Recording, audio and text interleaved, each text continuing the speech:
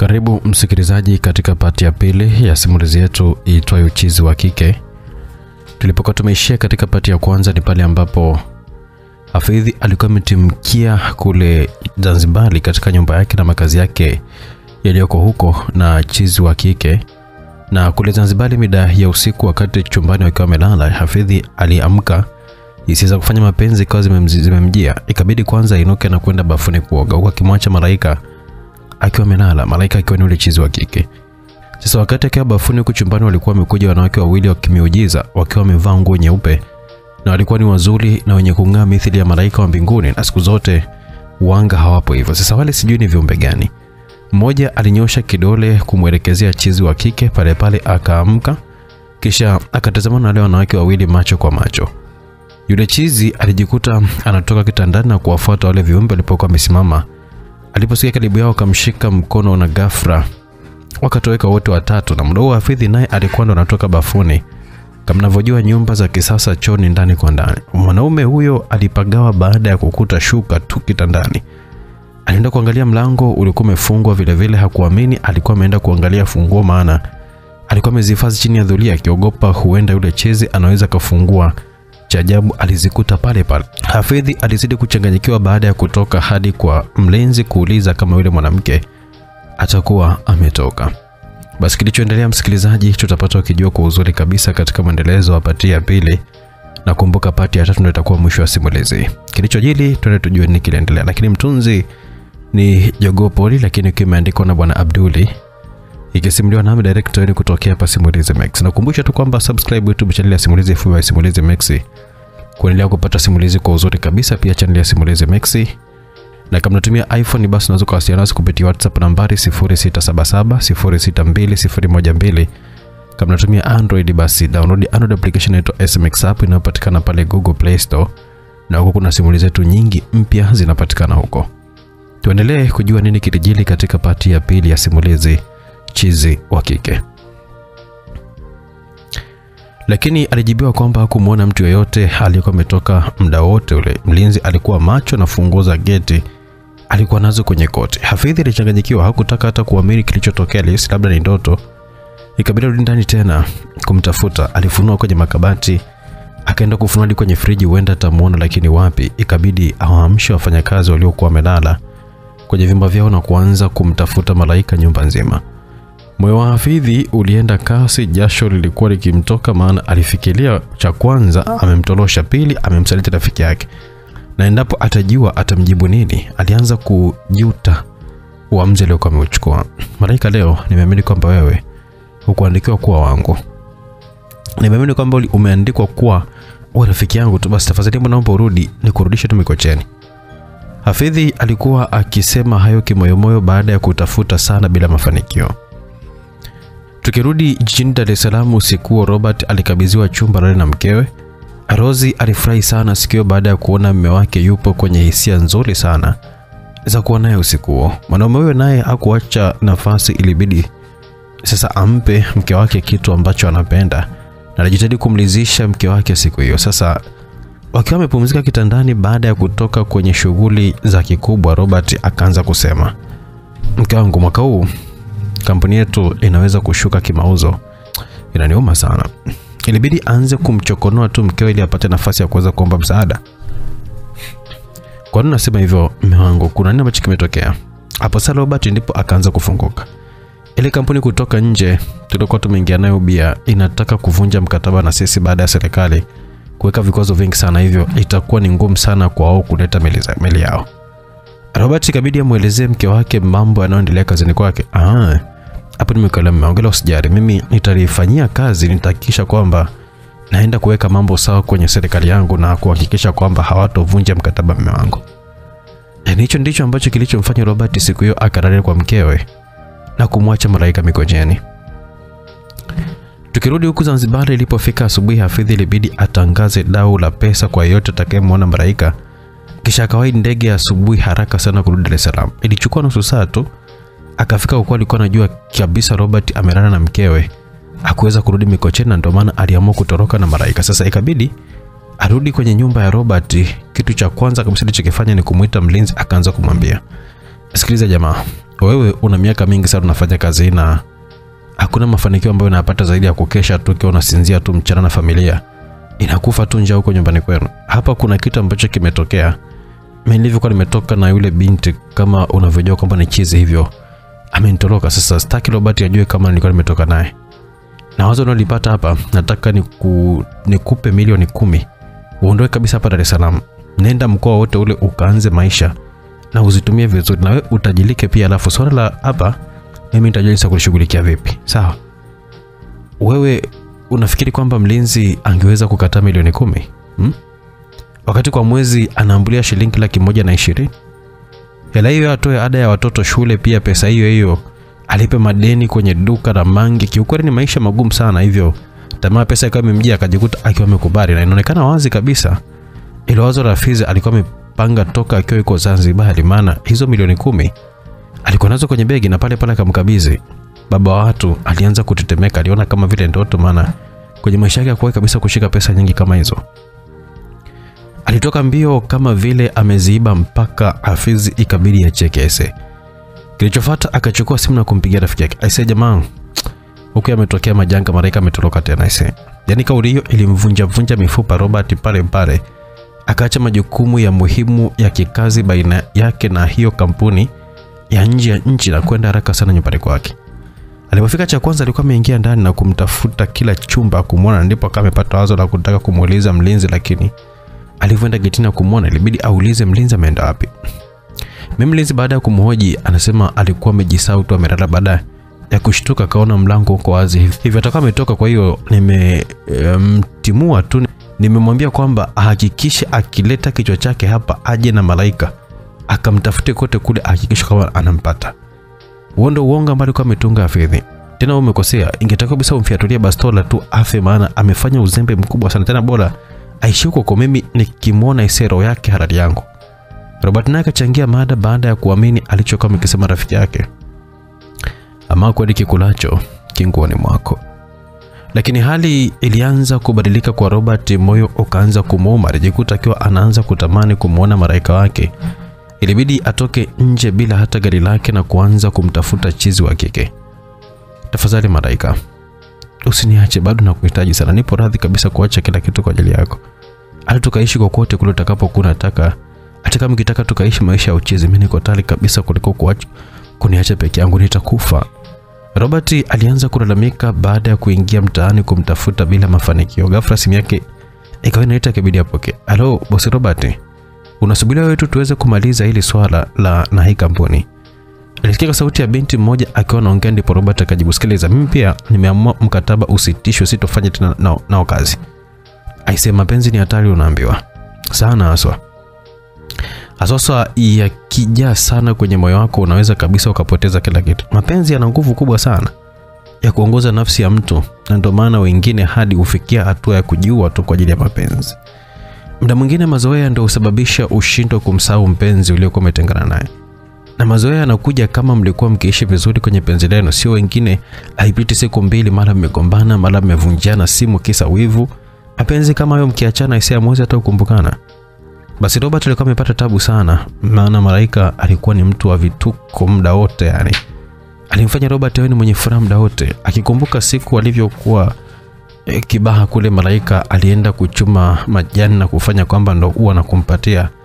Yani jinsi gani mtu hana akili timamu, lakini anajua upendo ni nini. Awe zikapita siku nyingi, maisha ya Robert yakabadilika sana. Hawezi kuamini, kampuni yote ikabidi ibadilishe hati miliki na kujikuta anamkabidhi mama yake wa kambo. Alishindwa kabisa kufanya kazi. Robert alibadilika sana, alikuwa ni mtu wa kushinda tu ndani, ni kunywa pombe tu na kula kwake ni kwa shida. Alikonda sana, uwezi amini, lakini hakuna mwanamke jasiri na mwenye moyo wa uvumilivu kama Rose, unaambiwa, maana alijua kila kitu kinachomsibu mume wake. Mmeongopa, jitahidi basi uwe unakula. Mimi naamini kabisa ipo siku Malaika atarudi kwa ajili yako. Naamini yule mwanamke anakupenda sana. Sasa ukishindwa kula tu ukapoteza maisha, utawezaje kumwona tena Malaika wako? Dada huyu alijitahidi kumliwaza mume wake halali kabisa kwa ajili ya mwanamke mwingine. Basi ilibidi Lopati aanze kula. Wakati akiwa anakula, Rose ilibidi aingie chumbani. Kilichotokea kwa chumbani inatia huruma sana. Ise mwanamke alianza kulia kwa uchungu sana, huku akishtaki kwa Mungu wake. e Mungu, naomba basi umtie nguvu mume wangu, adhabu uliyompa inamtosha, ameshapoteza kila kitu. Basi mrudishe tu mwanamke kama ndio dawa ya kuweza kumponya ile tu mimi nimelizia kabisa, japo nampenda sana mume wangu na naapa kwamba sitokuja kuona mwanaume mwingine, acha tu mimi niumie. Kiukweli maneno aliyokuwa anayatoa Rose yanaumiza sana. Ni mwanamke gani ambaye anaweza kuvumilia hiyo hali? Yataka ujasiri kwa kweli. Tukirudi kwa mama wa kambo, siku hiyo akiwa na wanga wenzie wakiwa wanafanya sherehe za mwaka, waga wanakutanaka wanga kutoka sehemu mbalimbali, kutoka mikoa tofauti tofauti, na- huwaga kila mwaka wanapendekeza mkoa kukutana. Safari walikuwa wamekutana mkoani Mtwara, ila kwa Mama Lisa ndo ilikuwa mara ya kwanza kushiriki sherehe hizo. Kwanza sherehe yao wanatakiwa wote wawe uchi wa mnyama, isipokuwa kiongozi mkuu tu ndo ambaye anavaa kaniki jekundu. Siku hiyo huwa nyama za watu ndio msosi unaotakiwa kuliwa. Pia huwaga kuna ngoma na vikundi vya kucheza kama kusherehesha shughuli yenyewe. Baada ya kufanya mambo yao na kutoa ripoti za msimu, waga kila mkoa unatoa mwakilishi mmoja wa kutoa kafara. Huku Dar es Salaam walimchagua Malisa ndo atakuwa mtu wa kutoa kafara, maana kwa mwaka huu yeye ndo akafanikiwa baada ya kufanikiwa kupata mali zote alizokuwa akigombania na mwanawe wa kambo. Kwa hiyo mizimu imemsaidia kutimiza malengo yake, hivyo yeye ndo ambaye amependwa na mizimu. Lakini sasa waga kwenye sherehe hizo, kama mtu akipendekezwa, ukipendekezwa wewe ndo utoe kafara, ni balaa. Maana kafara yenyewe inatakiwa kuwa ni umtoe mwanao kipenzi wa kumzaa. Asa bila kujua kinachoendelea, Mama Lisa akafurahi alipokuwa amechaguliwa yeye. Tukirudi Mikocheni usiku huo, Rozi alikuwa amelala, ghafla akauona mwanga mkali unatokea mlangoni kwa mbali, akaiona sura ya malaika. Alianza kutetemeka kwa uoga. Taratibu ule mwanga ukapotea, kabakia malaika, wakawa wanatizamana uso kwa uso. Ndipo malaika akaanza kucheka sana, kile kicheko kisababisha mpaka kabati la nguo litikisike. Lakini ghafla tunamwona Rose akiamka kutoka usingizini, huku jasho likimtoka. Kitu cha kwanza kabisa aliangalia mlangoni, lakini hakuona kitu, kumbe ilikuwa ni ndoto tu. Akiangalia pembeni, Robert alikuwa na koroma tu, huku harufu ya pombe ikitoka kinywani mwake. Upande wa pili kwenye sherehe za wanga, Mama Lisa anapandishwa juu na kusomewa sadaka ambayo anatakiwa atoe kwa ajili ya mizimu. Mama Lisa, hongera sana kwa kuwa na mwaka wa mafanikio kwako. Ni bahati sana mgeni kama wewe mizimu ikakubali kwa haraka namna hiyo. Hivyo kwa mila na desturi za kichawi unatakiwa umtoe kafara mwanao kipenzi. Tunakupa mwezi mmoja uwe umekamilisha zoezi hilo. Baada ya hapo utapandishwa cheo. Wanga wote walipiga vigelegele, lakini Mama Lisa alishangaa, maana alikuwa ajue kilichokuwa kinakwenda kujili. Alikuwa anataka hadi kutoa machozi, lakini alijikaza. Oh, nitafanya nini mwenzenu jamani, nimeumbuka. Amalisa alikuwa akisema kimoyomoyo, ikabidi amfate yule mganga aliyekuwa ameingiza kwenye uchawi na kuanza kumhoji. Sasa mpenzi, huwezi kunisaidia kwa ili wanikubalie tu nitoe hata mali kuliko kumtoa mwanangu, au nimtoe hata Robert, mimi nitakuwa tayari kabisa. Alikuwa akimwambia yule mganga. Mm, Mama Lisa, hii mizimu bwana waga kishaamua uwezi kabisa kupinga kwa roti, na endapo kama hutofanya hivyo watakutoa wewe mwenyewe kafara. Sasa uchague mmoja, ufe wewe mwanao. Mzee huyo ndipo alipokuwa amemkatisha tamaa kabisa, hakukuwa na namna yoyote ile ya kupinga. Na ilikuwa ni siku ya Jumapili, tunamwona Hafidhi akiwa anashuka kutoka kwenye boti akitoka Zanzibari. Ukimwona uso wake umepoteza nuru kabisa maisha, na yeye alikuwa amempiga kidogo. Jue baada ya Mamalisa kuchukua kampuni alifukuza wafanyakazi wote na akaweka wafanyakazi wapya hadi Robert, na nyazifa yake ilikuwa haipo tena. Na kama unavyojua, mtu aliyezoea kushika pesa zikimpotea utamwonea huruma, na kwambia. Basi alipanda kwenye taksi na kumwamuru ampeleke Mikocheni, lakini wakiwa maeneo ya Kinondoni, Hafidhi akiwa anachungulia dirishani akamwona malaika akiwa kwenye hali yake ile ile ya uchizi, huku akiwa amechafuka sana, nywele zikiwa hazitamaniki, akiwa ameshika makopo na kurushia watu pale pale. Hafidhi akamwambia dereva asimamishe gari, lakini wakati anashuka ili avuke barabara amkimbilie, likapita gari kubwa likafanya limzibe asione upande wa pili aliyokuwepo malaika. Baada ya gari kupita, uwezi amini, hakumwona tena malaika, ikabidi avuke barabara akaangalia vizuri, lakini hakuona kitu. Akarudi kwenye taksi huku akitafakari inawezekana vipi kitendo cha sekunde kadhaa tu gari kupita yule malaika atoweke. Hakupata jibu. Baada ya muda alifika hadi nje ya geti kubwa maeneo hayo ya Mikocheni. Alishuka na kumpatia dereva kilicho chake, kisha akaanza kubonyeza kitufe cha kengele kilichopo kwenye ukuta wa geti hilo, na ndipo geti likawa limefunguliwa na Hafidhi aliingia ndani. Alipokuwa amefika kwenye kibaza cha nyumba hiyo, alipokelewa na Rozi. Karibu shemeji, um, naona Zanzibari pamekupendeza, sio kwa shavu hilo aise, au shapata mke mwenzangu huko? Walianza na utani wa hapa na pale, huku wakiwa wanaingia ndani, lakini Hafidhi alishindwa kabisa kuvumilia alipokuwa ameona rafiki yake Robert akiwepo kwenye hali ile. Alikonda kweli kweli, kitambi chote kiliisha. Alimfuata wakakumbatiana, huku wote wakianza kulia mpaka ikamfanya Rose naye akajikuta mashavuni mwake kuna tilika maji, naye pia alianza kutoa machozi ya uchungu. Alishindwa kuvumilia kukaa pale, alikimbia moja kwa moja hadi bafuni akaanza kulia. Dada wa watu jamani, alianza kujilaumu, kwa nini amependa hivi? Ukipenda ndo malipo yake haya. Alianza kumchukia malaika aliyokuwa amekuja kuingilia penzi lake. Ni shetani mkubwa sana yule mwanamke, na atakuwa ametumwa tu kuharibu maisha ya mume wangu. Tukirudi kwa Malisa akiwa na mwanaye siku hiyo, walikuwa sebuleni na laptop yao akiwa anaongea na mtoto wake yule wa kiume aliyekuwa India akisoma kwa kupitia video call. Walishuhudia mambo yote ambayo alikuwa akiendelea kwenye mahafari ya kijana huyo, maana alikuwa ameshahitimu elimu yake ya juu kabisa, na kwa bahati nzuri serikali Tanzania imemwajili moja kwa moja, yani akitua tu Dar es Salaam anafika moja kwa moja kwenye hospitali kubwa ya Muhimbili na anakuwa ni daktari mkuu wa upasuaji, maana ndio kitu alichokuwa na kisomea huko. Ilikuwa ni shangwe sana nyumbani kwa Mama Lisa, maana kesho tu wanaenda kumpokea uwanja wa ndege kijana huyo. Halo kaka, kesho Frank anarudi kutoka India, atatua na ndege saa tisa. Lisa alimpigia simu Robert na kumjulisha kwamba mdogo wake anarudi kutoka masomoni. Lakini usiku huo Mama Lisa alifatwa na wanga wenzie na kumchukua wakaenda hadi makaburini kwenye makutano yao. Mama Lisa, kumbuka ile siku ya kumtoa mwanao kipenzi imefika, kwa hiyo kazi inaanza leo. Tutakueleza tuta jinsi ya kufanya. Walimzunguka mama huyo na hakuwa na pa kutokea, maana ndio mwakilishi wao kwa upande wa Dar es Salaam nzima na akifeli yeye basi kutoa kafala adhabu watapata kikundi kizima, na ndio maana wanamuhimiza amalize kazi. Aliambiwa kachukue kiwembe ajichanje kwenye sehemu za seli, maana huko ndiko alikotokea mtoto. Kisha kulikuwa na mgomba, akaambiwa kwamba auchanje na ule utomvu wa kwenye mgomba akaupake pale alipokuwa amechanja. Kisha kuna dawa moja nyeusi kama masizi vya mkaa akapaka, alafu akaambiwa kwamba aubebe ule mgomba kama mtoto mdogo anavyobebwa wakati akiwa analia na kubembelezwa, kisha aseme maneno haya: wewe ndio ambaye nikupendaye na kutoa sadaka kwa ajili yangu. Mizimu imekupenda zaidi, imekupenda zaidi yangu. Hakika unakwenda sehemu salama, kusini na kaskazini, mashariki na magharibi. Wakifunika tunafunua na wakifunga tunafungua. Baada ya kuongea maneno hayo, anatakiwa audondoshe ule mgomba. Sasa Mama Lisa akajiuliza Mbona sikuambiwa nitaje jina la mtoto ninayetaka afe? Mm-mm, nimemtoa nani mwenzenu? Wakati akijuliza hayo, wanga wenzio alifurahi baada ya kumaliza kazi. Mama Lisa hatimaye um, ametuokoa kikundi chetu kitapata sifa sana.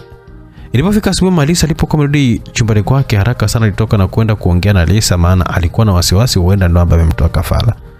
Aligonga kwa nguvu sana kwenye mlango, huku presha ikiwa imempanda kwa hofu, lakini kila kigonga aliona kimya.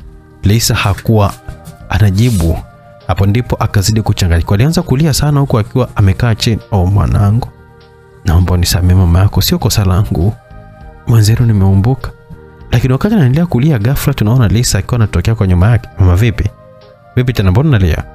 Kumbe Lisa hakuwa ndani, alikuwa ametoka bafuni kuoga, huku akiwa ameshika taulo akiwa anajifuta. Mama Lisa aliumbuka kwa kweli, aise, hakujua aseme nini, akajikuta analopoka Mwanangu, nimeota kama umekufa. Sasa ndo nikawa nimekuja kugongea hapa, nikaona kimya. Asema mlango ulikuwa wazi, si ukijaribu tu kwanza kuweza kuzungusha kitasa. Lisa akaanza kumcheka mama yake, au ndo kiwewe cha kwenda kumpokea mwanao yule, yule leo Daktari Frenki? Lisa aliendelea kumtania mama yake, lakini mama huyo hakuwa na saa, hakuwa sawa kabisa. Aliinuka haraka na kwenda chumbani kwake, akachukua simu na kumtafuta mwanaye, akaanza kupiga kwenda mitandao ya kigeni na simu ya Frank ikawa inaita Halo mama, tunajiandaa uh, nikapande ndege hivi. Aliposikia tena sauti ya mwanaye mwingine, ndipo presha ikashuka, akaanza kujisemea kimoyomo, hakuna cha mizimu kwa watoto wangu mimi, Mungu anawalinda sana yani. Mida jioni ilifika, walijiandaa kwenda kumpokea Frank huku akiwa wameweka mashada kwenye gari, na siku hiyo mama huyo aliwaalika mashoga zake wengi. Magari yalikuwa yakiongozana kama vile wanaenda kumpokea mheshimiwa rais upande wa pili, naye Rozi pamoja na mme wake walikuwa hapo kwenye gari wanaelekea huko kumpokea daktari mkuu. Jamani, baada ya muda ndege ilitua huku wakiwa wamejiandaa kumpokea, lakini abiria wote walishuka isipokuwa yeye tu, ndo bado wakawa wanajiuliza kule koni, mbona nachelewa? Ghafla tukaona gari la wagonjwa likiwa linaelekea kwenye ndege. Hapo hapo sauti ya matangazo ikasikika. Mwenye ndugu wa kijana Frank aliyetoka masomoni nchini India, tunamwomba sehemu ya mapokezi.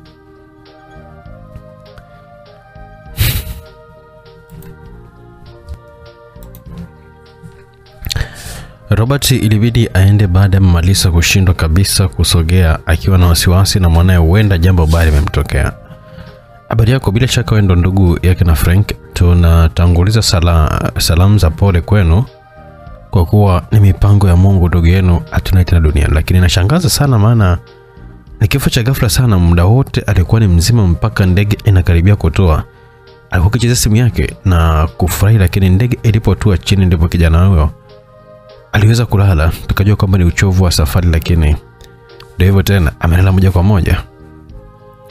Aliyekuwa naongea alikuwa ni mhudumu wa ndege aliyekuwepo na yeye kwenye hilo tukio. Robert akaumia sana kusikia hizo habari na kuambiwa kwamba mwili unapelekwa umepelekwa hospitali kwa ajili ya uchunguzi zaidi. Alichofanya Robert alirudi kutoa majibu ya kile kilichokuwa kime alichokuwa ameitiwa, huku kila mmoja alitamani kusikia kilichoendelea.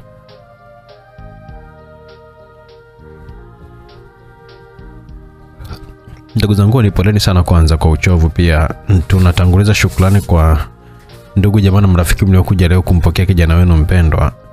Taarifa nilizopata kule, kijana wetu bwana amepatwa na mshtuko, tumbo lilikuwa likimaumauma.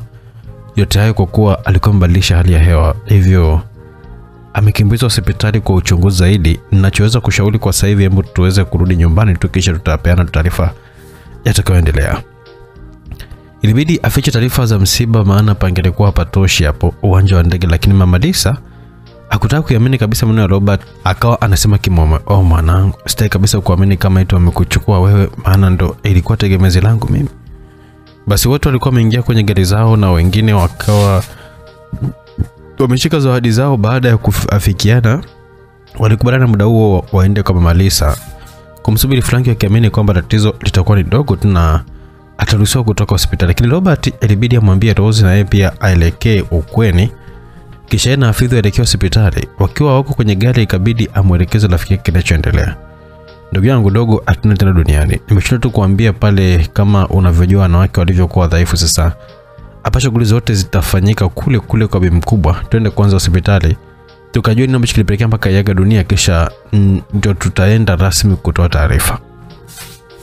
Walifika hadi hospitali wakamtafuta daktari wa zamu ambaye aliyehusika na vipimo vya marehemu. Majibu yalikuwa kama ifuatavyo: nyie ndo ndugu wa marehemu bila shaka. Eh, kwanza poreni sana kwa msiba huu mzito. Huyu kijana baada ya uchunguzi wa kina kabisa hatukuona chanzo chote kile kilichopelekea uhai wake. Basi tu tuseme kwamba ni mipango ya Mungu. Poreni sana. Pia kuna salamu za rambirambi kutoka kwa mheshimiwa rais wa nchi, na amesema kwamba wanatambua umuhimu wa huyu kijana na ameahidi sekta gharamia kila kitu kwenye mazishi ya ndugu yetu huyo. Hizo ndio taarifa alizokuwa amezitoa daktari, kisha akawapeleka hadi katika mochwali na kuthibitisha kama mwili wa ndugu yao ndo huo. Walipofika kwenye chumba walichokuwa na hifadhi marehemu, yule anayehusika na mambo hayo akafungua sanduku ambalo lilikuwa alimelazwa marehemu. Kikweli Robert alishindwa kuvumilia, machozi yalikuwa anaanza kumdondoka. Kaka, unalia nini? Mbona sielewa ise? Hebu naomba unitoe mndani, ndani, panatisha kwelikweli, kweli, maana kila nikijaribu kutoka nashindwa. Huwezi kuamini, sauti hiyo ilikuwa ya Frank aliyekuwa amesimama pembeni akimshangaa kaka yake anautazama mgomba, halafu akawa analia. Lakini cha ajabu, Robert na wenzie humo ndani amwone Frank aliyekuwa amesimama. Badala yake Frank wanayemwona alikuwa ni huyu aliyelala kwenye sanduku, na upande mwingine Frank naye alikuwa anawaona watu wote, lakini pale kwenye sanduku linosadikika melala, yeye alikuwa anaona mgomba tu ndo ulikuwa uko pale. Baada ya kina Robert kuhakikisha kama mwili ndo ule, sanduku likawa limerudishwa mara pake, wakaanza kutoka nje. Kaka, mbona niacha? Naomba tutoke wote, kwani nimekufanya nini kakaangu? Mbona hata unisikii? Frank alijaribu kuomba msaada, lakini ali- alijishangaa tu mwenyewe baada ya kutaka kumshika kaka yake. Anaona kabisa kwamba anashika hewa tu, yani mtu anaweza kumkumba na hata wasigusana. Kiukweli usiombe kukute. Mbaya zaidi, maumivu ya moyo unakuwa unayasikia kama kawaida. Alihisi huenda kwamba ni ndoto tu, maana huwaga anapendaga sana kuangalia picha za kutisha.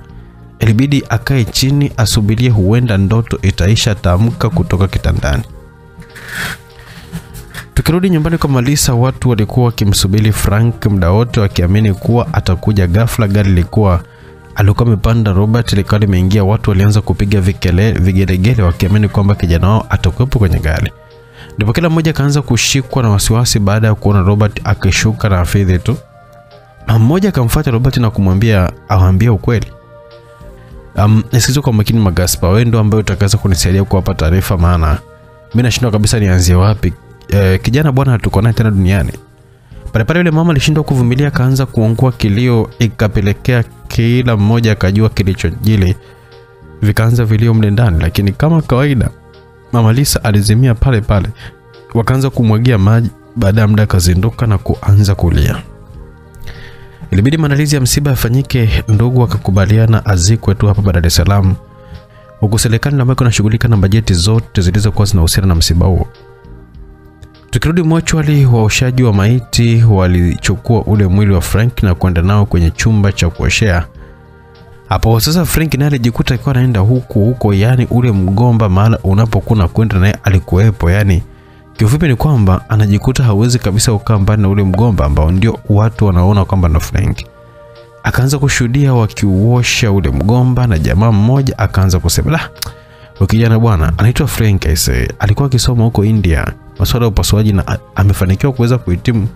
Kwa bahati nzuri, serikali nayo pia ikawa imempa ajira moja kwa moja aje kuwa daktari mkuu wa upasuaji kwenye hospitali hii ambayo leo hii tunamuosha hapa. Ese, Mungu alaze mahala pema roho yake, maana amefariki bado mdogo sana, hata mafanikio ya elimu yake hajaanza kabisa kuyaona.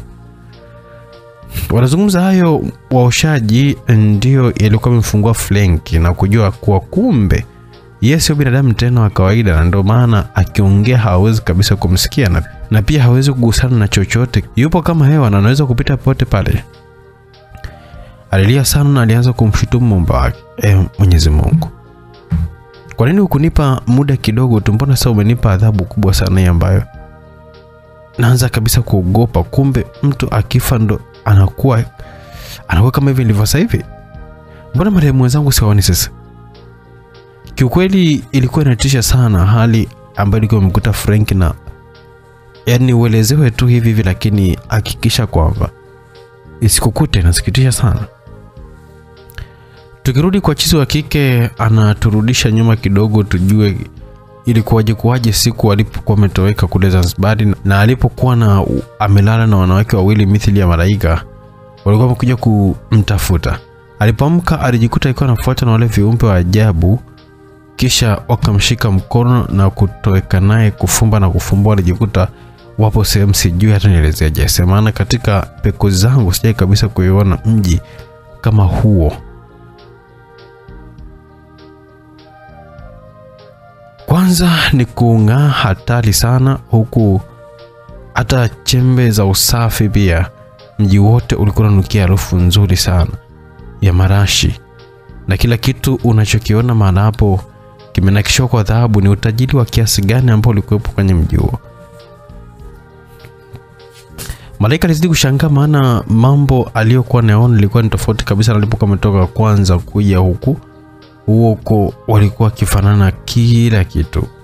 Muonekano huyo binti ulikuwa ni kimya sana, husikii watu wakiwa wanaongea hovyo wala kusikia kelele zozote zile za redio wala nini.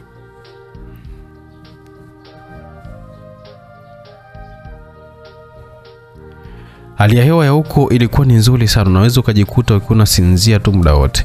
Kiukweli ni kama mfano wa peponi, kama vitabu vinavyo eh, vinavyoelezeaga mandhari ya peponi. Muda wote akiwa na hao wanawake wawili, walifika kwenye jumba moja kubwa sana. Sijaona mfano wake wa kweli. Hebu moja tuendelee katika pati ya pili kujua nini kilijili katika simulizi hii nzuri kweli kweli ya penzi la mapacha Twins Love.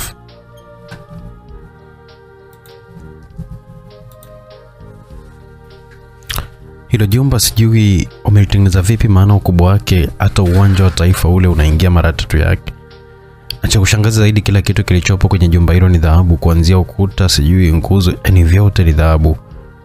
Huo mji ulikuwa sijui niite wa kitajiri, maana ukifanikiwa kufika alafu karudi huku, basi utakuwa bilionea, maana haina haja hata ya kuchimba dhahabu kule, zipo nje nje tu.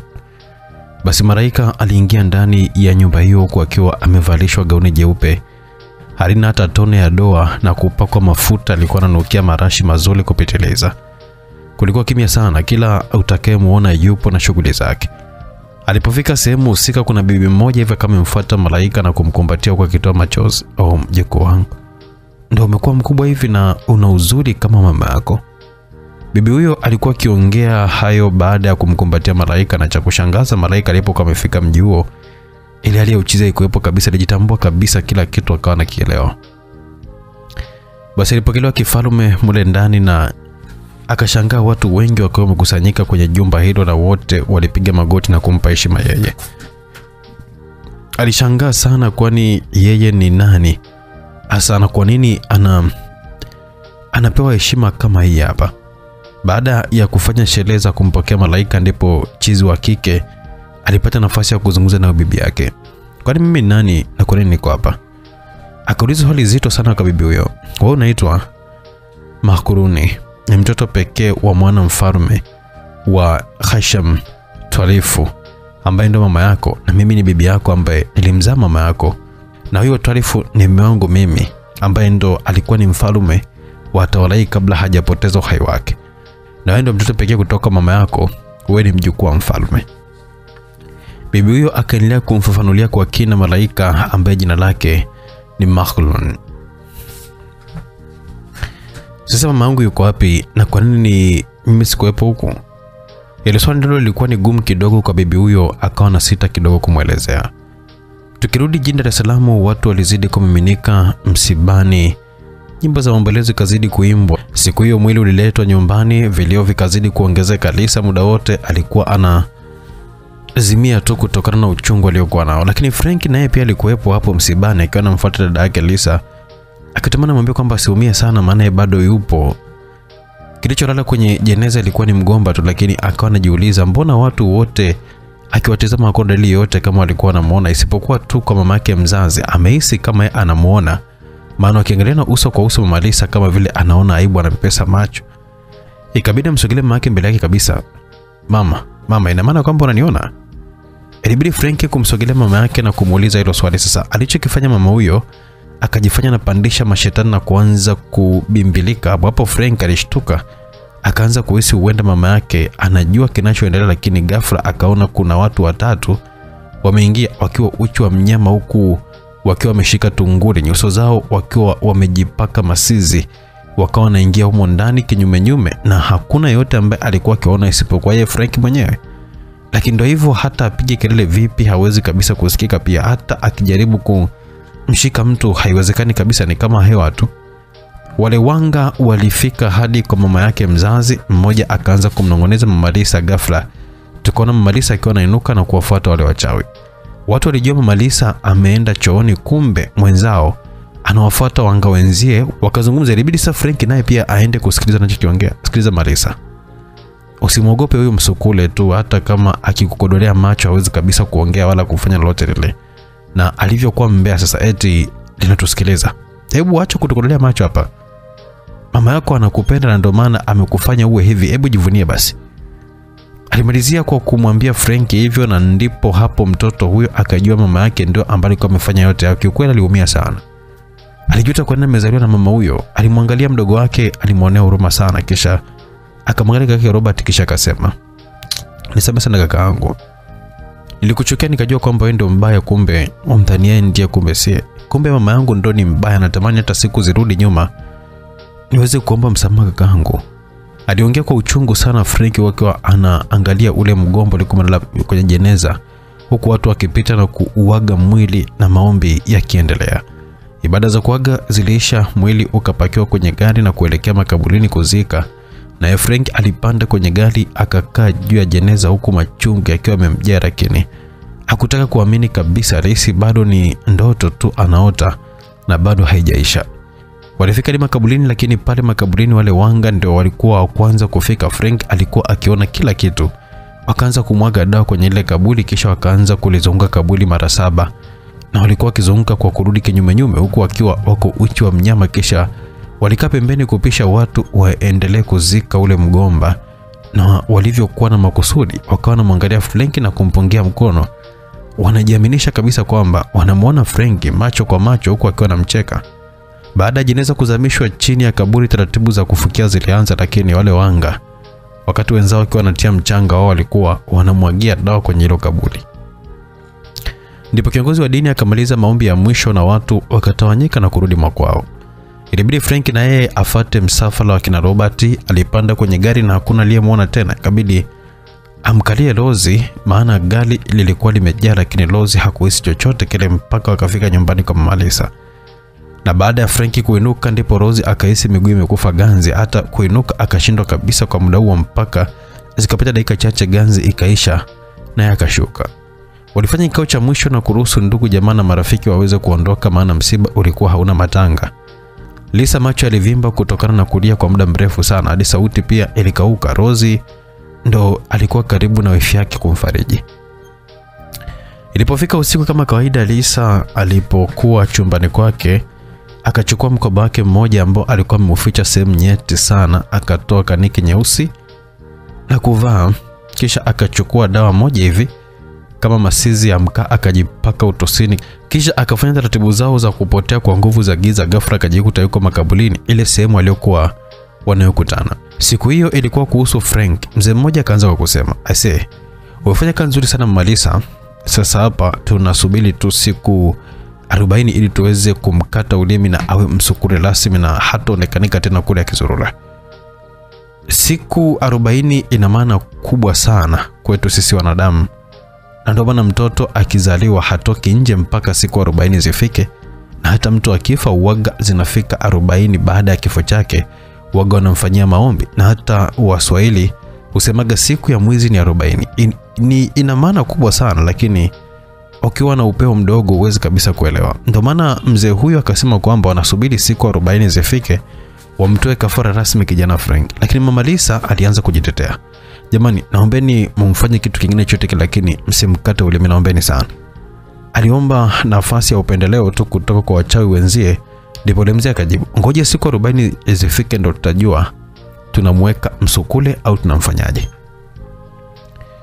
Tukirudi kwenye huu mji wa ajabu aliokuweko chizi wa kike, mazungumzo yalizidi kuendelea, lakini bibi huyo alisita kidogo kuongea baada ya kuulizwa kuhusu mama yake Malaika, kwa sasa hivi yuko wapi na ilikuwaje, naye pia hakuwa akiishi huko. Mjukuu wangu Mahurun, baada ya mamako kufikia umri wa kuolewa, kabla hata haja kuzaa wewe, marehemu babu yako Mfalme Twalifu um,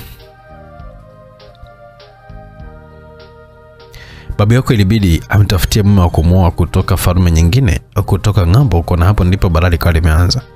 Maana mako kumpenda kabisa ule mfalme badala yake alikuwa mpendana na mwanadamu huko kwenye dunia dhaifu. Siku ambayo alikuwa anatakiwa afunge ndoa, yeye akatoroka na kwenda duniani kwa huyo mpenzi wake. Hapo sababu yako alikasirika sana na aliahidi kumpa adhabu mama yako. Baada ya mwaka mmoja kupita, mama yako akarudi huku akiwa na mtoto mchanga ambaye amezaa na mwanadamu, na mtoto mwenyewe ndo wewe. Lakini babu yako kwa kuwa alikuwa na hasira sana, ikabidi ampe adhabu mama yako. Alichokifanya akakufanya wewe usiweze kabisa kujitambua na akakurudisha huko kwa duniani kwa babako, na mamako alipigwa viboko mia moja maana ndo sheria za hapa, na, kwa bahati mbaya pale pale mamako alifariki. Lakini babu yako naye alianza kuumwa kwa muda mrefu, na kabla hajakata roho alitoa agizo kwamba utafutwe na ukabidhiwe hichi kiti cha ufalme. Kwa hiyo kuanzia sasa utarudishiwa nguvu zako, na, na wewe ndio utakayeongoza hii tawala ya majinuni. Sisi ni jamii ya majini. Sisi na binadamu tumetenganishwa na maji ya bahari, lakini sisi tunaweza kwenda kwao na tukafanya chochote kile tunachokitaka bila kipingamizi, maana wao wameumbwa wakiwa dhaifu sana. Ni kitu kimoja tu ambacho walichobarikiwa, wamepewa akili za ajabu, lakini sasa asilimia tisini hawezi kabisa kuzitumia kile alizopewa na Mwenyezi Mungu. Ni wavivu sana wa kujifikirisha. Bibi huyo aliongea mengi sana na mjukuu wake. Tukirudi huku duniani, mambo yalizidi kuwa mabaya kwa kijana Frank. Alikuwa akimshuhudia mama yake usiku akifuatwa na wenzie. Alisikitika sana, maana kama uwezo walikuwa nao sasa, walichokuwa wanamfanya mama yake aingie kwenye kundi la kichawi ni nini?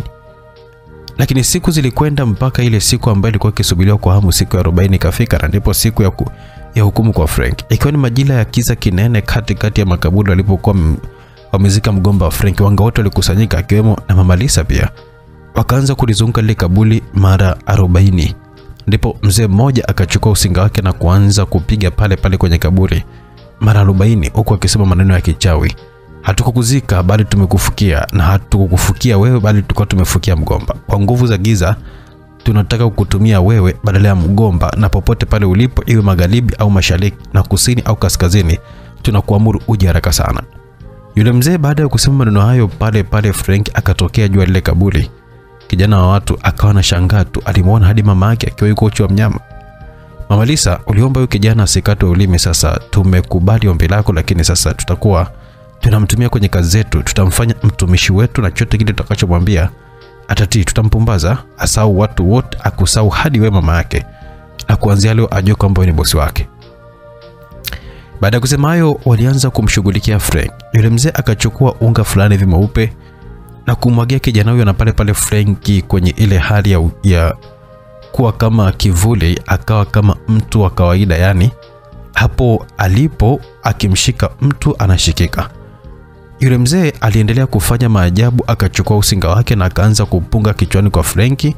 Hiyo ikafanya kijana wa watu asiweze kabisa kuongea, mdomo ulikuwa ni mzito, yeye akawa ni wa kuamlishwa tu na kufanya, lakini hawezi kabisa kuongea kitu. Baada ya hapo, wakampumbaza na kumlisha usembe wa kichawi, akawasahau kabisa ndugu zake wote hadi mama yake akamsahau.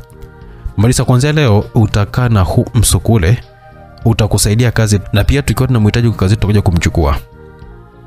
Huyu tena sio mtoto wako, maana mtoto wako ameshazikwa. Malisa roho yake ilibadilika, wala hata kusikitika kitendo hiko alichofanyiwa mwanaye, badala yake akawa anafurahi tu. Mamalisa, huu msukule hakuna mtu yoyote atakayeweza kuona, hivyo ondoa shaka. Pia anakula chakula chote kile, hata pumba pia anakula. Kiukweli wanga wanaga huruma eti kabisa, yani sijui na roho gani kwa kweli yani. Tukirudi Mikocheni siku hiyo, Hafidhi akiwa na rafiki yake wanazungumza vitu, walizungumza vitu vingi sana. Robert, mimi naona kabisa inatosha, huu ni wakati wa kuweza kusimama tena na kuangalia wapi tulipokuwa tume, tumeteleza tupatengeneze ili tusi ili tusiteleze tena. Kingine naomba sana umsahau Malaika wakati wakati wake umeshapita. Hebu mfikirie mke wako jinsi ambavyo anavyokupambania. Ni mwanamke gani ambaye anaweza kuvumilia haya? Hebu jaribu basi kuvaa viatu vyake wewe, ndio ungelikuwa yeye, ungeweza kweli kuvumilia? Mke wako Rose anakupenda sana, hebu basi jaribu kurudisha fadhila zake hata robo tu. Maneno yalimuingia sana Robert mpaka kaanza kulia. Ni kweli Hafidh, nimemkosea sana mke wangu ni mtu ambaye sipaswi kabisa kusamehewa. Naona hadi aibu kumtazama mke wangu, nishauri nifanyeje? Alikubali kwamba ni kweli amekosea, amemkosea sana mke wake. Ah, mbona jambo rahisi sana hilo rafiki yangu. Mimi nitamwita Rose na nitajaribu kuongea na ninyi nyote na kusuluhisha matatizo yenu. Tukirudi kwa Malisa akiwa jikoni anapika, Frank akuwa mbali, alikuwa amekatwa akisubiri bosi wake amtume. Wewe, nimekuambia usinifuate fate, hebu kakae sebuleni kule, nikikuhitaji nitakuita. Amalisa alikuwa akisema na msukule wake, lakini ghafla alikuja Rais. Mama, ulikuwa unaongea na nani? Mama yake akaanza kuzuga tu kwa mwanae. Ah, yani siku hizi na matatizo kweli ya kuongea peke yangu na hata sijui tatizo yani. Alikuwa akiongea hayo huku nafsi ikiwa inamsuta mama huyo. Basi muda wa kula ulifika. Wakiwa mezani anakula ule msukule, Frank nao ulikuja pale. Na hakuna kitu anapenda kama kula, muda wote uwaga anajisikia njaa yani. Asa wakati anakula Lisa akapiga tonge moja naye akachukua tonge moja pale pale alipokuwa amemega Lisa. Mchezo wote huo Malisa alikuwa akishuhudia, akaanza kucheka na ule msukule ukaanza kucheka. Mama, unacheka nini? Lisa ikabidi aulize baada ya kuona mamake akicheka mwenyewe. Ah, si huyo kaka yako ananichekesha? Si akajikuta analopoka mama bwana. Mama Lisa, Mm, kakaangu yu, yuko wapi? Mama, unaanza kunitisha. Em, pole mama, utamsahau tu madem kakaangu jamani. Lisa hakuelewa kitu, alijua kama mama yake alikuwa amemkumbuka tu Frank bila kujua kumbe wanakula wote. Ila mama, leo chakula kitamu sana isema ana sijashiba kabisa, singoje niongeze. Maskini Lisa hakujua kama walikuwa wanakula wawili, ndo maana hajashiba. Tukirudi huku jinini, Mahruni au Malaika alikuwa akiendelea kufundishwa baadhi ya mambo kuhusu majini na waliokuwa wakimwelezea ni wale waliokuwa wamekuja kumfuata kule duniani. Kwa duniani ilikuwa kama chizi, na mnasema kwamba kuna binadamu alikuwa anapendana naye. Malaika aliwauliza wale mabinti wawili, ndio mkuu, lakini ni siri, tuliambiwa kwamba tusikwambie, maana unaweza ukafanya kama alivyofanya mama yako. Mwanamke mmoja kati ya hao ikabidi afunguke ukweli. Pia sheria zetu, ukienda duniani kutembea, hauruhusi kabisa kuingilia mambo yao, hata kama ukimwona mchawi anamloga mtu, achana nao, maana hayo ndo maisha yao, na pia hairuhusi kabisa kumpenda mtu ambaye yupo kwenye ndoa. Yaani marufuku kabisa kuvunja ndoa ya mtu, maana imeidhinishwa na Mwenyezi Mungu. Wakaendelea kumpa darasa Maraika ambaye na yeye pia ameshakuwa ni jini na pia ana nguvu kubwa sana za kifalume. Hata mabinti aliyokuwa nao hawezi kabisa kuzipita nguvu zake. Na toka awepo huko, ule uzuri wake uliongezeka, aling'aa sana huku duniani. Sijaona kabisa mwanamke wa kumfananisha naye. Basi nataka nirudi duniani pia, nataka nimtafute mwanaume ambaye nilikuwa naye kipindi hicho, kwa gharama yoyote ile nitafanikiwa kumjua tu. Yaani muda huo maraika akili zake ziliporudi alisau yote aliyoyafanya duniani, ni kama alikuwa amezaliwa upya eti. Tukirudi Mikocheni, siku hiyo Hafidhi aliwakutanisha wanandoa na yeye ndio alikuwa ni msuluhishaji wa matatizo yao. Baada baada ya kuongea mengi sana, wakakumbatiana na kurudisha penzi lao lililokuwa limeingia doa. Siku hiyo waliimba na kucheza rasmi, furaha ikarejea. Robert aliapa kwamba ataacha pombe na ataanza kuchapa kazi kama zamani. Rozi hataweza kuisahau hiyo siku, aisemana alikuwa akiomba kwa Mungu siku zote siku hii iweze kufika. Ndipo alipiga goti na kuanza kurudisha shukrani kwa Mungu wake baada tu ya kusikilizwa kile kilio chake. Wewe ndio Mungu ni kuombaye, naye ukanipa, ama hakika wewe ni mkubwa, hakuna wa kuabudiwa zaidi yako. Asante sana Mungu wangu. Ilikuwa ni siku ya Ijumaa saa sita mchana maeneo ya baharini alionekanika maraika akitoka ndani ya maji ya bahari.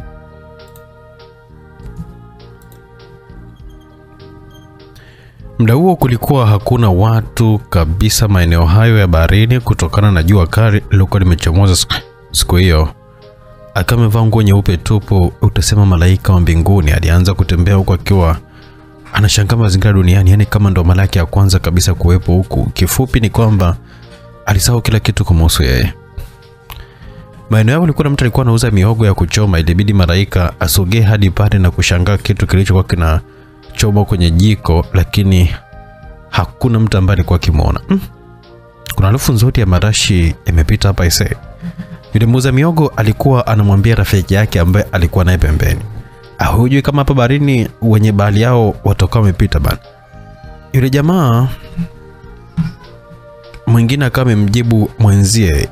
Basi malaika alizidi kutembea kwa akiwa anaangalia mazingira duniani jinsi yalivyo. Mm, kweli dunia ni dhaifu. Ina maana dunia hata kidogo sasa sinaweza kuwafanya navyotaka. Hebu moja kwanza nifanye kitu hapa.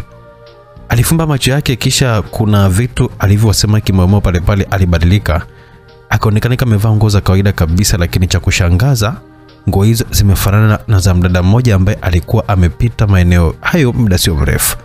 Kwa hiyo kumbe jini naye ana sifa kama ya kinyonga, anaweza kubadilika kutokana na mazingira anayotaka.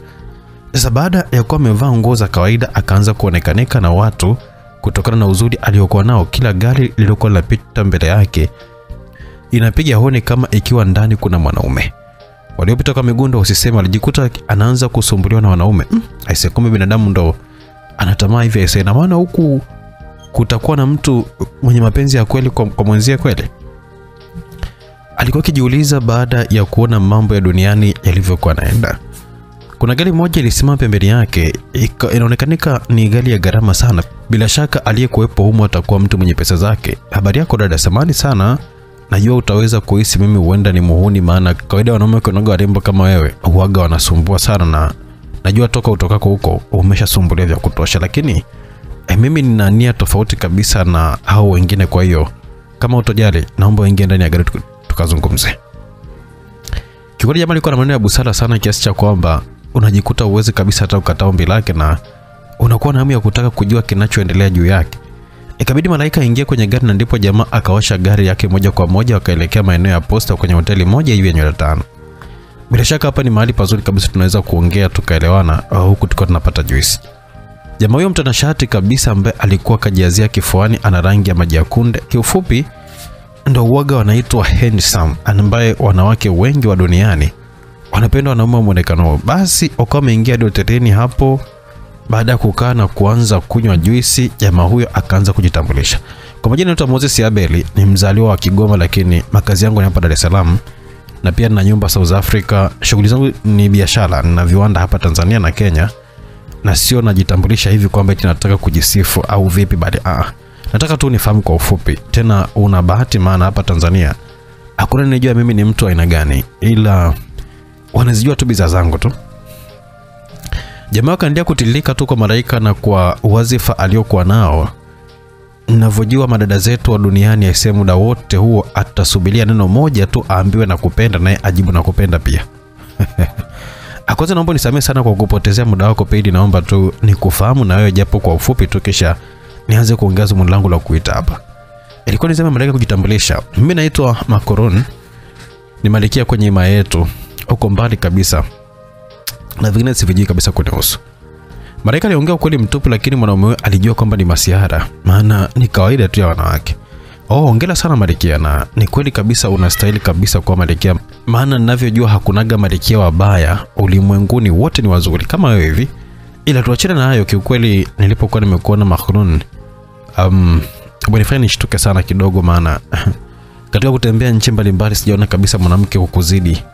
Hakika unastahili sifa. Sasa mimi lengo langu nataka kufanya kazi na wewe na kampuni yangu South Africa inahusu masuala ya urembo na mitindo na linajulikana hadi Ulaya huko. Sasa mimi nataka kukufanya wewe utambulike duniani kupitia uzuri wako na tutatengeneza pesa nyingi sana. Muda wote huo Malaika alikuwa akisikiliza tu maneno ya mwanaume huyo. Mm, binadamu wajanja wajanja sana ise. Alikuwa akijisemea kimoyomoyo kuona mtizama kwa makini sana mwanaume huyo. Umeniambia huna simu kwenye gari yangu? Uh, kuna iPhone mpya kabisa nitakupa ili tuweze kuwasiliana. Pia sijui ulikuwa unaelekea wapi, nikupeleke tu na gari yangu. Asa mtu mwenyewe anayemuuliza hajui hata nakoelekea, maana yeye amekuja huku duniani kutembea. Kakaangu, nirudishe tu pale pale uliponitoa. Tukirudi kwa wachawi, ikiwa ni majira ya usiku, alionekanika Mama Lisa na wachawi wenzio wakiwa maeneo ya barabarani, na ndipo mama mmoja hivi alimpiga na usinga kichwani Frank, kisha akamwambia aende akasimame katikati ya barabara. Basi msukule huo ukajikuta tu ukiwa unaenda kusimama barabarani. Ilikuwa ni majira ya usiku sana. Maeneo hayo hayo likuwepo wachawi hao, lilionekanika lori moja likiwa linateremsha kibonde, ndani yake ukawa na dereva na kondakta wake wakiwa wanawahi kufikisha mzigo jijini Dar es Salaam. Sasa yule dereva akiwa kwenye mwendo mkali, ghafla mbele yake anaona mtu amesimama, ikabidi haraka sana akate kona kumkwepa, na ndipo gari likapinduka hapo hapo. Light kama angejua ule ulikuwa ni msukule tu, angemgonga. Ilikuwa ni ajali mbaya sana. Dereva alirushwa na kondakta wake wakiwa porini, hakuna msaada wowote. Ndipo wale wanga wakasogea hadi kwa wale majeruhi, wakaanza kuwafanyia kama walivyokuwa wamemfanyia Frank. Wakaacha migomba na kuchukua nafsi zao, huku wakiwa wanachekelea kwa kitendo alichokuwa amekifanya. Mama Lisa Frank tutakuwa tunamtumia kutoa roho za watu. Leo amefanya kazi nzuri sana. Waga wakishachukua miili ya hao watu, wanaenda kupika na kuzila nyama. Kanuni yao inasema kwamba ukila nyama ya watu siku za kuishi zinaongezeka, maana unakuwa umekula uhai wa huyo mtu, kwa hiyo siku zake za kuishi unazichukua wewe. Hivyo ndivyo wanavyojua wachawi, na ndio maana kila baada ya wiki wanakula nyama za watu.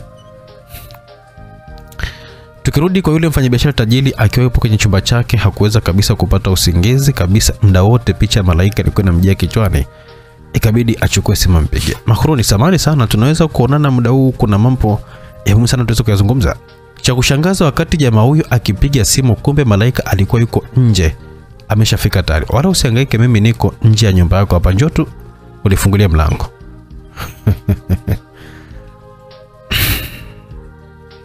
Malaika alikuwa akimjibu Moses baada ya kumpigia simu, lakini Moses alianza kujiuliza amefikaje huyo mwanamke na amepajuaje nyumbani kwake wakati akumwelekeza. Ikabidi aende na kumfungulia, maana ni kama ni kama dodo limeanguka kwenye, kwenye, kwenye mpapai.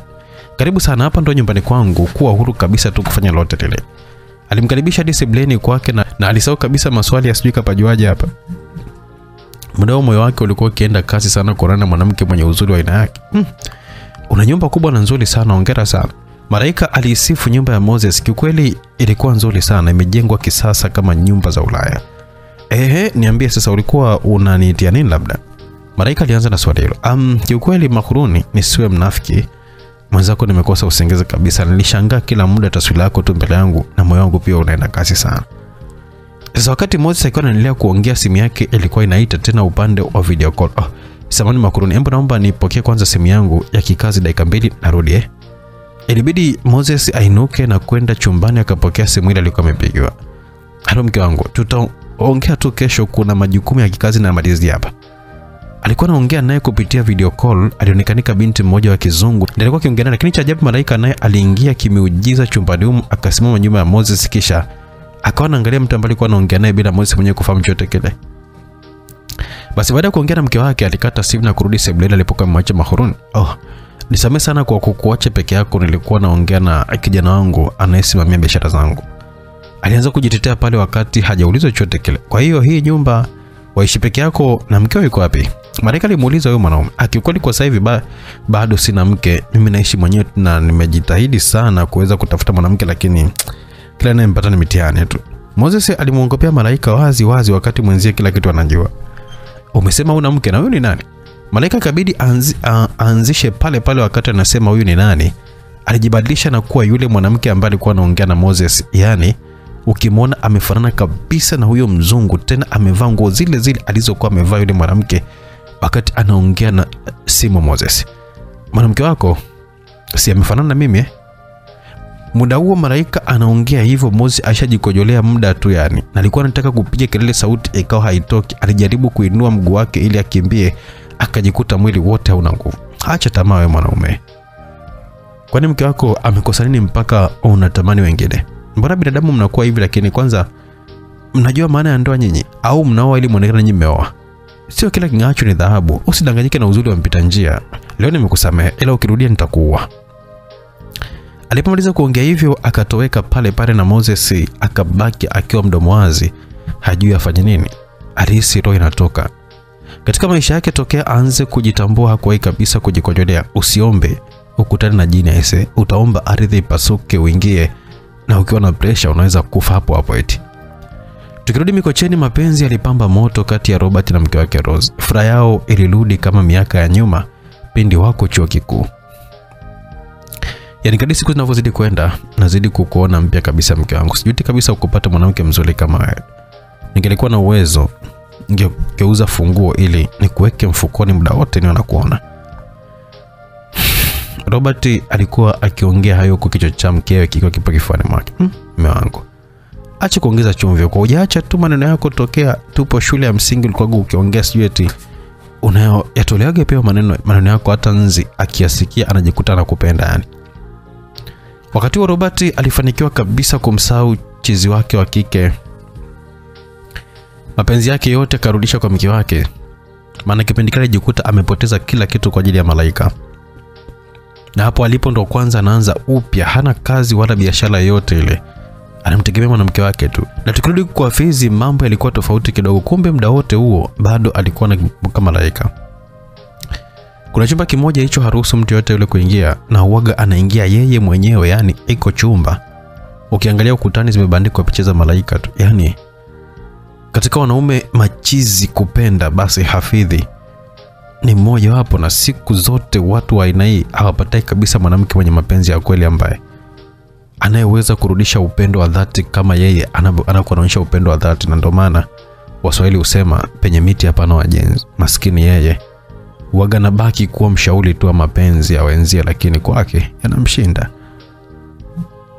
Tukirudi kwa Mama na wanga wenzia walizidi kufanya mambo makubwa yasiyopendeza kwenye jamii. Kipindi hiki kilikuwa ni cha mavuno, kila sehemu mahindi yalikubali, ilikuwa ulikuwa ni mwaka wa neema. Sasa kumbe bwana, wanga ni watu wabaya sana na wanaga huruma kabisa. Tena usiombe uwe na shamba limepakana na shamba la mchawi. Aise, wanachofanya yeye wala hata halimi eneo kubwa, anaweza kulima robo eka tu, alafu wewe sasa ukajitutumua huko hata eka tatu huko, anakuangalia tu huku akiwa na kucheka, alafu anasubiri siku ya mavuno. Anachofanya anaenda kwenye kundi lake la wachawi, anafanya kama alivyokuwa amefanya mama huyo kwenye kundi la wachawi aliyekuwepo Mama Lisa. Jamani wakubwa, hebu naombeni msaada wenu. Kuna jirani yangu kule Tanga kule amelima heka tatu za mahindi. Sasa sasa akivuna itakuwa ni kosa kubwa sana, wakati mimi nimelima robo heka tu. Kwa hiyo msaada wenu unahitajika, ni badilishane naye mazao. Mama huyu alikuwa akiomba msaada kwa wanga wenzie. Tumekuelewa. Haya, tuambie safari hii unatoa sadaka gani ili kazi yako iweze kufanyika? Si unajua utaratibu wetu? Lakini mzee mmoja ambaye ni kiongozi akauliza, hawakuu, safari hii mimi mwanangu ametoka kujifungua tena, ndo kwanza kabisa ana wiki, kwa hiyo nitawapa haku kajukuu changu tu kachanga. Yaani katika kitu ambacho wanakithamini wanga ni mtoto mchanga, ndo kafala wanayoipenda, maana mwili wake unatumika sehemu nyingi sana kwenye masuala ya kichawi. Hapo swala lako limepita, kesho uje hapa na hako kachanga tuanze kazi. Basi wanga wote wakapiga kivigelegele. Sasa uwaga wanachokifanya ikifika usiku, wanakuwa hapo kwenye nyumba za watu, wanaanza kuizunguka ile nyumba mara saba, kisha wanaingia wanaingia chumbani, boki umelala, wanafanya uchawi, kisha wanakuchukua na kuondoka na wewe. Basi wanakusanya watu wengi kweli kweli, kisha wanawapeleka kwenye lile shamba na kujikuta akiwa anavuna yale mahindi ya yule aliyelima shamba lake kwa nguvu zake na kumkabidhi yule mama aliyetoa sadaka ya mtoto mchanga, na wanahakikisha kwamba wanakubakishia mahindi robo eka tu ambayo inafanana na shamba la yule mwanga, na wanahakikisha kabla adhana ya alfajiri haijalia wanawarudisha watu wote waliokuwa wamechukua majumbani mwao. Na ndio maana siku nyingine mtu unajikuta umechoka hata kwenda kwenye mihangaiko yako, unashindwa kabisa, ni kwa sababu umefanya kazi kubwa sana usiku, na unakuta wengine wakiamka wanajikuta wana matope miguuni, wale wanakuwa wamechelewa kurudishwa muda wa nguvu za giza unakuwa umeisha, wanasahau kabisa kukufuta, unarudishwa hivyo hivyo ili wasije kabisa wakanasa njiani. Tukirudi kwa Malaika, siku hiyo alikuwa yupo kando kando ya bahari mida ya saa sita mchana, jua likawa linawaka. Alijiandaa kuingia kwenye maji ili arudi ujenini. Sasa siku hiyo ndo nikajua baada ya kujiuliza miaka yote, kumbe hawa majini ndo hawa hawa tunawaita samaki mtu, yani nguva na mimi peke yangu ndo nimegundua hii kitu. Watu wote duniani na wanasayansi uoga wanajua samaki mtu ni, ni jamii ya samaki kama samaki wengine wa baharini. Kumbe bwana, hawa baadhi ya jamii ya majini ndo samaki mtu wenyewe. Sasa baada ya Malaika kuingia katikati ya yale maji taratibu, wakati anazidi kuelekea kwenye kina kirefu, akaanza kubadilika. Upande mmoja akawa binadamu na upande mwingine kuanzia kiunoni kushuka chini akawa kama samaki. Yaani hii inamaanisha kwamba anaweza kuishi kama binadamu akiwa duniani, pia anaweza kuishi kama samaki akiwa baharini. Akaanza kuogelea kwa kasi kwelikweli baada ya kubadilika kuwa nusu mtu nusu samaki. Ama kweli Mungu mwache tuaitwe Mungu, maana ile kasi aliyokuwa anapita nayo kwenye maji sijui nisemeje yani. Akaenda hadi kwenye kina kirefu zaidi, akaanza kushuka kwa chini kabisa, kisha akafumba macho. Kuna maneno akayasema mimi hadi leo sijawahi kabisa kuyashika. Pale pale akajikuta yupo kwenye dunia kwa moja kwa moja. Akaenda kwenye ile jumba la kifalme, kisha akawaita wale vijakazi wake. Nye, mnasema mimi kuna mwanadamu ambaye nilikuwa nampenda napendana naye huko, mbona sasa ni uongo? Kwanza duniani hakuna mapenzi ya dhati, watu hudanganyana kila siku, wanasalitiana, wamejawa tu na tamaa. Kiufupi, mioyo yao haiwezi kabisa kupenda mtu mmoja. Sasa imekuwaje mimi nikawa nimependana na mwanadamu aliyejaa usaliti Nitawezaje mimi kuvumilia maumivu ya mapenzi? Mbona naogopa? Sihitaji kabisa kukutana na huyo mwanaume. Natamani tu nisirudi tena duniani, lakini ni pazuri sana. Kuna vituko vingi sana duniani, inanifanya niona tabasamu tu nikiwa niko huko, japo kumejaa ushetani mwingi sana. Karibia asilimia yote ya watu ni wanafiki sana. Ukiwaona unaweza kabisa ukadhani kwamba ni wema, lakini wamejawa na husuda kwenye mioyo yao. Kwanza hawapendani wenyewe kwa wenyewe, hawapendi kabisa kumwona mwingine akiwa anafanikiwa. Tena inashangaza kabisa, unakuta mtu na mkewe mojawapo kati yao hapendi kabisa kumwona mwenzie apate mafanikio makubwa kiasi, anaogopa kwamba wakiachana watatambiana. Kwa hiyo kila mmoja anataka yeye ndo awe juu ya mwenzie. Kingine nilichokiona, ndoa nyingi ni za uongo. Asilimia kubwa watu wanao au wanaolewa na watu wasiowapenda.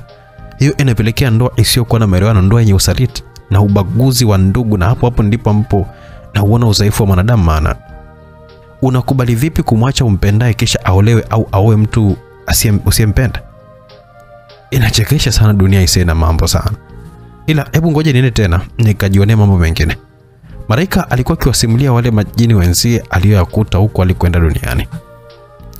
Na kuna swali nataka niwaulize, kwa nini eti nikiingia kwenye maji ya baharini na kuwa nusu samaki na kuwa nusu mtu? Ujue naogopa sana. Malaika alibidi waulize wale wadada wawili wa kijini. Kwanza, neno jini limetokana na neno maji, na kwa kuwa sisi tunaishi chini ya maji ndo tukapata neno hilo, na sisi tumegewa uwezo na Mwenyezi Mungu kuishi kote kote iwe duniani au kwenye maji, na tuna uwezo wa kuweza kubadilika kutokana na mazingira, ndio maana tukienda duniani tunakuwa watu wa kawaida, na mng'ao wetu na uzuri wetu hupungua tofauti na tunavyokuwa tuko kwetu. Yote kutokana, kutokana na mazingira ya duniani yamejawa na kiza, na vile vile tunavyokuwa kwenye maji tunabadilika kuwa nusu mtu na kuwa nusu samaki, maana kwenye maji wenye mji wao ni samaki. Kwa hiyo tunapokuwa tupo kwenye mji wao lazima tuwe kama wao. Ni kitu kimoja tu ndicho ambacho tunachoshindwa kuweza kubadilisha, ni mwili wote kuwa samaki. Hicho ndicho kinachotushinda, na pia huaga kwetu, mtu akihukumiwa kwa kufanya kosa hutolewa nguvu za kijini na kubakishiwa kuwa samaki mtu, yani nguva maisha yake yote, na hata ruhusiwa kabisa kuingia kwenye geti letu. Ataishia tu hapo barini au aende nchi kavu huko, na anakuwa dhaifu. Hata binadamu wataweza kabisa kumvua kama samaki, kama samaki wengine wa kawaida tu. Yule jini mmoja alikuwa akimjibu malaika baada ya kuuliza swali hilo. Tukirudi huku duniani, maisha yalikuwa akiendelea Siku hiyo Robert alifanikiwa kupata kazi baada ya kuomba nafasi kwa muda mrefu. Alipigiwa simu na kuambia kesho aripoti kazini. Ilikuwa ni hoteli moja hivi iliyoko kando kando mwa ufuko wa bahari.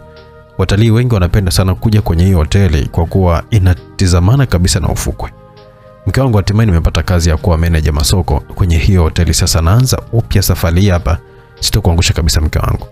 Robert akaonekanika kuwa na furaha sana, maana muda mrefu alikuwa anamtegemea mkewe tu kwa kila kitu, na kiufupi Lozi alikuwa vizuri sana kipesa, na hadi muda huo sikujua kabisa ana ana cheo gani serikalini, yani yeye ni nani haswa, maana watu wengi waliokuwa kwenye idara ya serikali wakiona kitambulisho chake waga wanatetemeka sana. Siku hiyo waliamua watoke kwenda kusherehekea kwa kupata kazi. Walimpigia simu Hafidhi na yeye ajumuike nao, basi wakaenda kwenye hoteli ile ile ambayo amefanikiwa Robert kuweza kupata kazi ambayo iko baharini. Siku hiyo walikunywa na kula nyama huku wakiwa nakumbushana mambo yao ya utoto, yaani uzuri wake wote. Hao watatu wamekuwa pamoja kuanzia utoto hadi leo hii wako pamoja, hivyo urafiki wao ni mzuri sana, hata wakigombana ni vigumu sana kuweza kusauliana. Baada ya kukaa kwa muda mrefu, Hafidhi aliomba atoke kidogo aende baharini kupunga upepo na kuacha wapenda nao wajadili mambo yao. Basi alitoka hadi pale baharini. Hakutaka hata kukaa kwenye sehemu ya purukushani za watu, hivyo alienda mbele zaidi akiwa anatembea kando kando ya bahari hiyo. Alipohakikisha yuko mwenyewe, basi alikaa chini huku akiwa anashikashika mchanga wa bahari, huku akiwa anasema, nikitazama hii bahari nakumbuka marehemu mpenzi wangu Umeondoka bado mdogo sana, ulikuwa na malengo mengi sana, uliahidi kuyatimiza, lakini siku unatoka chuo na kunifata Zanzibar nije nikuoneshe nyumba ambayo nilikuwa nimejenga, ndipo bahali hii ilikumeza. Nakumbuka mara ya mwisho ulifanikiwa kunipigia na kuniambia kwamba boti yenu inazama. Nimeshindwa jinsi ya kuweza kusaidia mpenzi wangu, naomba unisamehe sana. Lakini wakati akayesema hayo akapata wengi, akahisi kama vile mpenzi wake anamuita huku akiwa anaomba msaada kwenye maji. Ujue bahari inatisha. Akajikuta anaingia na kufata sauti alipokuwa anasikika, akazidi kusogea hadi kwenye kina kikubwa sana. Likaja wimbi kubwa likampindua, akakosa nguvu ya kujitetea, akajikuta anazama chini, anakunywa maji, anainuliwa juu, akaanza kupigapiga mikono kujitetea, lakini nguvu zikaanza kumwishia. Lakini kwa bahati nzuri, malaika akiwa anarudi tena duniani huku akiwa nusu samaki nusu mtu, akiwa anakaribia nchi kavu. Kwa mbali akamwona mtu kama anazamishwa na jamii ya nguva, yani wale majini waliogewa adhabu na kufanywa kuwa samaki mtu maisha yao yote. Ilibidi aende kwa kasi eneo hilo, na ndipo yule samaki mtu ambaye alikuwa akimzamisha afidhi alipoona malaika anakuja akakimbia, maana ametambua kwamba anayekuja yule ni mkubwa na ana nguvu kushinda yeye. Malaika haraka sana akamshika afidhi akiwa ameshapoteza fahamu na kumtoa hadi nje. Akamfungua viatu alivyokuwa amevaa, pia akamvua na shati, kisha akamshika tumbo lake pale pale. Hafidhi akatapika maji ambayo alikuwa amekunywa baada ya kuzama. Wakati wa malaika alikuwa ameshatoka kwenye ile umbile la nguva. Hafidhi alifumbua macho yake akaanza kukohoa, huku malaika akiwa pembeni na wala hata hamtambui Hafidhi, wakati mara ya mwisho ndio mtu ambaye alikuwa naye wakati akiwa chizi. Lakini sasa Hafidhi alipomwona malaika akashtuka sana na alipata nguvu hapo hapo akainuka. Usiogope, mimi naitwa Husna. Wakati naogelea zangu nikaona naomba msaada, maji yalikuwa yamekuzidi, ndo nikawa nimekuja kusaidia. Hmm. Hafiza akachoka baada ya kusikia mdada huyo anajitambulisha, maana akutegemea angekuwa ni yule chizi wa kike, lakini alipoona amejitambulisha na ameongea vizuri, akajua itakuwa sio maana yule chizi kuongea hawezi kabisa, pia asingeweza kabisa kujua kujieleza kiasi hicho, lakini kinachomtia mashaka, mbona wamefanana na chizi, japo huyu kama vile amezidi uzuri kidogo na ni mweupe sana tofauti na Malaika. Asante usina kwa kuokoa maisha yangu, lakini kwa nini na wewe ulikuwa waogelea huku mbali na ungepatwa na mkasa kama huu ulionikuta mimi, nani angekusaidia? Hafidhi alianza kumuuliza maswali Malaika kwa kumtega. Ah, Mungu tu amepanga leo mimi niongelee huku ili nije kukuokoa. Malaika naye alikuwa yupo vizuri kujibu. Uko na ndugu zako, labda niende kuwafahamu niwape shukrani zao kwa kuwa na ndugu mwema kama wewe uliyetumwa na Mungu kuja kuniokoa. Hafidhi akaendelea kumchimba Malaika. Mm.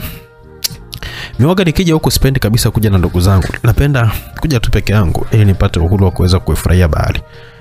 Ila sasa wewe ndo ambao unipeleke kwa ndugu zako ili nikawaambie siku nyingine wasikuache peke yao kama bado wanakuhitaji. Malaika alikuwa akijibu mapigo ya maswali ya Hafidhi, ila sasa hapo kwenye ndugu wa Afidhi ndo kasheshe. Kumbuka ndugu aliyokuja nao ni Robert na Rose. Sasa Afidhi aliona kimpeleka ule wakati msichana mwenyewe amefanana sana na Malaika, itakuwa ni shughuli nyingine. Mm, mimi mwenyewe waga sipendi kabisa kuja na ndugu, ila shukrani sana, sina cha kukulipa Husna. Kama hautojali tu anzishe tu urafiki tu, maana um, inawezekana Mungu aliamua leo hatukutanishe watu tusiopenda kuja na ndugu zetu baharini. Walijikuta watu wakiwa wanacheka huko wanatazamana. Kwa hiyo Mungu wangu, ni kweli umeniletea huyu mtu baada ya kulia siku zote, ila kwa nini amefanana sana na, ma- na Malaika? afidha akaongea kimoyomoyo baada ya kumtazama Malaika jinsi alivyokuwa mzuri jamani. Hmm? Hmm. Haya basi, wakaendelea kupiga stori huku afidha akijua kwamba ameokota dhahabu ba barabarani na alishangaa moyo wake umempenda kwa haraka sana mwanamke. Basi walianza kuongozana kurudi kule mwanzoni, karibia na kwenye ile hoteli walikuwa wamefikia. Upande wa pili nako kina Lozi walishangaa kuona mwenzao akiwa hajatokea hadi muda huo, na simu yake kwa bahati mbaya alikuwa ameiacha hapo. Mke wangu, hebu nisubiri nikamcheki Hafidhi ukweli tuondoke, maana muda wenyewe umezidi kwenda sana. Ilibidi Robert ainuke na kwenda kule baharini kumtafuta rafiki yake, na wakati wa Malaika pamoja na wafedhi walikuwa wakija, ila walipokuwa wamefika maeneo ya watu wengi waliamua kuagana. Eh, ila Hafidhi aliazima karatasi na peni kisha akamwandikia namba yake ya simu, lakini muda huo Robert naye alikuwa na karibia eneo hilo hilo. Haikuchukua muda kama amefika, na kwa bahati mbaya sasa au nzuri wakati amemfikia afidhi mahala pale Malaika yeye alikuwa ameshaanza kuondoka akiwa amesha akamshuhudia tu mgongo tu wa Makrun. Ndugu yangu, naona umeopoa mtoto mzuri tu, ila angalia usije kabisa ukatongoza majini. Shauri yako. Robert alikuwa akimwambia Hafidhi bila kujua mwanamke anayemshuhudia akiondoka ni malaika wake. Mm, nashukuru huyu mtu hajafanikiwa kabisa kuona sura ya Husna, maana sijui hata ingekuwaje. Hafidhi aliongea kimoyomoyo kwa akiwa anaondoka, wakienda hotelini kumfuata Rose ili waondoke zao. Tukirudi kwa Malisa, uchawi ulizidi kumnogea, unaambiwa. Akawa anamfanya mwanaye Frank kama punda. Alizidi kujawa na roho ya ukatili, akawa anamtuma msukule Frank aende mtaani akasababisha mauaji, apandikize chuki kwa watu, na hakuna kitu ambacho wanapenda misukule kama kuruhusiwa na mabosi zao kwenda kuzurura. Basi Frank alitoka na kwenda kutembea ulayani na hakuna mtu yoyote ambaye alikuwa anaweza kumwona, labda nawe uwe mwanga. Alipoingia mtaani alianza fujo zake, na kama mnavyojua huwaga anapenda sana kula. Akawa anaingia kwenye migawa, mtu akiagiza chakula atahakikisha kwamba anakula naye. Ndipo kuna mgawa mmoja, wateja walikuwa wakilalamika leo chakula cha mama Kajanga aise, akishibishi kabisa. Pia kila mtu tumbo lilikuwa linamuuma tu baada ya kula chakula hiko ambacho walimlaumu wali sana mama huyo, bila kujua kwamba kilichosababisha hao matumbo ya ume ni yale mate ya Frank yaliyokuwa yanadondoka kwenye sahani wakati wakiwa wanakula naye chakula. Yaani mama, kulichonifanyia leo ese, Mungu anakuona. Kwanza sijashiba, alafu tumbo lini, liniume muda wote, yaani nafanya kazi kwenda chotu cha kulipia, sijui kama nitakula tena chakula chako yani. Lakini tukija usiku wa siku hiyo, Lisa akiwa amelala ghafla akashtuka baada ya kusikia kama anaitwa na kaka yake. Ikabidi ainuke haraka sana na kutoka hadi sebuleni alipokuwa amesikia sauti hiyo, lakini hakumwona. Ghafla akasikia sauti ikisikika maeneo ya chooni. Ikabidi aende tena kumwangalia, lakini akamkosa. Sasa ikabidi aende kumgongea mlango mama yake, lakini kila akigonga akaona kimya. Ikabidi afungue mlango na kuingia ndani ikiwa ni majira ya saa usiku. Kwa bahati mbaya sasa hakumkuta. Alichenga sana wakati mida ya saa nne usiku mama yake ndio alikuwa ni wa kwanza kwenda kulala, ikabidi aende kwa kwenye mlango wa kutokea, huenda labda atakuwa ametoka nje, lakini akakuta mlango ukiwa umefungwa na funguo ikiwa iko pale pale juu. Mm. Akaanza kumwita mle mle ndani, lakini kimya kilitanda. Ikabidi achukue simu na kuanza kumpigia, lakini ikawa haipokelewi. Wakati huo Mama Lisa yeye alikuwa yuko na wanga wenzio, wameenda kumvamia mganga mmoja hivi wa kienyeji anayejifanya kuwatibia watu maradhi yao, lakini ghafla akahisi nyumbani kwake hakupo sawa. Ikabidi Alaka afanye mambo yake ya kichawi, na muda huo akatokea chumbani kwake. Alipofika akabadilisha nguo haraka haraka, huku akiwa anasikia Lisa akiwa anamuita jina lake. Ikabidi aingie uvunguni, kisha akaanza kupiga kelele, Lisa mwanangu, njoo unisaidie na kufa. Alianza kupiga kelele, ndipo Lisa kwa haraka sana akawa ameingia chumbani na kumkuta mamake akiwa yuko uvunguni. Eh, pole mama, imekuja tena, ndo, ndo maana nikaingia huko sikukuona, kumbe ulikuwa kwa uvunguni. Hapo ndio ilikuwa pona pona ya mama huyo, bila hivyo angeumbuka na kwamba mmm, mwanangu, nyumba ya itakuwa ishaanza kuchezewa. Haiwezekani nimelala kitandani alafu najikuta niko chini. Mama Lisa alizidi kumteka akili mwanaye. Ndio mama, hata leo nimesikia marehemu kaka yake ananiita, nimeogopa sana. Tukirudi kwa Hafidhi akiwa nyumbani kwake usiku, akaingia kwenye kile chumba chake alichokuwa amebandika picha za malaika ukutani. Akaanza kuziangalia zile picha, kisha akaanza kukumbuka yule mwanamke aliyekuwa mkutana naye baharini, lakini ghafla akasikia simu yake ikiita, akachukua na kuangalia, lakini ilikuwa ni namba ngine. Halo, mimi Husna hapa. Najua umeshtuka eh, lakini huwezi amini aise, mimi niko nje ya nyumba yako hapa. Malaika alikuwa akiongea na Hafidhi kwenye simu. Yaani hawa majini bwana, ukibahatika tu kukutana naye na ukaongea naye mwenzako muda wote, anaweza kuja sehemu yoyote ile uliko, na wala hajari kabisa kama utamtilia mashaka, maana washazoea kule kwa uoga anaweza kupotea hapo hapo na kwenda sehemu yoyote anayokuwa anaitaka. Mm, Husna, umepaja nyumbani kwangu? Mm?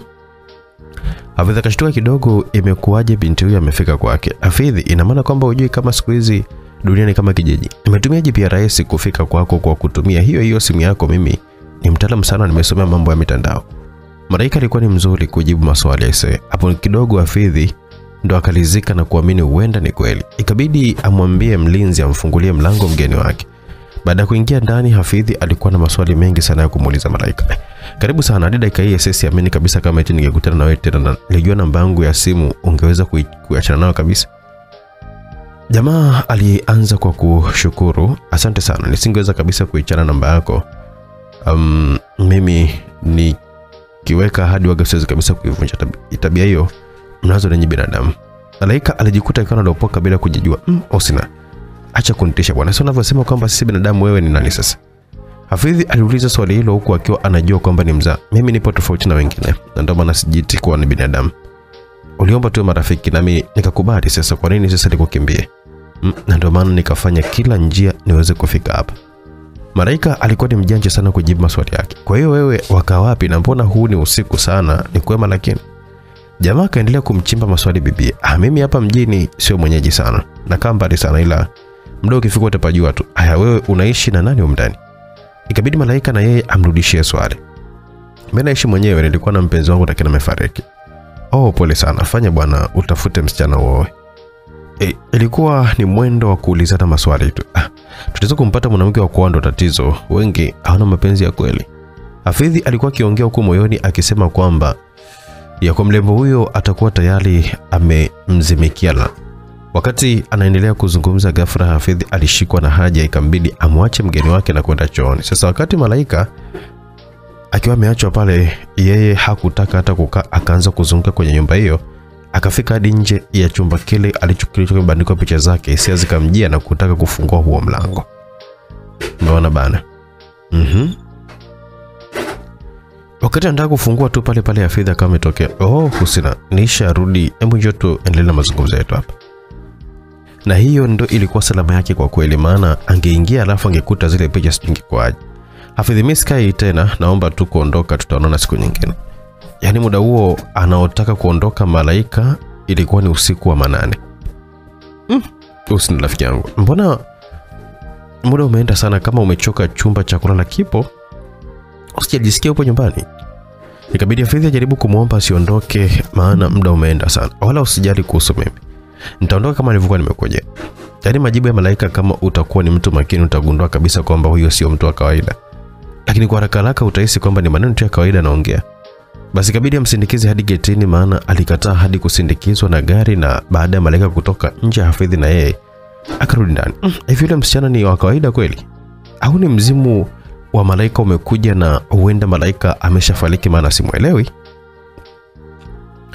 alikuwa akijiuliza baada ya kurudi ndani lakini nafsi ikamwambia alichokuwa amekifanya sio kizuri. Kwa nini amemruhusu binti wa kike akamwacha ameondoka muda huo peke yake?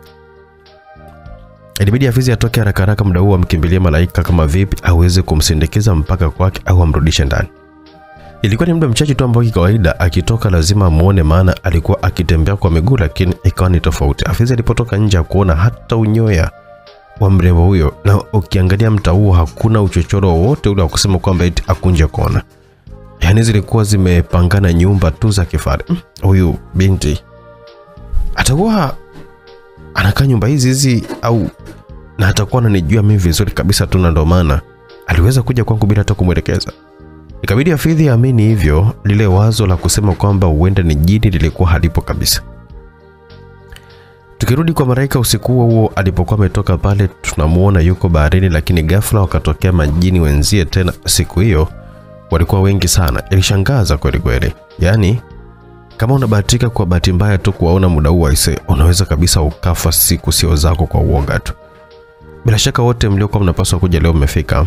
Huu ni usiku wa manane na muda huu binadamu ni muda wake wa kupumzika na kupisha viumbe wengine kama sisi kuweza kufanya mambo yetu haya natoa ruksa mwende mkatembee kila mtu anapopajua ila tu msije mkaleta matatizo.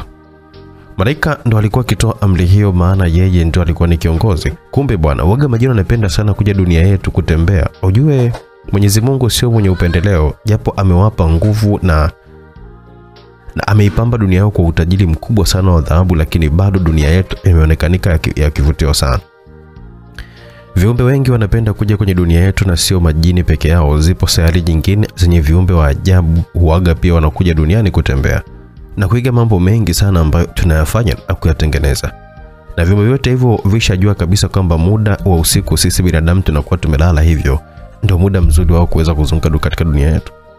Basi wale majini wakawa wametoka kwenye, ki, kwenye himaya ya malaika wakaanza kuzunguka mtaani na kama unavyojua sisi binadamu tulivyoumbwa na mwenyezi mungu amefanya kila mtu anakuwa na tabia yake. Wengine wacheshi wengine wapole wengine wana roho mbaya na wengine wana roho nzuri. Ndivyo hivyo hata kwa majini pia. Kila mmoja ana tabia yake. Sasa ikawa kasheshe huko mtaani unaambiwa. Na ndio maana kila siku watu husema usiku sio muda mzuri wa kutembea.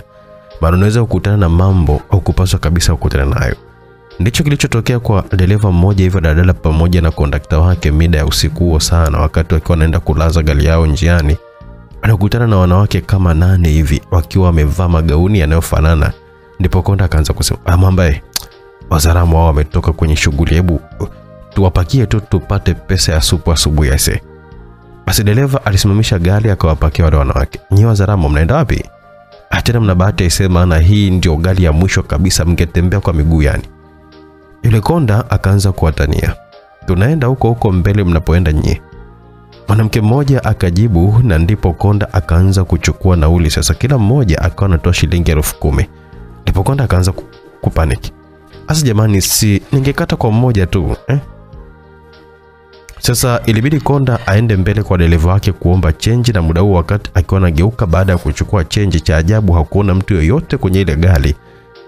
Walikuwa wametoweka. E bwana we walizima gari kisha dereva na konda wake walikimbia na kuliacha gari hapo hapo. Sasa kumbe wale majini wala hata kuondoka. walikuwa mle kwenye gari ila walifanya tu miujiza yao wakawa haonekani walianza kucheka mmoja akasema ama kweli binadamu ni dhaifu aise na ni waoga sana yani.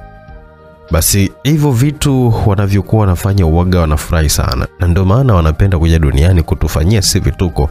Wao ndo furaha yao upande wa pili kuna jini mmoja akawa anapita maeneo ya sinza akaona kuna saruni ya kiume hivi.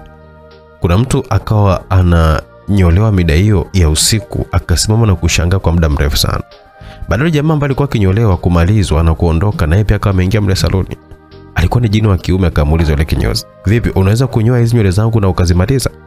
Yule kinyozi akajibu kwamba anaweza maana ndo kazi yake. Basi yule jini akakaa kwenye kiti na kuanza kunyolewa. Sasa cha kushangaza, yule kinyozi alianza kunyoa upande mmoja wa kichwa kisha akaja upande mwingine. Baada ya kurudi upande alikuwa ametoka ili asawazishe, akakuta nywele zimerudi vile vile, ambapo yule kinyozi mkojo ulimshika. Ashajua kabisa kama huyo mteja sio mtu mzuri.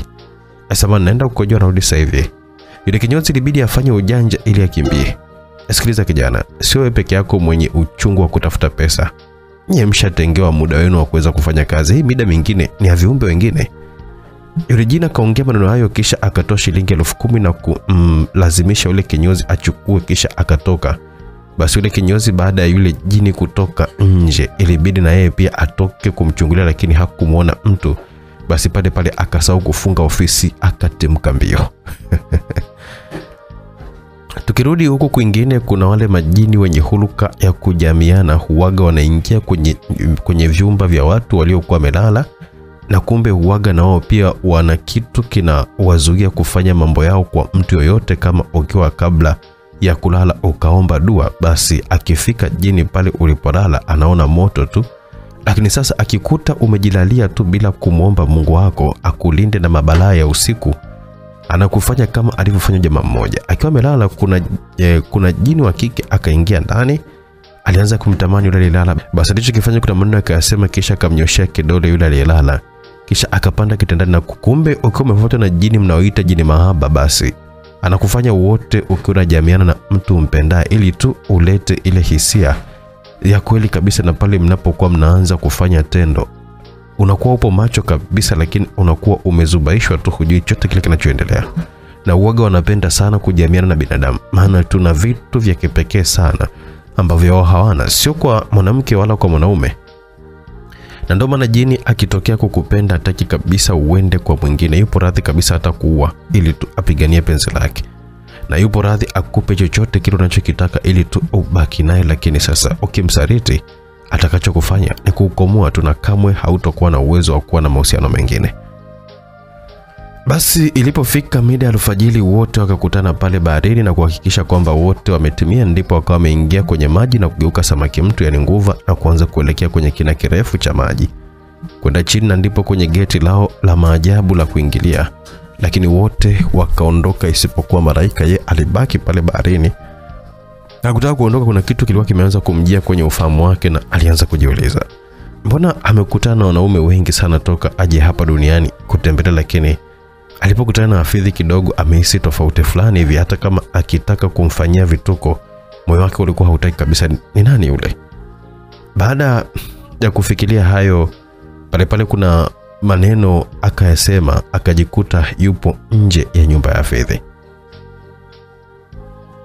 Muda huo Hafidhi naye alikuwa amevaa nguo za mazoezi, na kama kawaida yake uwaga akiamka asubuhi waga anakimbia mchaka mchaka. Basi wakati akiwa anafungua geti ili atoke kama ndoto vile akamwona Malaika akiwa amesimama akijiandaa kubonyeza kitufe cha kengele. Wow, Husna, karibu. Yani kama Mungu tu kaniambia leo chelewa chelewa tu kwenda kufanya mazoezi, kuna rafiki yako asiyependa kwenda na ndugu zake bichi anakuja.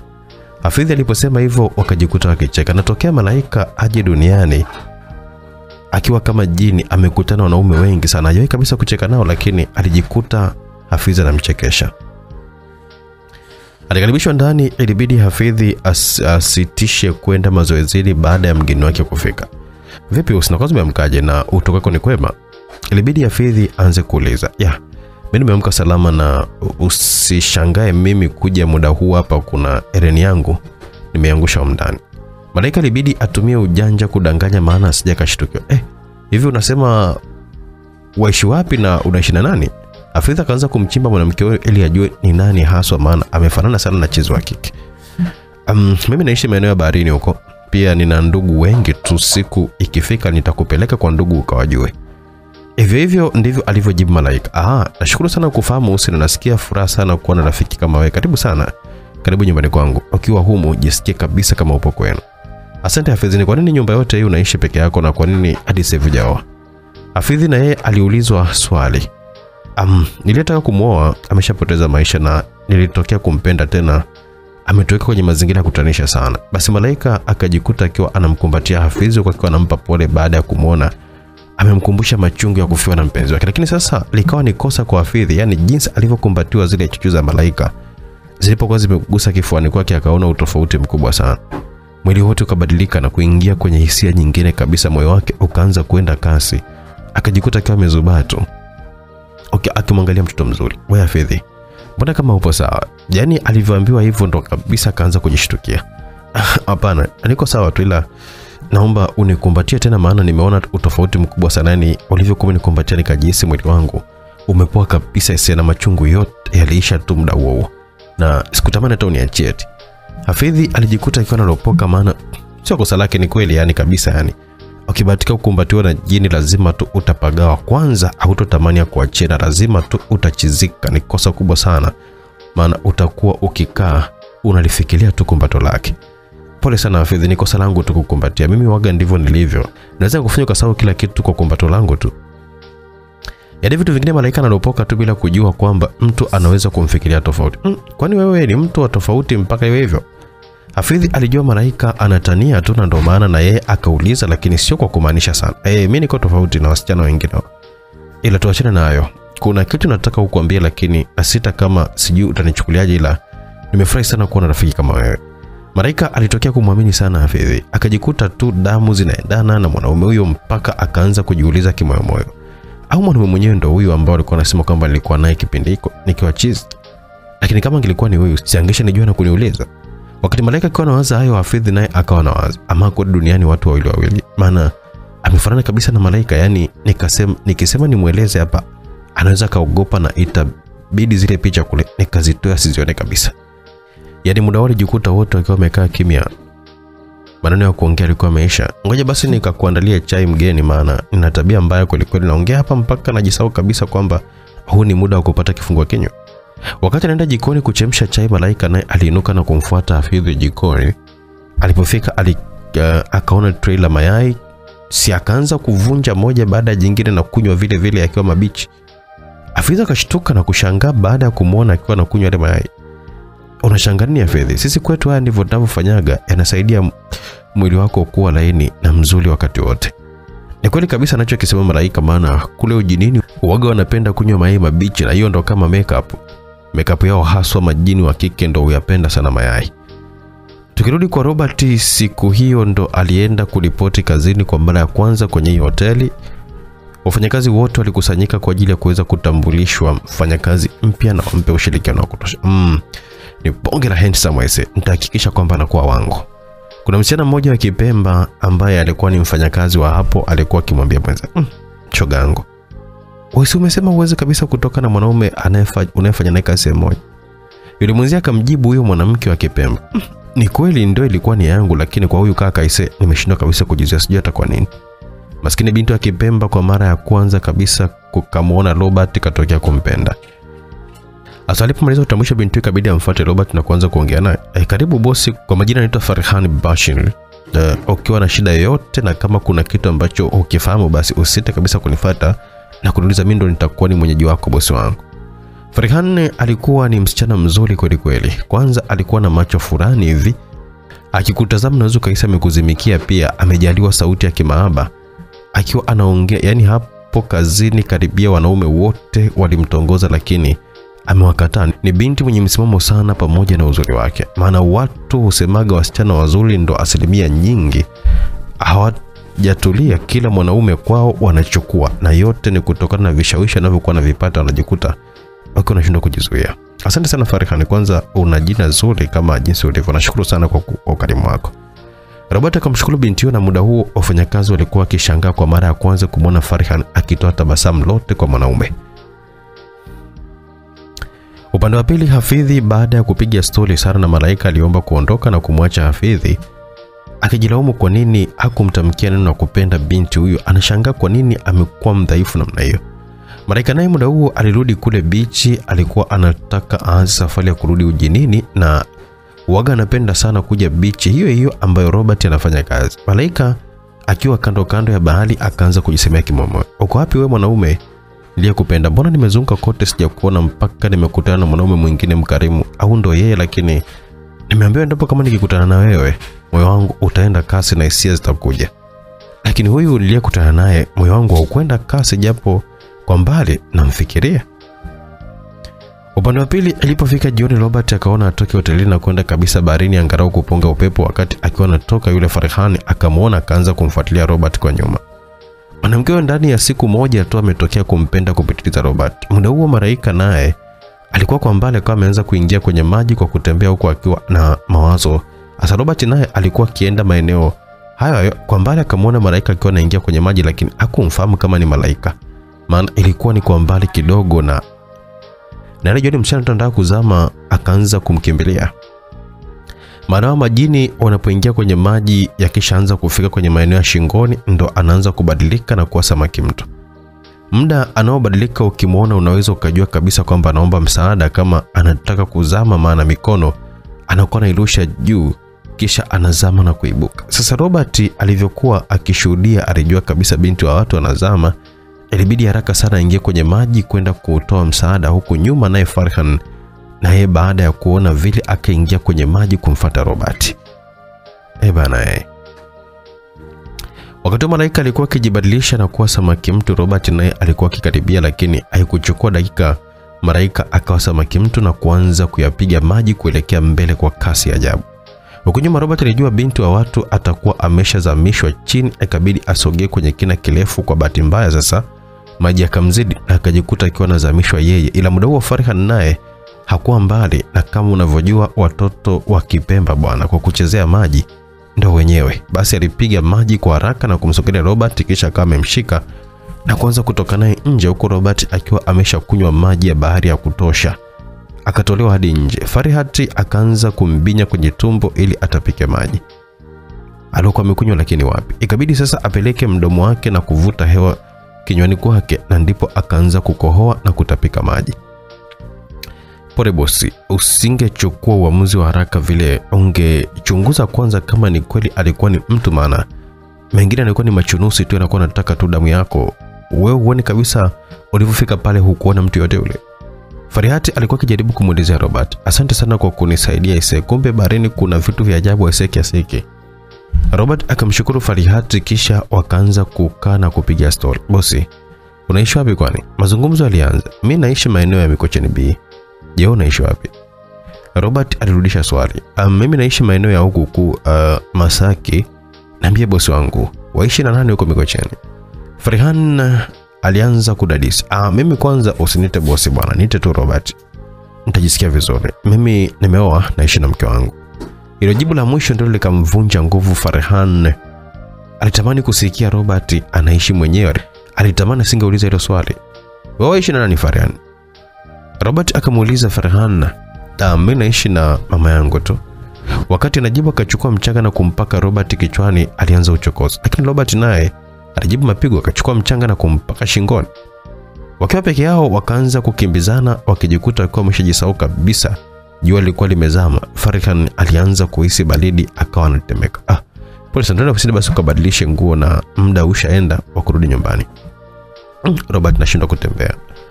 Farian alianza kumtega bosi wake huyo, akaanza kudeka huku akiwa anatoa ile sauti yake nyororo.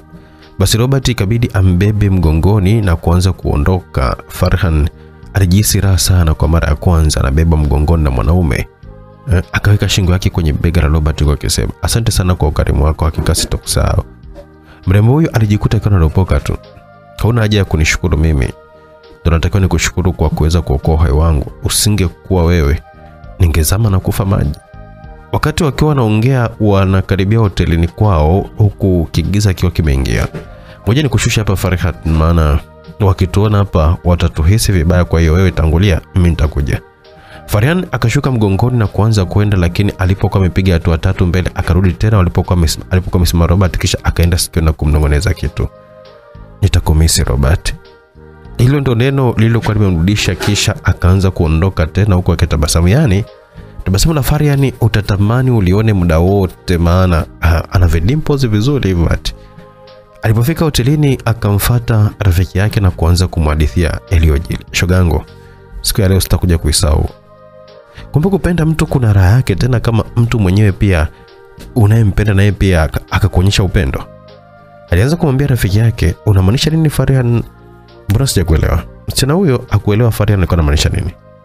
Mwenzako si nilikuwa na bosi Robert, tulikuwa tunaogelea kule, tumecheza sana, mwendo wa kubebana tu. Kwanza hataki kabisa nimwite boss, anataka ni, nimwite jina lake, yani ndo anajisikia raha. Farihani alianza kusimulia huku akiongeza chumvi, limradi tu ajifariji. Na ndo kawaida binadamu hupenda sana wakiwa wanatoa taarifa, lazima ataongeza uongo tu ili kupendesha maongezi yake. Wakati wakiwa anaongea, Robert naye akawa anaingia. Si umeona? Si umeona shogangu, bosi nguo zake zimeloa, alafu niguse na mimi hapa nilivyoloa. Yaani mimi nishakwambiaga nikiamwaga langu mimi sishindwagi. Farihani alionekanika mwenye furaha sana siku hiyo, na vitendo alivyokuwa anavifanya unaweza kabisa ukasema ni mwanamke ambaye hajatulia, ni malaya, lakini huwezi amini katika vitu alivyokuwa anavichukia ni kuwa na mahusiano. Aliogopa sana kuumizwa, maana toka akue na kufahamu mambo ya mahusiano, anashuhudia tu watu walivyokuwa nalia wengine hadi kujiua kabisa kwa sababu ya mapenzi. Hivyo alikuwa akiogopa sana wanaume na wote aliona kwamba ni waongo, lakini alivyomwona Robert alijikuta akiwa amezama mazima. Yani maana bana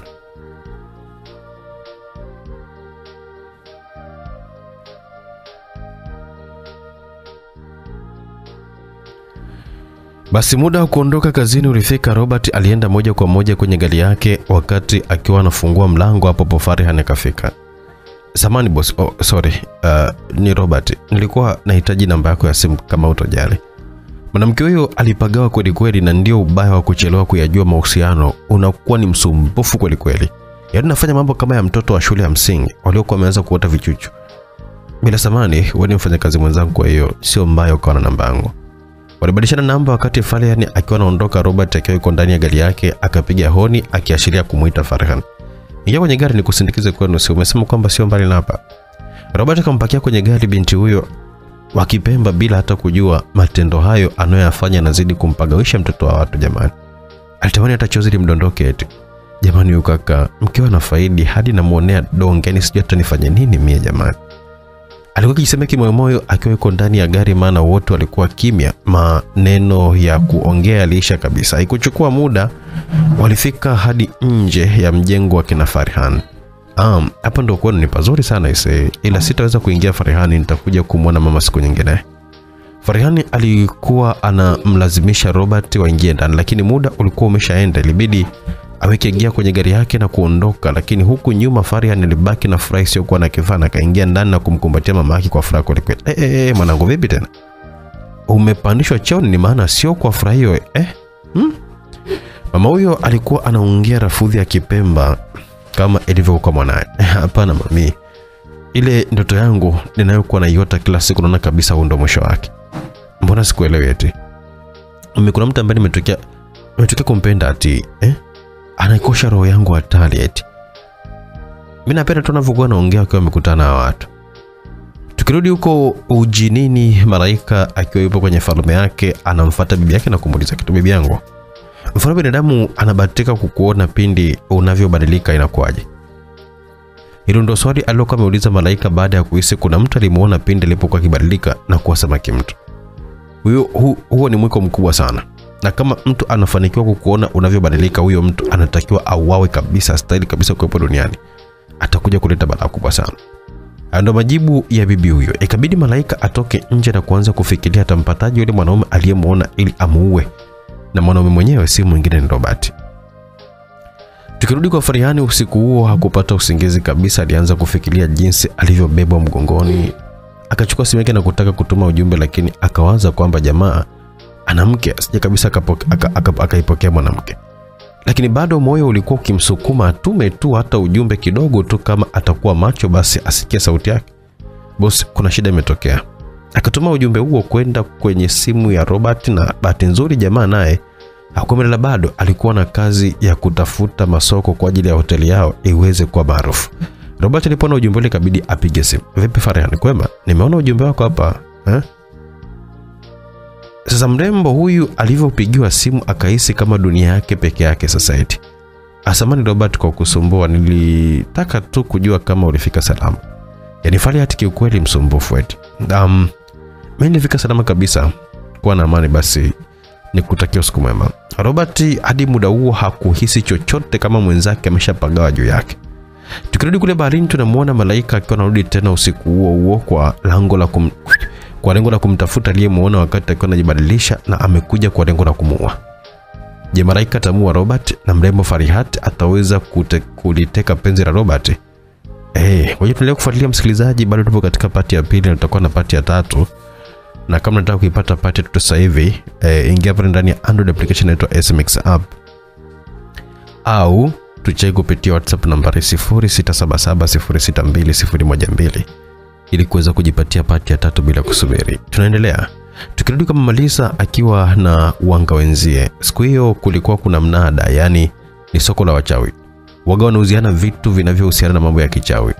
Ndipo mzee mmoja akapanda juu na kuanza kunadi kitu chake anachouza. Washirikina wenzangu, uh, mimi nimesimama mbele yenu hapa nauza pembe ile hapa.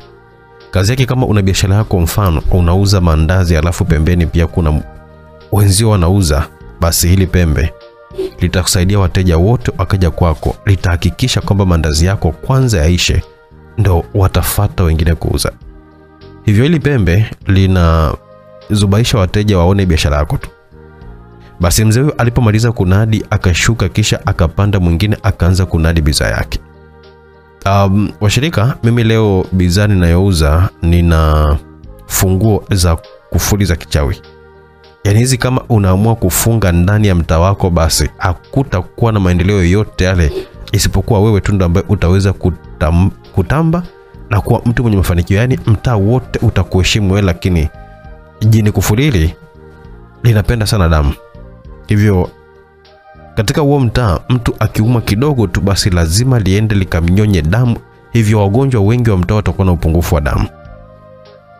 Alipomaliza kunadi akapanda mwingine pia, huyo akaanza kusema, washirikina wenzangu, mimi ninauza jini Kigori.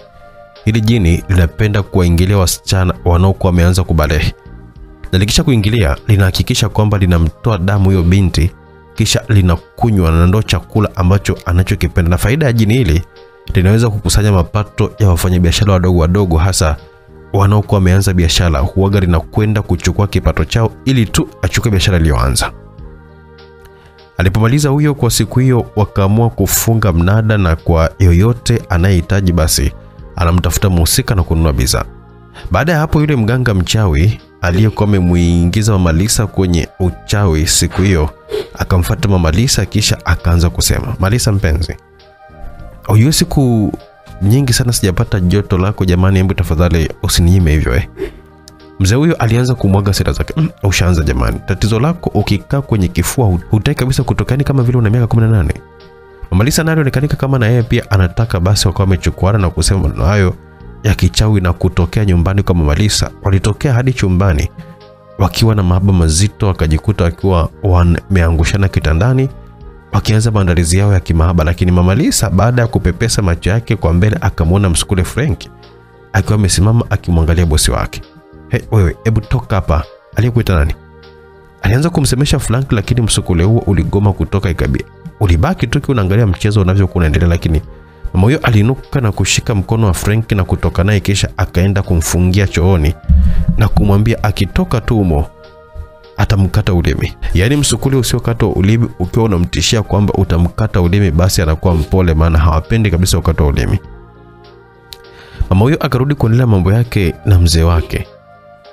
Wakati huo nao Lisa aliinuka kutoka kitandani, alikuwa ameshikwa na haja, hivyo ilibidi atoke na kwenda chooni kujisaidia, na aliingia choo hicho hicho ambacho alikuwa amefungiwa Frank. Sasa bila kujua lolote ile, Lisa aliingia moja kwa moja tena akiwa hajavaa chochote kile, kwa kuwa anajiamini humo wanaishi wawili tu. Wakati yupo mle chooni, ule msukule Frenki, kwa kuwa ulikuwa umeshapotezewa kumbukumbu au kumbuki kama huyo ni dada yake, alianza kumtamani, maana aliona kule chumbani jinsi bosi wake alivyokuwa akifanya na yule mzee. Basi akaanza kumfuatilia hadi chumbani kwake. Alisahau kabisa kama alikatazwa na bosi wake asitoke mle chooni. Basi akaanza kumwangalia Lisa kwa kumtamani. Alitamani yeye angekuwa na uwezo wa kuweza kuwa kama binadamu wengine, ila ili aweze kufanya hayo mambo. Basi alivyoona Lisa ameshalala, akapanda kitandani naye akaanza kumpapasa dada yake, lakini Lisa yeye hakuhisi chochote kile. Ndo kwanza akawa naota yuko na mpenzi wake. Basi msukule ulikuwa unacheka hatari, yani ulikuwa ukijisikia raha kwelikweli kushika mwili wa Lisa. Upande wa pili, mama Lisa akiwa na yule mzee walishamaliza mambo yao ya kikubwa, wakaanza kuzungumza. Sikiliza mzee Mazonga, Ujue na wasiwasi sana, nitakuja tena kuambiwa ni mtoe tena mwanangu na mtoto aliyebaki naye ni huyo huyo tu mmoja. Sasa sijui nifanyeje mimi, kama vipi, hata huo uchawi bora niache tu. Mzee huyo alimsikiliza Mama Lisa kisha akamjibu, kuhusu wewe kuacha ni jambo zito sana, maana shirika la wachawi hawatakuacha salama. Kama unavyoona jambazi akiacha ujambazi lazima wenzio amuue. Cha msingi muingize mwanao kwenye shirika la wachawi. Hii ndio njia sahihi ya kuweza kumwokoa binti yako, na hakuna njia nyingine yote, la sivyo utampoteza kama ulivyompoteza Frank. Tukirudi Mikocheni, sikio Robert kabla hajaenda kazini alikwenda moja kwa moja hadi nyumbani kwa Afidhi, maana kuna jambo alikuwa anataka kumwambia rafiki yake. Wakati anaingia na gari yake hapo nyumbani kwa Afidhi, Malaika naye alitokea. Nia yake ni kwamba naye pia alikuwa amekuja hapo hapo kwa rafiki yake, lakini alivyoona kuna gari inaingia, ikabidi jiko kwenye maumbile ya kijini ambayo binadamu wa kawaida hawezi kumwona, maana alikuwa anataka kujua anaingia humu ndani ni nani. Basi Robert aliingia hadi sebleni akiwa anamsubiri Hafidhi ambaye alikuwa bafuni akioga. Aisembu fanya uoe bwana, maana sasa nyumba inakuwa kama gofu bana. Robert alikuwa akimtania mwenzie aliyekuwa bafuni akioga. Sasa wakati yuko pale amekaa jini Maraika, ma, Maraika aliingia ndani bila kuonekanika na mtu, na kwa mara ya kwanza toka atoke kwenye uchizi leo ndo amemshuhudia Robert kwa macho yake. "Hmm, Huyu nani? Mbona kama vile machale ananicheza na moyo wangu u, ukienda kasi, itakuwa na yeye ni jini. Mbona kama namuogopa wakati sijai kabisa kumwogopa binadamu yote yule. Malaika alikuwa akijiuliza mwenyewe huku akiwa anamwangalia vizuri Robert, lakini muda huo Afidhina alikuwa amekuja. Ah, naambia ndugu yangu, leo unaingia mchana kazini, maana umenijia asubuhi tu kwema. Lakini Afidhi alishangaa kumwona rafiki yake akiwa amekuja asubuhi wakati ni muda wa kazi. Kwema tu ndugu, kwa hiyo ulikuwa hutaki nije asubuhi, labda nitamkuta shemeji yangu nini? Basi walianza matani pale hapa na pale, huku Malaika akiwa anashuhudia na kusikiliza yote waliokuwa naongea. Ah, bwana ndugu yangu Wese, jana mida ya jioni, wakati nikiwa natembea tembea baharini kule kwa mbali sana, nikawa nimeona kama mdada hivi akiwa anazamishwa kwenye maji, maana niliona mikono yake tu ikiwa inatapatapa kujitetea kuweza kuyakata maji. Sasa ilinibidi mimi niingie huko ndani. Wakati anaendelea kuzungumza, ghafla simu yake ikawa inaita, ikabidi apokee. Halo Robert, unaongea na daktari hapa katika hospitali ya taifa. Mdogo wako Lisa yupo kwenye hali mbaya, hivyo tungependa uje, maana mama yake muda wote analia tu, hawezi hata kujieleza. Simu hiyo ilikatisha maongezi ambayo hata Malaika pia alitamani kujua mtu anayemtafuta kumuua ndo huyo mwanaume, maana alivyokuwa anahadithia ndio tukio ambalo lilikuwa linamhusu yeye kule baharini. Ndio maana moyo wangu lidunda nilivyokuwa nimemuona. Inawezekana akawa ndo huyu huyu ambaye ameniona wakati nikiwa nabadilika. Ngoja nimfuatilie mpaka nijue ukweli. Najua tu kwamba lazima ataendelea tu kumhadithia mwenzie kilichotokea baharini. Sime ya daktari kamchanganya sana Robert, ikabidi atoke akiwa na rafiki yake Hafidhi. Waliingia kwenye gari haraka na kuelekea hospitali, na bila kujua ndani ya gari alikuwa mjini Malaika. Aise, mafuta kwenye gari yako yananukia marashi ambayo kama nayafahamu hivi. Hafidhi ilibidi aongee baada ya kusikia marashi aliyokuwa ananukia anafanana na yule binti anayekutanaga naye akimjua kwa jina la Husi, na wakati ni kweli kabisa yupo ndani ya gari. Unaona bana. Walipofika hospitali moja kwa moja walienda kwa dokta kujua nini ambacho kinaendelea. Wewe ndugu Alisa, da bwana mdogo wako ametokwa na damu nyingi sana alipokuwa amezianza siku zake hii leo ikapelekea kuishiwa nguvu na kupoteza fahamu, hivyo inatakiwa apatiwe damu. Kwa hiyo inatakiwa ndugu watano ndio ambao waweze kutoa damu ambayo ndio hiyo itakayoweza kukizi mahitaji, mkichelewa mtampoteza. Wakati wanasema hayo, Malaika naye alikuwepo pembeni anasikiliza kwa umakini sana. Yeye ugomvi wake mkubwa ni kujua kama Robert ndo amemwona. Ukafika muda wa kwenda kumwona mgonjwa, wote waliingia na Malaika naye aliingia bila hata mtu kumwona, lakini Malaika alishangaa sana baada ya kumwona msukule Frank, akaanza kujiuliza sasa, ina maana hawa watu hawamwoni huyu kijana, lakini inaonyesha kwamba huyu mama anamwona yule kijana. Sasa huyu mama atakuwa mchawi. Malaika ndo alikuwa akiyasema maneno hayo. Malaika aligundua kama mama huyo atakuwa ni mchawi. Binadamu wanapenda sana shirik. Inaonyesha kwamba huyu kijana watu wanajua amefariki, lakini wameizuia tu nafsi yake. Ngoja basi nifuatilie nijue habari za huyu kijana.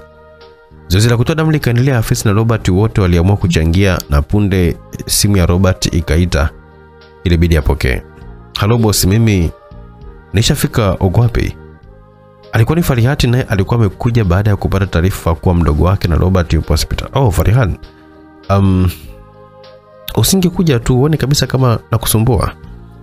Basi akaelekezwa walipo, kisha akafika, na muda huo yeye na daktari naye alikuwa amefika na kuwapa taarifa kuwa damu haitoshi, anatakiwa apatikane mtu mwingine wa kuweza kutoa damu. Msijali, mimi nitajitolea damu. Fariati ilibidi ajitokeze naye kutoa damu.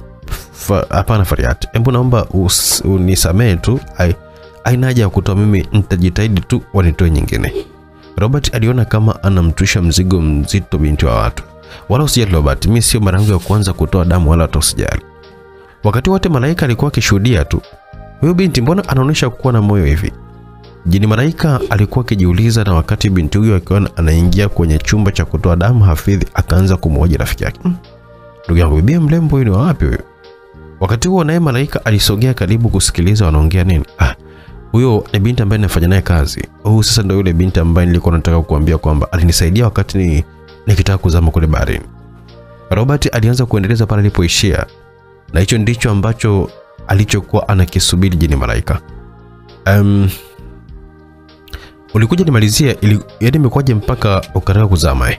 Ndipo Robert akaanza kuelezea sababu. Wakati nikiwa niko baharini napunga zangu upepo mida ya jioni hivi, baada ya kuchoka na majukumu ya kikazi, kwa mbali nikawa nimemwona msichana alikuwa anaogelea, lakini nikaona kama maji yalikuwa yamemshinda, akawa anapiga piga mikono yake huku akiwa anazamishwa na kuibuka.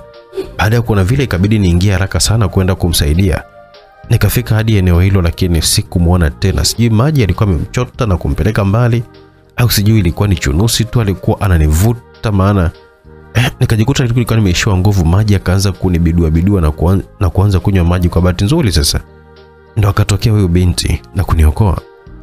Hapo sasa Malaika ndo akajua kila kitu, amethibitisha kuwa mtu ambaye alikuwa anamtafuta ndo yeye. Mm, kumbe wakati mimi nageuka kuwa nusu samaki hakuona, na kumbe ni yake ilikuwa anataka kuja kunisaidia. Kumbe ningechukua uamuzi wa kumuua, ningejutia sana. Sijui nikulipe nini we mkaka, unaonyesha kabisa kwamba una moyo mzuri sana. Ngoja nitaisaidia familia yako, inaonyesha kwamba ina matatizo. Malaika ndo alikuwa akiyasema hayo huku akiwa amesimama mbele yao bila hata wao kumwona. Ila ndugu binti aliyekuokoa ni mzuri sana ise, mashaallah. Hafiz alianza kumsifia Falihat. Aya, ni mzuri na bado hajaolewa ise, nikufanyia mpango wewe hapo eh, hujachoka tu kuwa peke yako tu, mtu unazidi kwenda kaka. Robert alianza kumwambia rafiki yake aweze kumchukua Farihati na awe kabisa. Mm. Aise wewe unataka kuniambia kwa, kwa uzuri aliokuwa nao akose kuwa na mtu? Haiwezekani kabisa. ulianza kumzungumzia binti wa Kipemba. Ah, usinibishie fidhi mi nili- nilikaa naye na akaniambia yote kumuhusu na pale alipo naishi na mama yake. Mi nakushauri kabisa, mchukue binti huyu mwoe. Robert alisisitiza rafiki yake amchukue binti wa Kipemba. "Mm, Ndugu yangu, ni kweli anafaa, lakini kuna msichana huyu aisee nimekutana naye nahisi pia anafaa. Ngoja basi nione tu mwisho itakuwaje, kisha nitakujibu. Afidhi alimwaza Malaika, aliona ndo binti huenda akamuoa. Kwa hiyo Afidhi amenikumbuka mimi, yani aniogope kabisa, eti anafikiria kabisa kunioa mimi, ataniweza kweli? Jini Malaika akawa na tabasamu huku akiwa anazungumza maneno hayo baada ya kumsikia Afidhi akiwa na ndoto ya kuishi na yeye. Baada ya muda, mgonjwa aliendelea vizuri na wakawa wameruhusiwa na kuondoka, kabaki ndugu mmoja wa kuwa karibu na mgonjwa. Ilibidi mama mtu ndio abaki na msukule Franki, kisha Robert na Hafidhi wakawa wamemchukua Farihati na kuondoka naye bila hata kujua kwenye gari alikuwepo pia Malaika, lakini wao hawakamwona. Robert, gari lako siku hizi linanukia marashi mazuri kweli yani.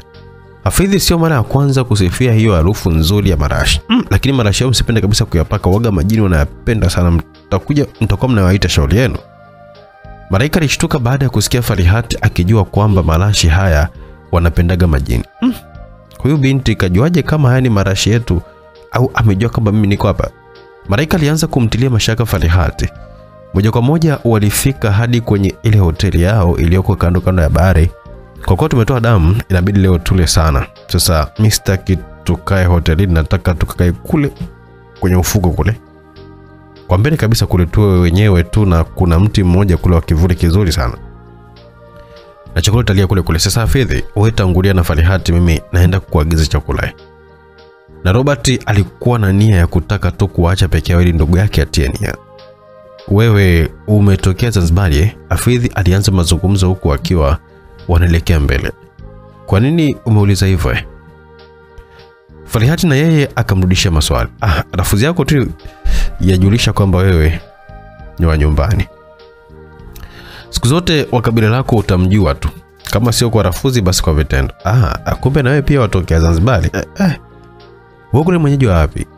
Farihati alifurahi baada ya kujua kwamba amekutana na wa nyumbani. Ah, mimi nimezaliwa kule Mwembe Mchomeke kule na skuli nikawa nimesoma kule, ila baadaye ndo nikawa nimehamishiwa huko Dar es Salaam. Hafidhi akaanza kumwelezea bibia, oh, kumbe wote ni Waunguja.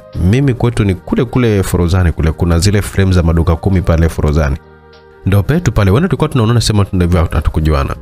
Wakaendelea kuzungumza mpaka kama wamefika kwenye ule mti waliopanga wakakae. Walijikuta wakiwa wameshazoeana na kuanza kuhadithiana mambo ambayo yalikuwa yanatokea huku huko kwao Zanzibar kipindi hiko. Muda huo Robert alikuwa anakuja taratibu huku akiwa na jamaa mmoja alikuwa ameshika deli la chakula wakiwa wanaelekea walipokuwa kina Hafidhi na mdau Malaika na yeye pia akawa anamfuatilia Robert kila anakoenda na alikuwa anataka kujua ni mtu aina gani. Haikuchukua muda alifika na kuwakuta wakiwa na furaha na wakiwa wameshazoeana mpaka Robert mwenyewe alishangaa. Jamani, chakula na vinywaji vilishafika hapa. Kabla ya yote inatakiwa tukle kwa manufaa ya afya yetu. Robert alianza kufungua vyakula. Bosi, acha tu nitawatengea. Malaika alitokea kupenda huo huo umoja, alitamani na yeye pia angekuwepo. Ilibidi kwa haraka sana aende barabarani, akaanza kuangalia mabinti wanaopita, ndipo alipofanikiwa kumwona msichana mmoja kuwa anafaa kujigeuza kuwa yeye ili tu aende walipokuwa kina Robert. Kumbe jini anaweza kukuingia ndani ya mwili wako kisha akakutumia anavyotaka yeye bila hata mwenye kujitambua. Malaika akamfuata huyo binti na kumwingia ndani ya mwili huo.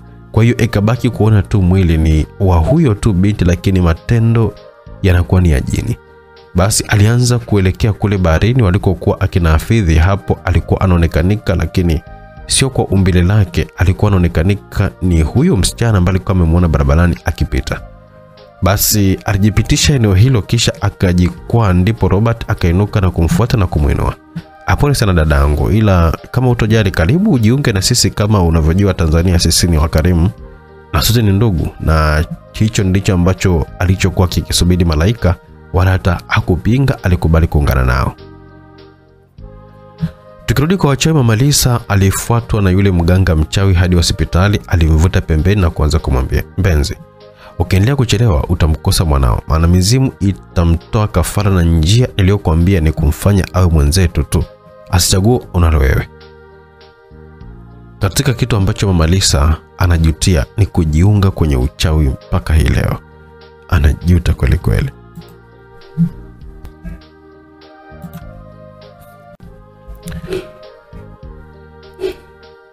Mm, tukirudi baharini, Malaika akiwa amejibadilisha sura alikubali kujiunga na kina Robert, hivyo wakawa wanawake wawili na wanaume wawili. Mimi naitwa Robert na huyu ndugu yangu anaitwa Hafidhi. Huyu hapa bibie ni mfanyakazi mwenzangu anaitwa Farihat, kwa hiyo jisikie huru sana tena sana tu. Robert alikuwa akimtambulisha msichana huyo. Nashukuru kuwafahamu, mimi naitwa Maimuna. Maraika na yeye akajitambulisha na jina ambalo sio lake. Basi wakaendelea kula huku wakiwa wanazungumza mambo mengi sana kwa furaha zote. Sikiliza Robert, mimi wangu atakuwa Maimuna, alafu wewe wako ni Farihat. Sasa tushindane kuogelea, atakayeshinda anampiga busu msichana mwenzie. Hafizi alianza mchezo huo, ikawa ni mashindano, kila mtu alikuwa na msichana wake. Ndipo zoezi hilo likaanza. Walianza kuogelea huko, kila mmoja akimshangilia mwanaume wake. Walienda umbali mrefu sana, huku pambano likiwa ni kali. Hatimaye Robert akaibuka mshindi. Moja kwa moja akaanza kumkimbiza Maimuna, kisha akampiga busu. Kile kitendo kilimfanya Malaika achanganyikiwe, maana tokea ajifahamu kwamba yeye ni jini hajawahi kabisa kupigwa busu na mwanaume. Akajikuta akiwa anafurahi sana siku hiyo. Alitamani naye pia ageuke kwa binadamu. Haya, zamu yenu na ninyi muingie kwenye maji mshindane, na atakayemshinda atabebwa na mwanaume wa mwenzie. Afidhi ndiye alikuwa akiwaambia, samtiani ulikuwa ni kwa Malaika, akiingia kwenye maji anaweza kubadilika na kuwa samaki mtu. Mm, mimi kuingia kwenye maji siwezi kabisa, ese tafuta mchezo mwingine. Malaika ilibidi ajitetee, ikabidi mchezo ubadilike. Tukirudi kwa Mama Lisa, ilibidi akubali mwanaye jiunge kwenye kunda wa wachawi. Huo ndo uamuzi mzuri Mama Lisa. Kwanza itakufanya uwe huru na nyumba yako. Mzee huyo alikuwa akimtia ujasiri Mama Lisa. Tukirudi baharini, yule jini Malaika, muda wa kukaa kwenye mwili wa binadamu ukawa umeisha. maana kila baada ya masaa mawili kama ameingia kwenye mwili wa binadamu inatakiwa atoke. Yakipita masaa mawili tena, kama atataka kumwingia tena, basi anamwingia. Sasa muda ulikuwa umefika, na akisema atoke pale kisha abaki tu yule binti, kutakuwa hakuna maelewano. Jamani, hebu naombeni niondoke, yani nilisahau kabisa kama ni nimekuja na wenzangu tena watakuwa wananitafuta hapa. Malaika ilibidi awage kwa kutumia ujanja huo. Sawa, lakini ngoja basi hata nikusindikize. Robert alikuwa anataka kumsindikiza. Asante na Robert, wenzangu ni wakali sana, wakiniona na wewe watahisi tu watanisi vibaya. Malaika aliona kwamba anazidi kuchelewa, hakutaka hata maelezo tena, ikabidi akimbie mpaka kina Hafizu inaonekana kweli kabisa wazazi wake wakali sana, maana sio kwa mbio hizo aise, lakini ukubwa wote ule bado anachungwa, atakuwa katuficha tu, wala sio mzazi, atakuwa tu kaja na mme wake huyo. Afidhi ilibidi aweke utabili. Basi Malaika alikimbia hadi pale baharini alipokuwa amemwingia mwilini yule binti, kisha akasimama na kuanza kusema maneno yake, na pale pale akatoka kwenye mwili wa binti huyo. Samahani sana dada kwa kutumia mwili wako na kukuchelewesha safari yako, ila nitakupa zawadi. Akawa anaongea, lakini binti wala hata hakuwa anamsikia. Mm, ina maana kwamba kutembea kote huku bado niko tu hapa hapa, itakuwa nimekanyaga mdudu shogangu aise, ila usijali, nakuja, ngoja niende kupanda bajaji. Binti huyo alishangaa muda wote huo bado ametokea pale pale. Nadhani kila watu ishawahi kuwatokea kama hii hapa. Unaweza ukajiona kwamba unatembea alafu ukajikuta umetokea pale pale, basi ujue kabisa mwili wako ulikuwa umeingiwa na jini na alienda kufanyia mambo yake, na akitaka kutoka anakurudisha pale pale, lakini wewe akili yako inakuambia kwamba ulikuwa unatembea. Ndicho ambacho kilichomkuta bintio. lakini Maimuna akumwacha hivi hivi binti. Ghafla Malaika alikuwa ameshika pete ya dhahabu kisha akawa ameenda kwa mbele na kuiangusha chini ili tu binti huyo aione na aichukue kama zawadi. Lakini sasa yule binti alikuwa akikaribia ile pete, ila macho yake yote yakiwa hapo kwenye simu, mpaka Malaika akawa anajiuliza afanye nini ili huyo binti aione hiyo pete. Ikabidi sasa amfinye kwa nguvu shingoni mpaka yule binti akajikuta akiwa anaangusha simu yake. Pale pale Malaika akaisogeza ile simu pale ilipokuwepo pete. Yule binti bila kujua chote kile, akizani kwamba kwa mdudu alikuwa amemng'ata, akawa ameokota simu na ndipo akaona kitu kikiwa kinang'aa, akaona zari limemwangukia ise, ikabidi aokote ile pete. Hapo Malaika akaridhika. Hapo sasa na kuacha uende, ukiuza hiyo au ukiamua kuivaa ni wewe tu. Upande wa pili Robert na wenzie wakawa wanarudi. Uzuri wake Robert, yeye hanaga majukumu mengi kazini, na ndio maana anao muda wa kwenda kokote kule lakini Fariati, huoni kama utaikosa kazi? Maana muda huu si unatakiwa uwe kazini. Robert alikuwa akimuuliza Farihat huku akiwa alishaanza kuondoka kwenda hotelini. Unaogopa eh? Kwani nikifukuzwa utaumia? Farihat ikabidi acheke kidogo. Ya, nitaumia ukifukuzwa kazi, bana, mimi ndo ambaye itakuwa ndo chanzo.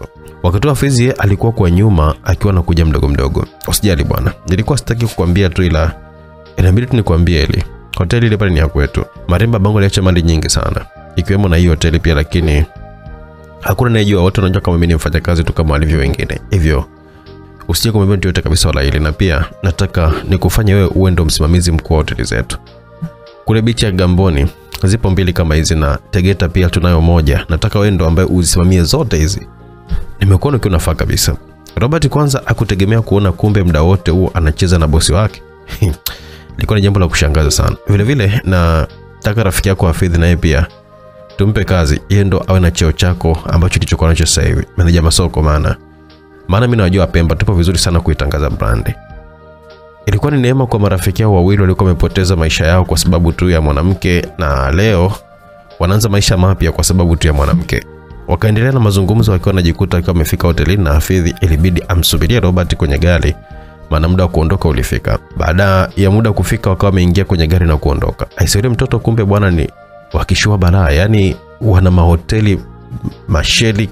Kiufupi ni kwamba wana pesa. Ndugu yangu, hii ndio fursa nilikwambia, lakini anafaa kuolewa huyu kwanza. Anataka kukupa kazi na kitengo nilichokuwa nacho mimi ndio amechotagewa wewe, alafu mimi atanifanya niwe msimamizi mkuu, yani kwenye familia yao iko peke yake tu. Robert alianza kumpa habari rafiki yake kwamba sasa maisha wanaanza upya, wanaokota dodo kwenye mpapai. Du, aise, kumbe mtoto ni hatari. Kwa hiyo hiyo kazi nagewa lini? Labda Hafidhi kusikia masuala ya kazi akaanza kupagawa. Usiwe na haraka aise ndugu. Hmm? Kazi ushapata kwanza, mtoto amekusifia kwamba nyewe apema mambo vizuri sana kwenye masoko ya. Tukirudi kwa Farihati, aliporudi nyumbani kwao siku hiyo, alimfata mama yake na akaanza kumkandakanda miguu, maana ndo kitu anachopenda mama huyo. Mama, kuna hadithi au kunimalizia? Kwanza tulisema mimi na ndugu yangu, lakini hujui yuko wapi, ambaye babangu alizaa na mwanamke mwingine. Leo Farihati alimkumbusha mama yake amwambie ukweli. Babako hizi mali alizipata zimetokana na, na jini wa kike ambaye alimpenda baba yako na alifanikiwa kuweza kumpa ujauzito. Huyo mwanamke akienda ujinini, akirudi waga anamletea babako dhahabu. Lakini alipogundua kwamba ana ujauzito, alipoondoka ujinini, mwanamke huyo hakurudi tena. Hivyo basi, kama mwanamke alifanikiwa kujifungua, basi utakuwa na ndugu yako nusu mtu nusu jini. Babako alikuwa fukara kabisa, buku la kula kwake ilikuwa ni shida sana. Alikuwa akidhalilika sana mtaani, watoto wadogo walikuwa akimtuma. Ndipo alipokuja kukutana na jini wa kike ambaye alitokea kumpenda sana babako na ndiye aliyebadilisha maisha ya babako. Hawa majini inaonekana kwamba kwao dhahabu sijui, yani kama zipo kwenye miti hivyo wanachuma tu yani. Maana alikuwa akienda kwao, akirudi anamletea dhahabu baba yako, na yeye kazi yake ilikuwa anauza, anaanzisha miradi anajenga nyumba na kadhalika, na ndo hadi leo hii mali hizi unazoziona hapa zimepatikana kwa njia hiyo, na ndio maana hoteli zetu hairuhusi hai- kabisa kilevi cha aina yoyote ile, maana jini huyo mwiko wake ni kilevi. Endapo kama siku tutauza vilevi, basi huenda mali zote zikatoweka. Mama huyo akaendelea kumfafanulia kinagaubaga. Kwa hiyo mama, majini si yana uwezo mkubwa, kwa hiyo huyo ndugu yangu mimi kama yupo, si ataweza kunifahamu?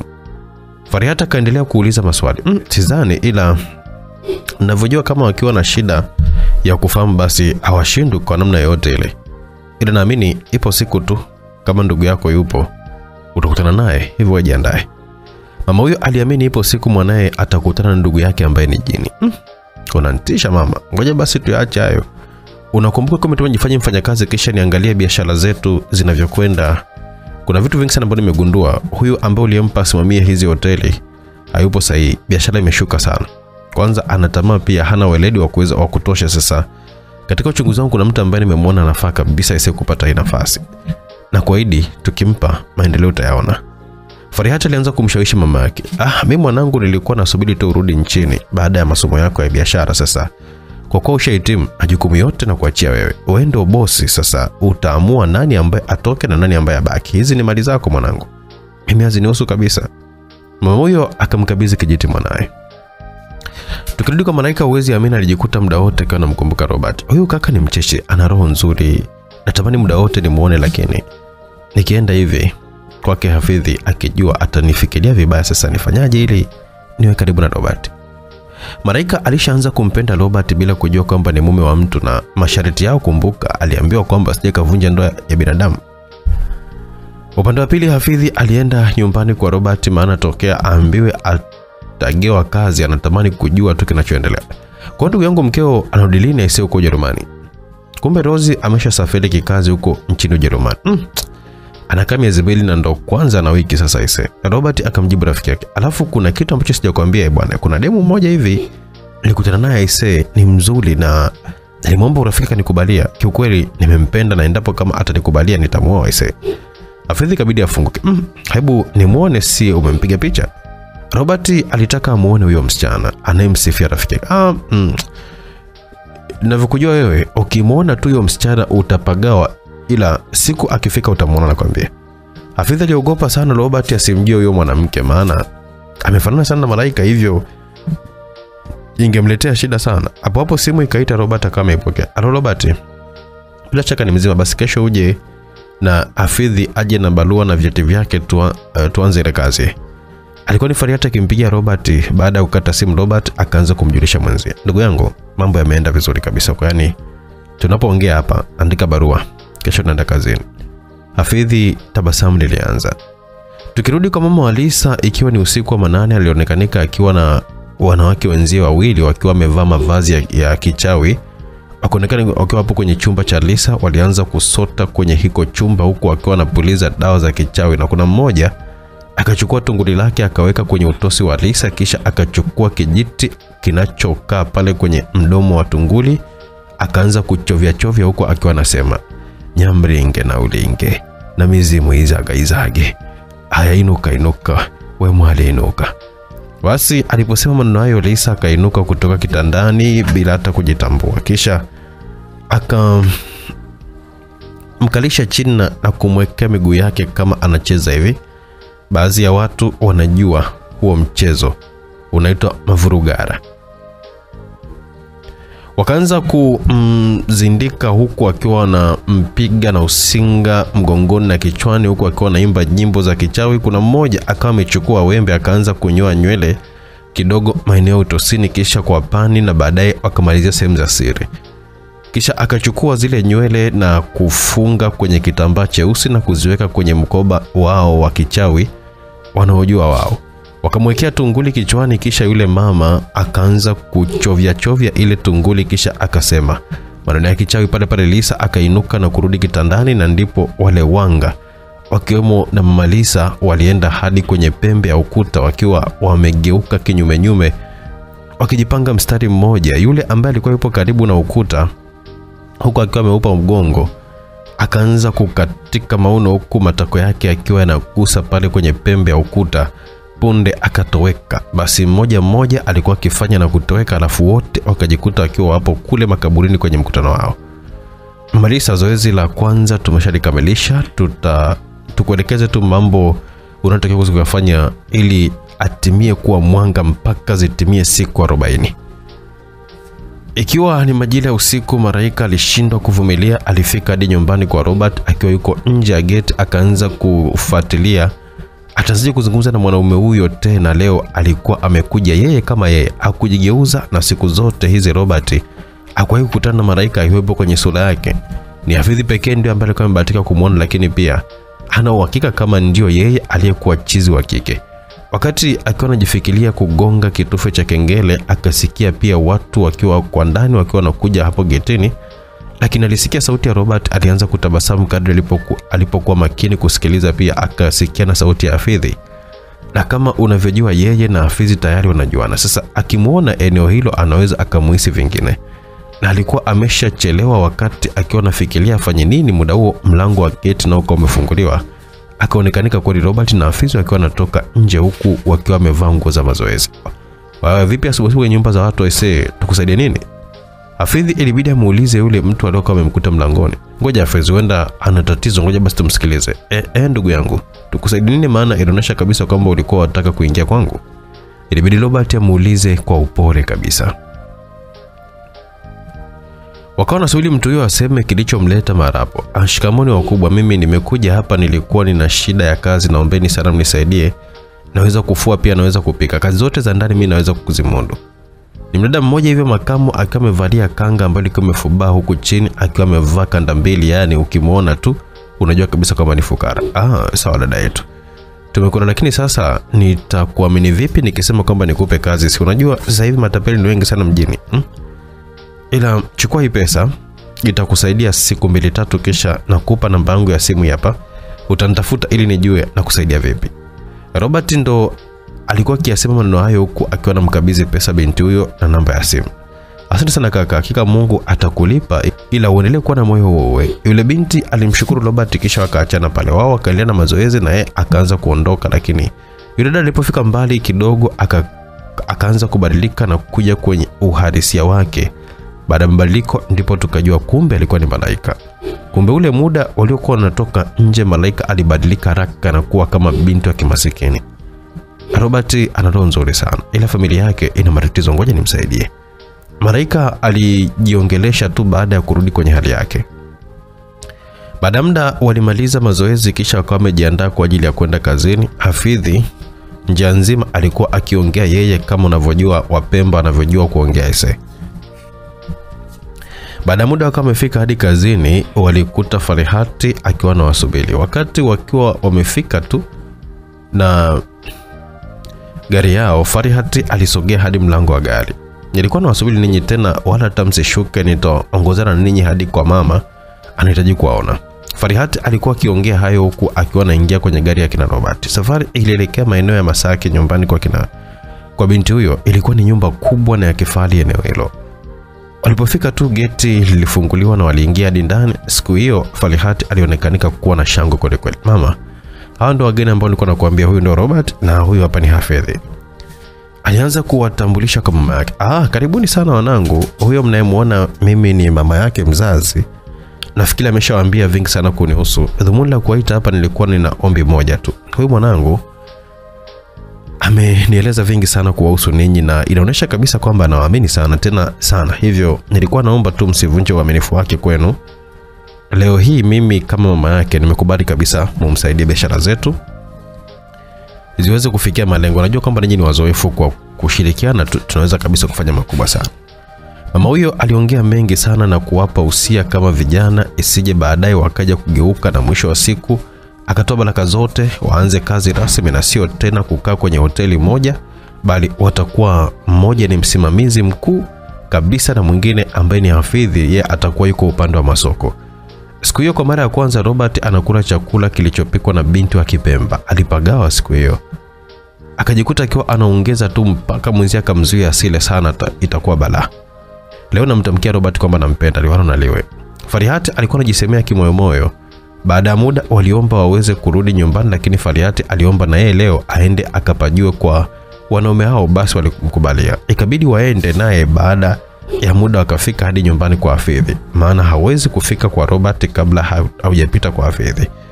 Ah, mbona una nyumba nzuri hivyo? Hongera sana Isewe Mpemba. Fariati alikuwa akimwambia Hafidhi huku akiwa anamtania, nashukuru sana, nimepajua kwako, wache niende na Robert akanionyeshe kwake ili kurudi nyumbani. Fariat akatumia kauli hiyo ili kuweza kumzuia Hafidhi asije akasema na yeye kwamba ataenda huko. Basi ngoja mimi nibaki kwangu hapa, karibu sana na jisikie huko nyumbani.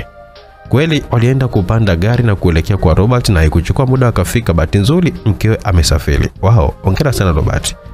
Nyumba ni nzuri kuanzia nje hadi ndani, nimependa jamani. Farihati alianza kuisifia nyumba ya Robert. Nakumbuka alisema kwamba anataka kuangalia tu na kuondoka, lakini ndo kwanza eh, kavua ile baibui lake na kubakia tuna ile suruali yake ya ndani na blauzi moja hivi nye- nyepesi hivi inayomwonyesha maumbile yake kifuani. Robert, Mili wasirudi nyumbani, nimechoka, naomba kulala hapa. Fariati aliona leo atimize malengo yake ambayo alikuwa amejiwekea kichwani. Mm, aise, sasa mama yako hatofikiria vibaya kweli kulala nje? Robert ilibidi aulize, aminisha kwa mangu wala hata na shida na mimi, ondoa shaka kabisa kuhusu hilo. Fariati alianza kujitetea, basi Robert ikabidi akubali. Walikuwa wamekaa sebleni wanaangalia filamu ya kibongo, kukaa kupo kimya tu, kila mmoja akiwa anamtegea mwenzake kuanzisha stori. Nipeleke kwenye chumba chako ukanipe taro, nataka nikaoge. Farihat alianza uchokozi. Usijali, mimi tu. Robert akaanza kukwepa kwepa, maana alishaanza kuona mitego ya binti huyo inakuelekea siku. Hapana, twende sote, nataka tu nika nikakijue chumba chako. Farihati alikuwa king'anizi kwa kweli, ikabidi Robert akubali kwenda naye. Walipoingia chumbani, Robert akafanya haraka, akatoa taulo na kumpatia, lakini Farihati akaanza -mm. Mbona haraka hivyo? Mimi hii suruali niloivaise inanishindaga kuvua, naomba tu nisaidie kuvua.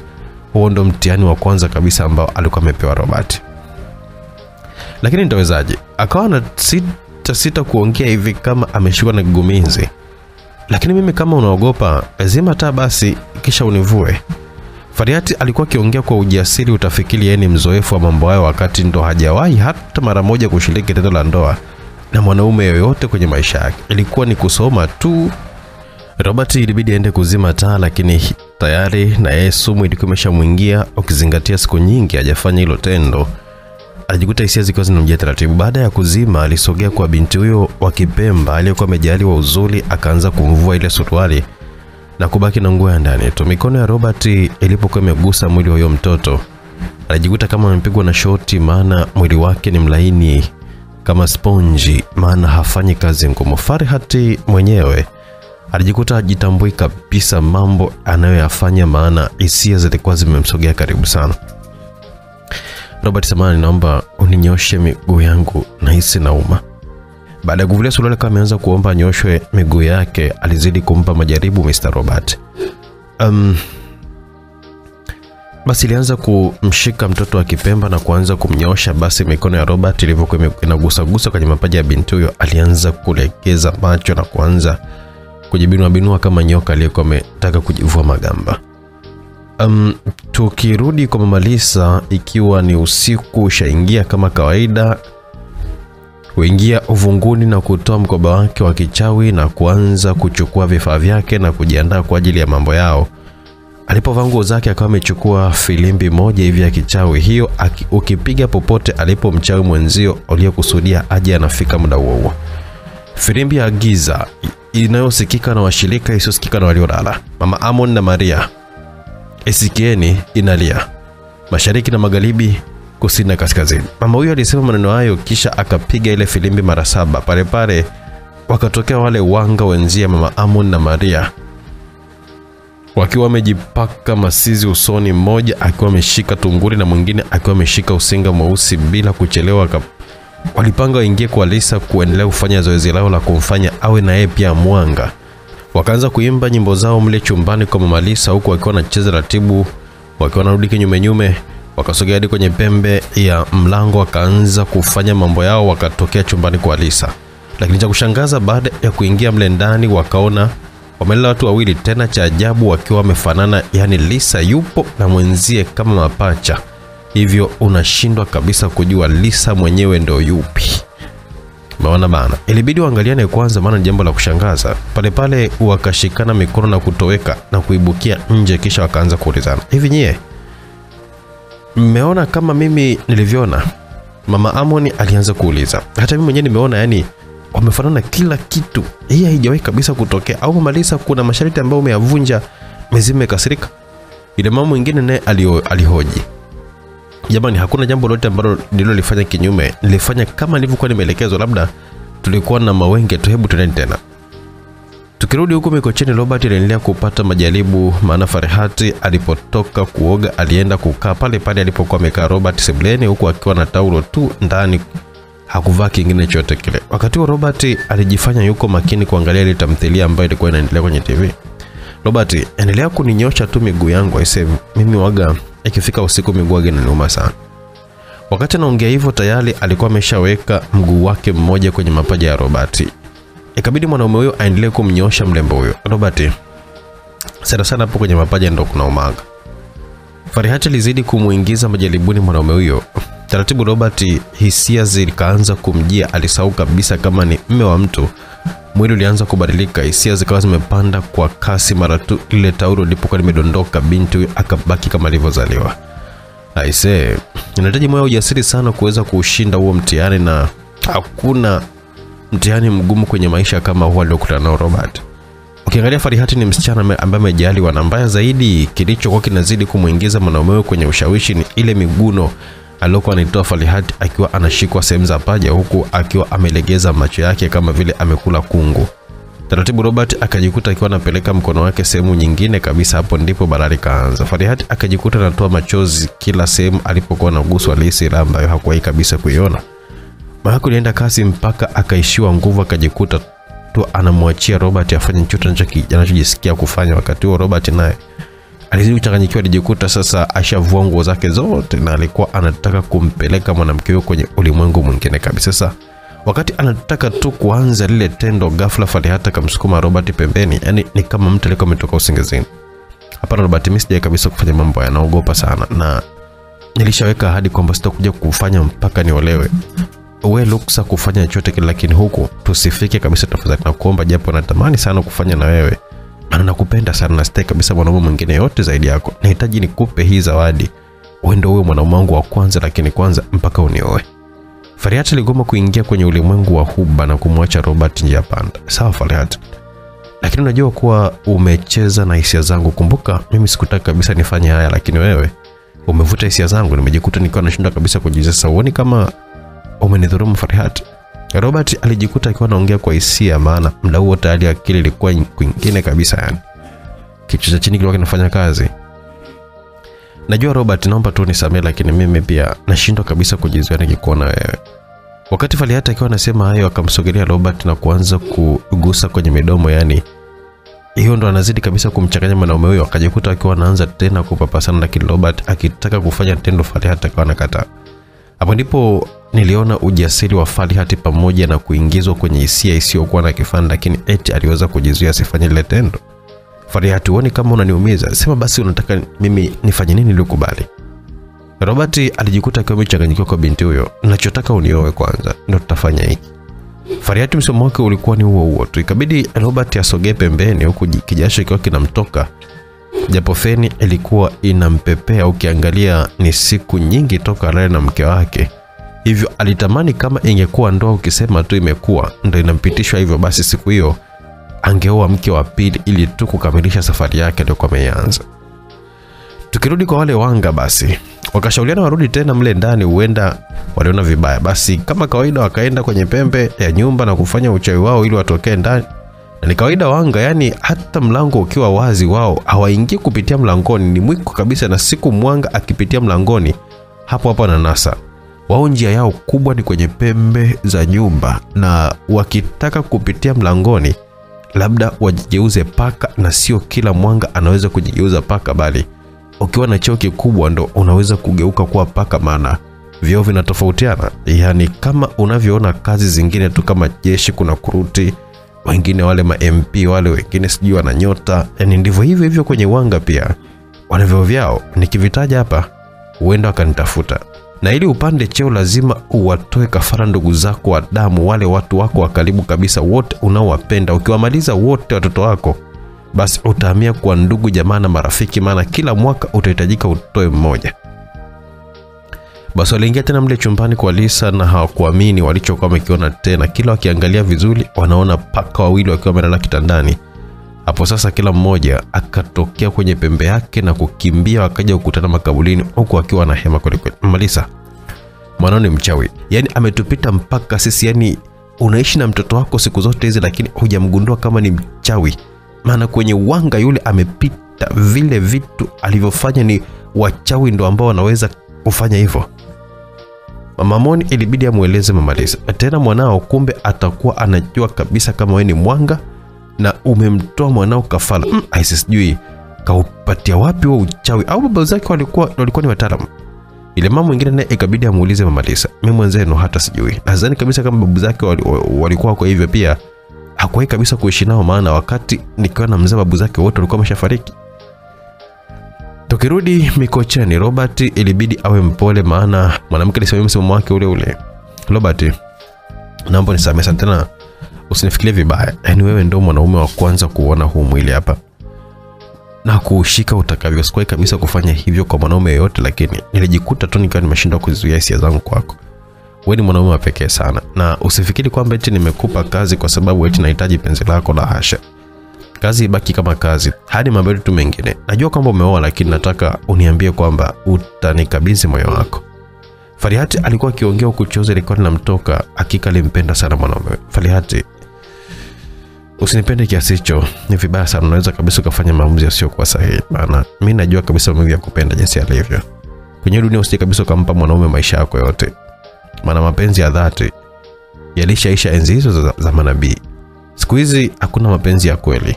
uwezi kabisa ukawa na mtu wa peke yako. Sasa kwa nini umpende mtu kupitiliza wakati wa peke yako hakuna? Mfano mimi, kumbuka, nina mke sasa hivi. Ukinipenda sasa, lazima tu utaweka wivu na kwa mke wangu na utafanya kila nia ili niwe wako peke yako. Sasa hapo ndio balaa linatokea.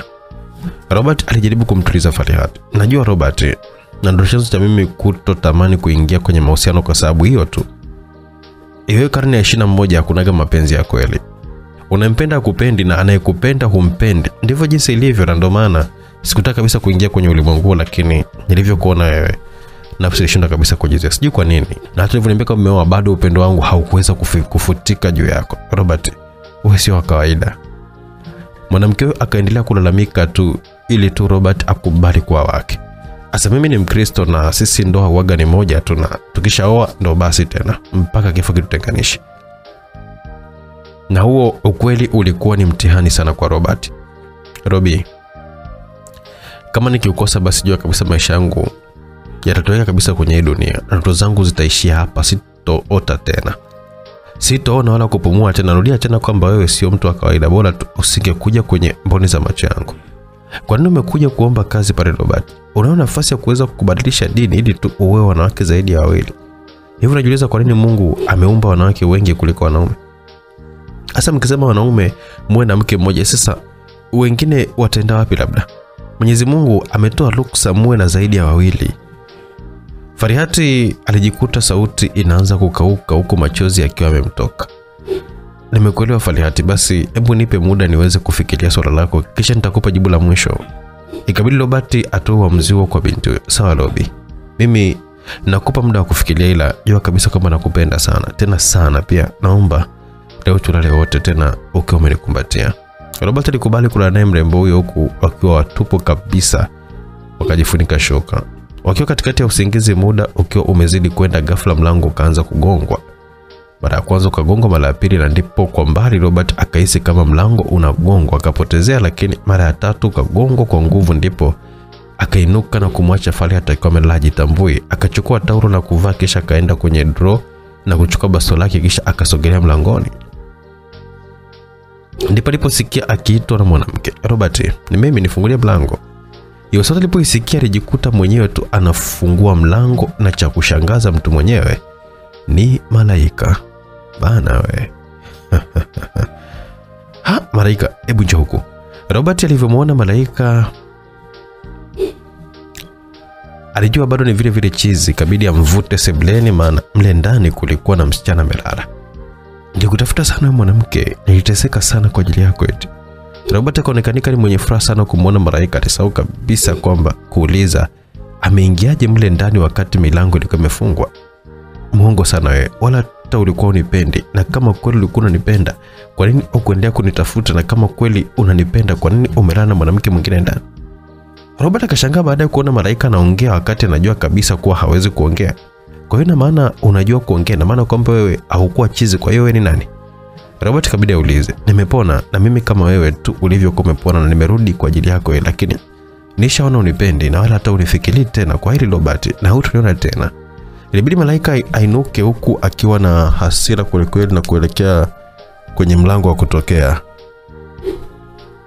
Robert akainuka na kumfuata malaika ili amshike na kumzuia, lakini cha kushangaza, wakati akiwa anataka kumshika akawa ameshika hewa, maana taratibu akaanza kuyeyuka kama mshumaa. Robert akachanganyikiwa, wala hata kuogopa, bali alikuwa analia tu kwa kumpoteza tena machoni mwake. Hapana, usiondoke malaika, aliongea kwa nguvu, akishtuka kutoka usingizini. Kumbe yote ilikuwa ni ndoto bwana. Ikabidi atoke kitandani na kwenda mlangoni kuhakikisha kama ni kweli ilikuwa ni ndoto ama la. Akafungua na kutoka hadi sebuleni kuhakikisha. Ina maana malaika bado upo dunia hii? Hebu jitokeze basi, mbona kama vile unataka kunitonesha kidonda ambacho kilichoanza kupona? Robert alianza kujisemea mwenyewe baada ya kuota ile ndoto. Ikabidi arudi kulala, lakini alianza kupata wenge, akawa anahisi kama anaitwa muda wote. Ikiwa ni majira ya asubuhi, Mama Lisa ndo alikuwa ni wa kwanza kuamka. Kitu cha kwanza akamfata msukule Frank na kumruhusu leo aende nje kutembea, maana Mama Lisa alishaanza kupata wasiwasi, huenda mwanaye akawa anajua kwamba kaka yake ni msukule. Basi siku hiyo alifanya usafi wote wa ndani, akaosha vyombo, kisha akaandaa chai. Alipomaliza akaenda hadi kwenye mlango wa chumba anacholala mwanaye, akaanza kuwaza "Mm, sasa sijui ndo kabaki kuwa paka hivyo hivyo, au sijui ndo wapo wawili, mbona naanza ku- kumwogopa sasa. Wakati akiwa anajiuliza pale mlangoni, ghafla mlango kafunguliwa. Mama yangu nakufa! Mama Lisa alisema hivyo huku akiwa anashtuka baada ya mlango wa chumba cha mwanawe kufunguka. Vipi mama, mbona umeshtuka hivyo? Lisa alishangaa baada ya kuona mama yake kama ameshtuka huku ana- ana- anapiga kelele. Ah, mwanangu umenishtua sana, sikutegemea kabisa kama tutafungua mlango. Mama Lisa alikuwa akiongea huku akiwa anaangalia chini, akawa anamwonea aibu mwanaye, na ndio kawaida ya wanga, yaani akishajua kama umemgundua hawezi kabisa kuongelea usoni, na anakuwa na haya. Nimekuandalia maji ya moto mwanangu, kaoge tu kisha tunywe chai. Lisa akashangaa kuona mama yake leo eti amefanya kazi zote hivyo wakati sio kawaida yake. Mm, mama unataka nini? Maana sio kwa upendo wa leo huo, lakini mimi nishakwambia Ujerumani siende. Mi na ndege ni vitu vili tofauti kabisa, maana najua umefanya hivi leo, kuna kitu yani. Mama Lisa akawa anajiuliza hivi, huyu mtoto anajifanya ajui kinachoendelea au ananizuga tu? Akawa anajisemea kimoyomoyo. Baada ya kutoka kuoga, walikaa mezani na kuanza kunywa chai. Hivi Lisa, humu ndani unapaelewa kweli mama lisa akaanza kumchokonoa mwanaye mm, kwa nini umeuliza hivyo mama lisa aliachwa njia panda na hakujua mama yake alikuwa anamaanisha nini kuna muda kama vile namuona marehemu kaka yako pia usiku naona kama vile wanga wakiwa wananifuata ndo nakuuliza na wewe pia hayo mambo ya kutisha wewe hayakutokei akaendelea kumchunguza mwanaye mm, mimi sijawahi kabisa kuona vitu vya ajabu ajabu Tatizo kwa mama, ukilala huombi kwa Mungu wako, na ndio maana unaona vitu vya ajabu ajabu. Kwanza siku hizi mama, uendi kanisani, sijui umekuwaje yani. Hizo kauli za Lisa ku, zikamfanya mama yake kuondoa wasiwasi kidogo mm, lakini kama anajifanya hajui kinachoendelea, mbona usiku tuliona vitu vya ajabu? Mimi bado simwamini kabisa huyu. Mama akaendelea kumtilia mashaka mwanaye. Tukirudi kwa msukule Frank, siku hiyo baada ya kuachiwa aingie mtaani, ndipo balaa likawa limekuja. Akaanza kufanya mambo sio mazuri kwa watu. Wakati akanatembea, akaona watoto wakiwa wanachota maji kwenye kisima hivi kimoja kirefu kilichokuwepo kwenye mtaa huo. Basi akafika hadi pale, kuna mtoto mmoja alikuwa ameinama kwa ajili ya kuchota maji, maskini akamsukuma na kujikuta akiwa anaingia kwenye kisima na wenzie baada ya kuona vile walikimbia, si unajua tena watoto bana, badala ya kufanya jitihada kumwokoa wao kwa wamekimbia na kumwacha ule mtoto akiendelea kunywa maji mle ndani ya kisima akipiga kelele, lakini hakuna aliyesikia. Msukule Frank ndo alibaki pale akicheka baada tu ya kufanya kile kitendo. Yeye hajui kabisa kama pale alichokifanya ni mauaji, bali yeye alikuwa anajua kama ni kama mchezo tu, amecheza wala hajui kufa ni nini, na ndio maana akitumwa na wachawi chochote ye anafanya. Basi mwisho wa siku, baada ya yule mtoto kubaki ane, anaelea tu, ndipo naye akawa ameondoka. Akazuka mpaka njaa ikawa imemuuma. Alienda kwenye mgawa mmoja hivi na hakuna ambaye alikuwa akimwona, na ukibatika kumwona unaweza ukamkimbia. Kwanza nywele zilikuwa nyingi na chafu, uso ulikuwa mweusi, hizo kucha za miguuni sasa na mikononi zilikuwa ndefu balaa alikuwa kitisha kwelikweli. Basi aliingia hadi kwenye ule mgawa akaanza kula na wateja, na alikuwa na mshipa wa kula kwelikweli. Hei mama Madenge, leo chakula chako sijashiba kabisa, ise nitakuhama eti. Kuna mteja mmoja ikabidi atoe moyo, moyoni, nisame tu mkwekesho, ukija nitakujazia tu kwenye kontena eh. Mama huyo alianza kujitetea, lakini msukule haukuishia hapo, ulienda hadi kwenye jungu na ubwabwa ukaanza kula. Alipoona ametosheka akaondoka maeneo hayo, huku yule mama ntilie alipomaliza chakula chake akaanza kupiga hesabu, lakini cha kushangaza siku hiyo mama watu alipata hasara, maana takriban sahani kama kumi zimeliwa, lakini pesa hakuna.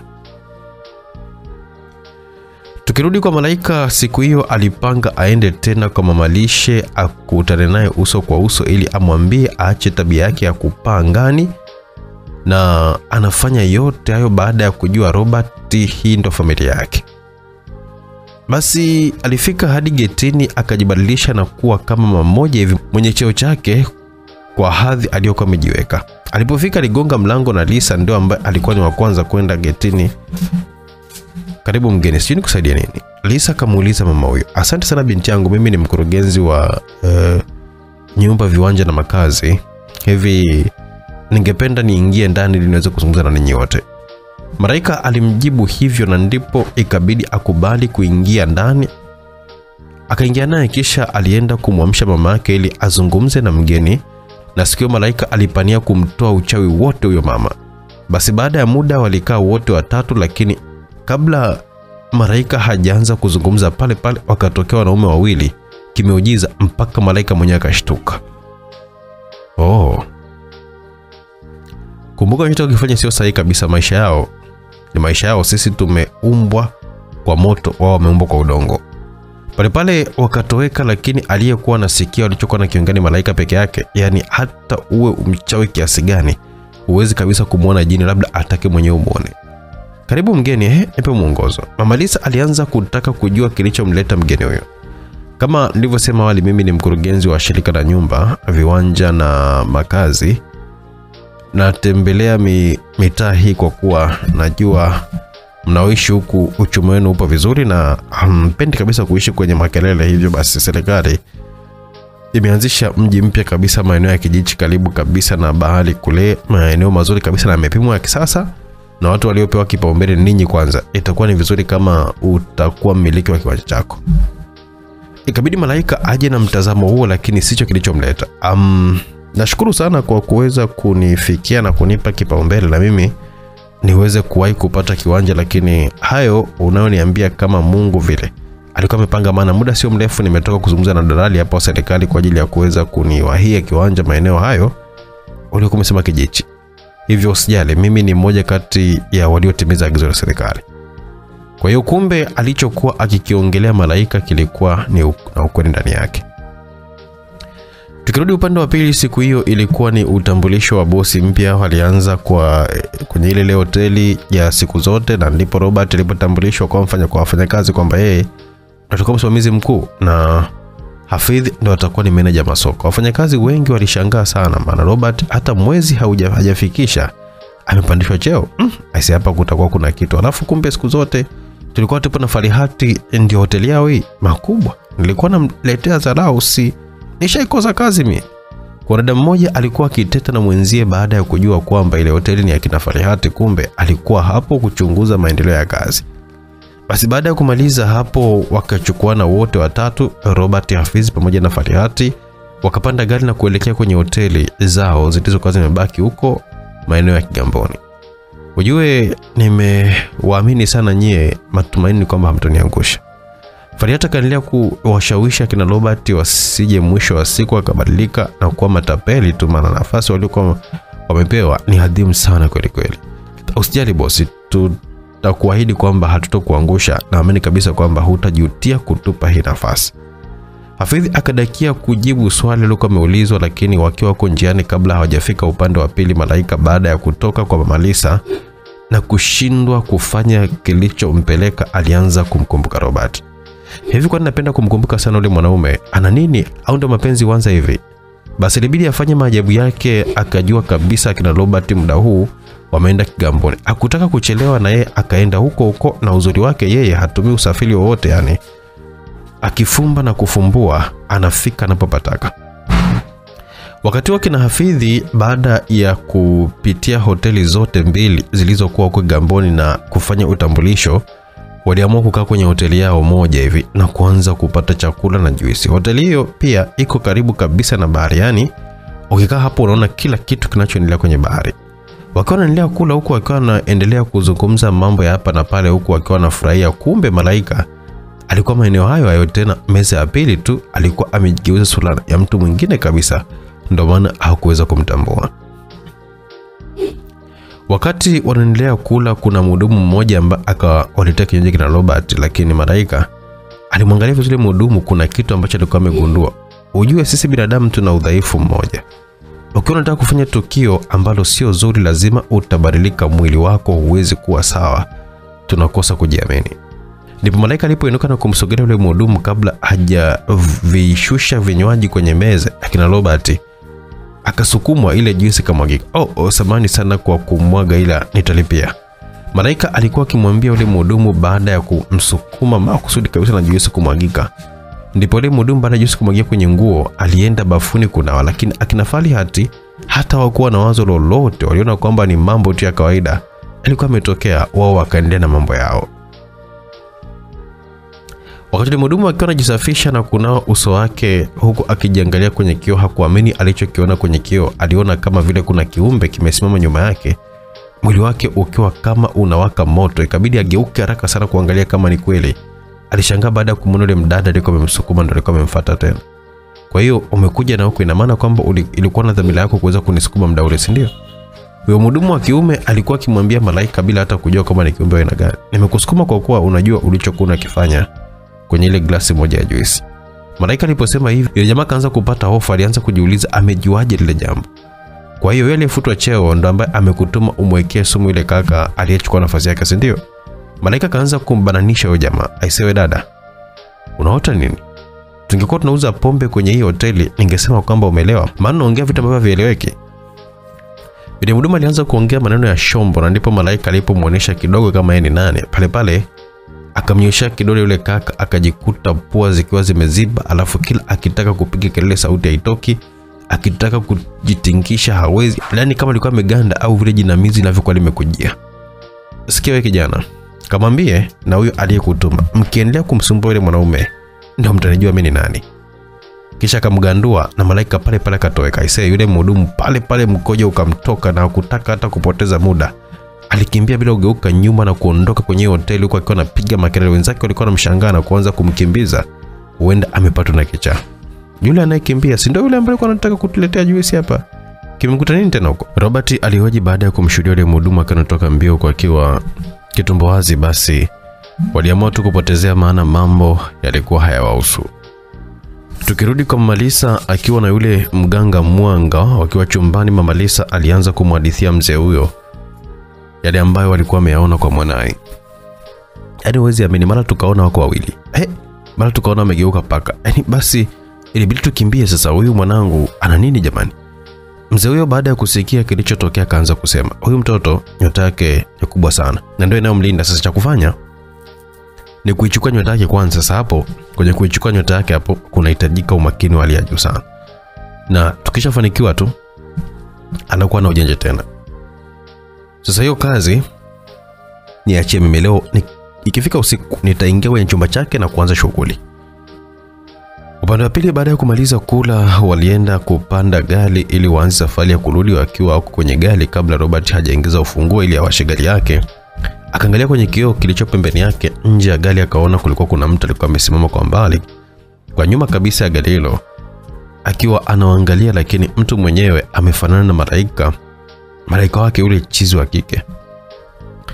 Alisata nguvu ya kuwasha gari, limuishia kabisa kufungua mlango wa gari kwa haraka sana na kushuka amkimbilia yule mdada aliyekuwa amemuona, na nikuwa alikuwa ni malaika. Baada ya kuona Robert anakuja, naye aligeuka na kumpa mgongo, huku akiondoka haraka sana, maana anajua kabisa afidhi akimwona atam, atam, atamfikiria vibaya, kwa kuwa ndo mtu pekee ambaye anayejua sura yake halisi ya malaika. Ilibidi Robert akimbia haraka na kumwahi malaika ili ahakikishe kama alikuwa ni yeye, huku nyuma akina Hafidhi nao alikuwa ameshuka akiwa anamkimbilia Robert kujua kuna nini ambacho kinachoendelea. Tukirudi kwa Mama Lisa, yule mzee kuna dawa alimpa mama huyo, kisha akamwambia, sikiliza, kamtilie kwenye juisi hapa dawa, najua akinywa tu ataenda kulala, maana sitaki kabisa kusubiri mpaka usiku ufike, nataka nianze mapema kabisa. Basi Mama alienda kufanya kama alivyokuwa ameagizwa, akaenda kumpatia mwanaye na akanywa, maskini ya Mungu hmm? Tukirudi kule Gamboni, Robert alipokuwa ameshuka alianza kutembea haraka sana kumwahi yule mwanamke ambaye alikuwa amemwona anafanana na chizi wa kike. Samahani dada, hebu naomba usimame. Robert alisema hivyo baada tu ya kumfikia huyo mwanamke, kisha akamshika bega na kumgeuza ili aone sura yake. Vipi kaka, mbona unanishika tu bila taruhusa yangu? Huyo msichana aliongea baada ya kushikwa bega. Oh, uh, samahani dadangu, kuna mtu ambaye nilikufananisha naye, naomba unisamehe sana. Robert ilibidi awe mpole tu. Baada ya kuona sura nyingine tofauti kabisa, ilibidi arudi kwenye gari, na wakati huo kina Hafidhi nao walifika. Vipi ndugu yangu, yule msichana ni nani? Ikabidi wamuulize swali. Msiamini kabisa, maana ni huyu msichana na nguo hizo hizo kabisa. Nilikuwa nilikuwa nimeona kabisa sura yake, na nilivyokuwa nimeshuka kwenye gari macho yangu hayakutaka kabisa kumpoteza, lakini eti naenda kumwangalia vizuri, amekuwa ni mtu mwingine tofauti. Robert alijibu hivyo. Mbona sijakuona Robert? Robert akuongea tena, ilibidi arudi tu kwenye gari na kuondoka.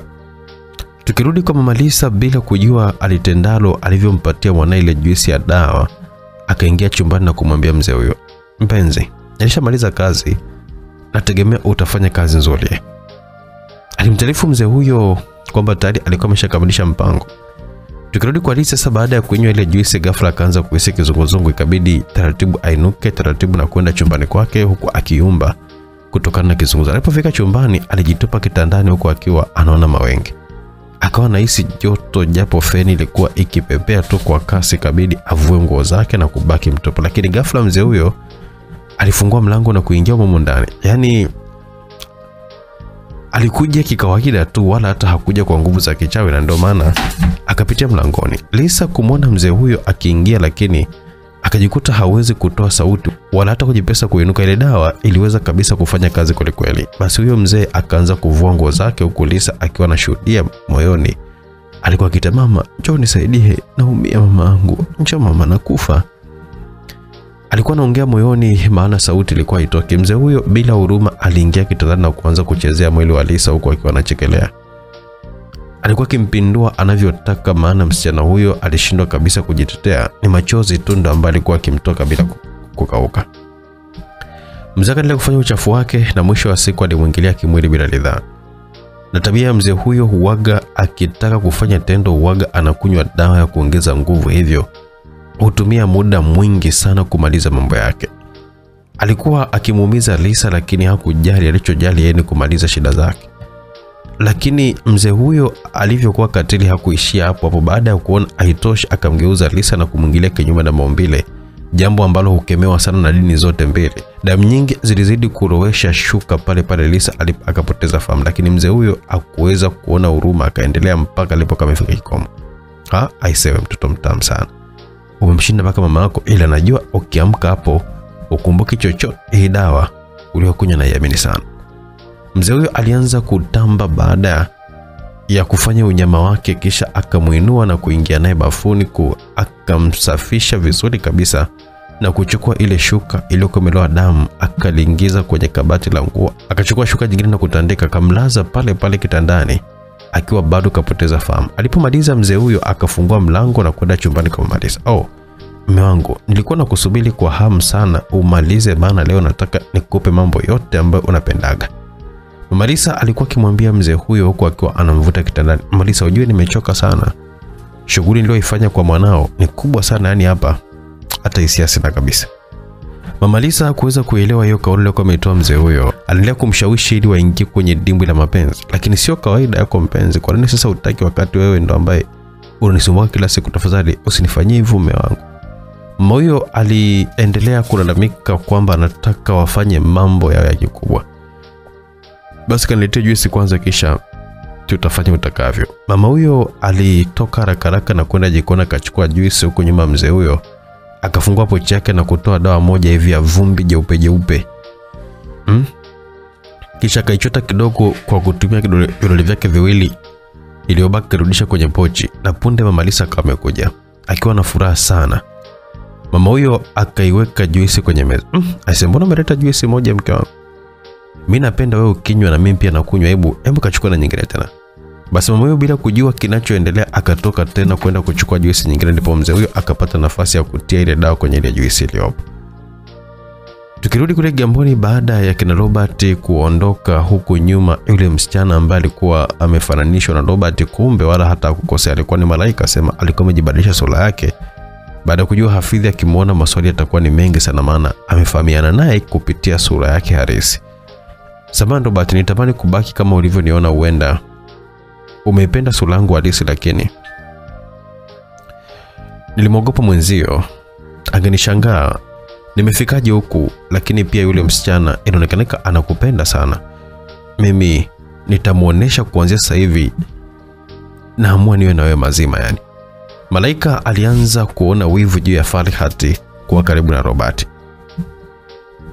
Ikiwa ni majira ya usiku, Farhat taratibu, baada ya kuachana na kina Hafidhi, alikuwa njiani akirudi nyumbani. Kwa kuwa siku hiyo hakwenda na gari lake, walikuwa wakitumia gari ya Robert kwenye mizunguko, ikabidi aite taksi mpeleke kwao Masaki, na bahati nzuri ilikuwa ikipita akasimamisha na kupanda. Dereva, samani, naomba unipeleke Masaki, mtaa wa Baresa.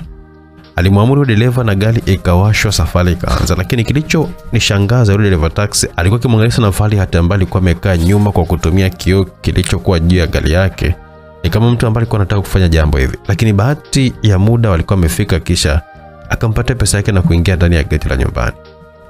Na dereva akawasha gari na kuondoka malapo, lakini hakwenda mbali sana. Aliweka pembeni gari yake, lakini cha ajabu, kumbe yule dereva alikuwa si mwingine bali ni Malaika. Alikuwa amejibadilisha na sijui ile gari ameitoa wapi. Basi taratibu alisogea kwenye nyumba ya kina Farhat, na kama unavyojua uwezo wake, aliingia humo ndani bila mtu yoyote ule kuweza kumwona.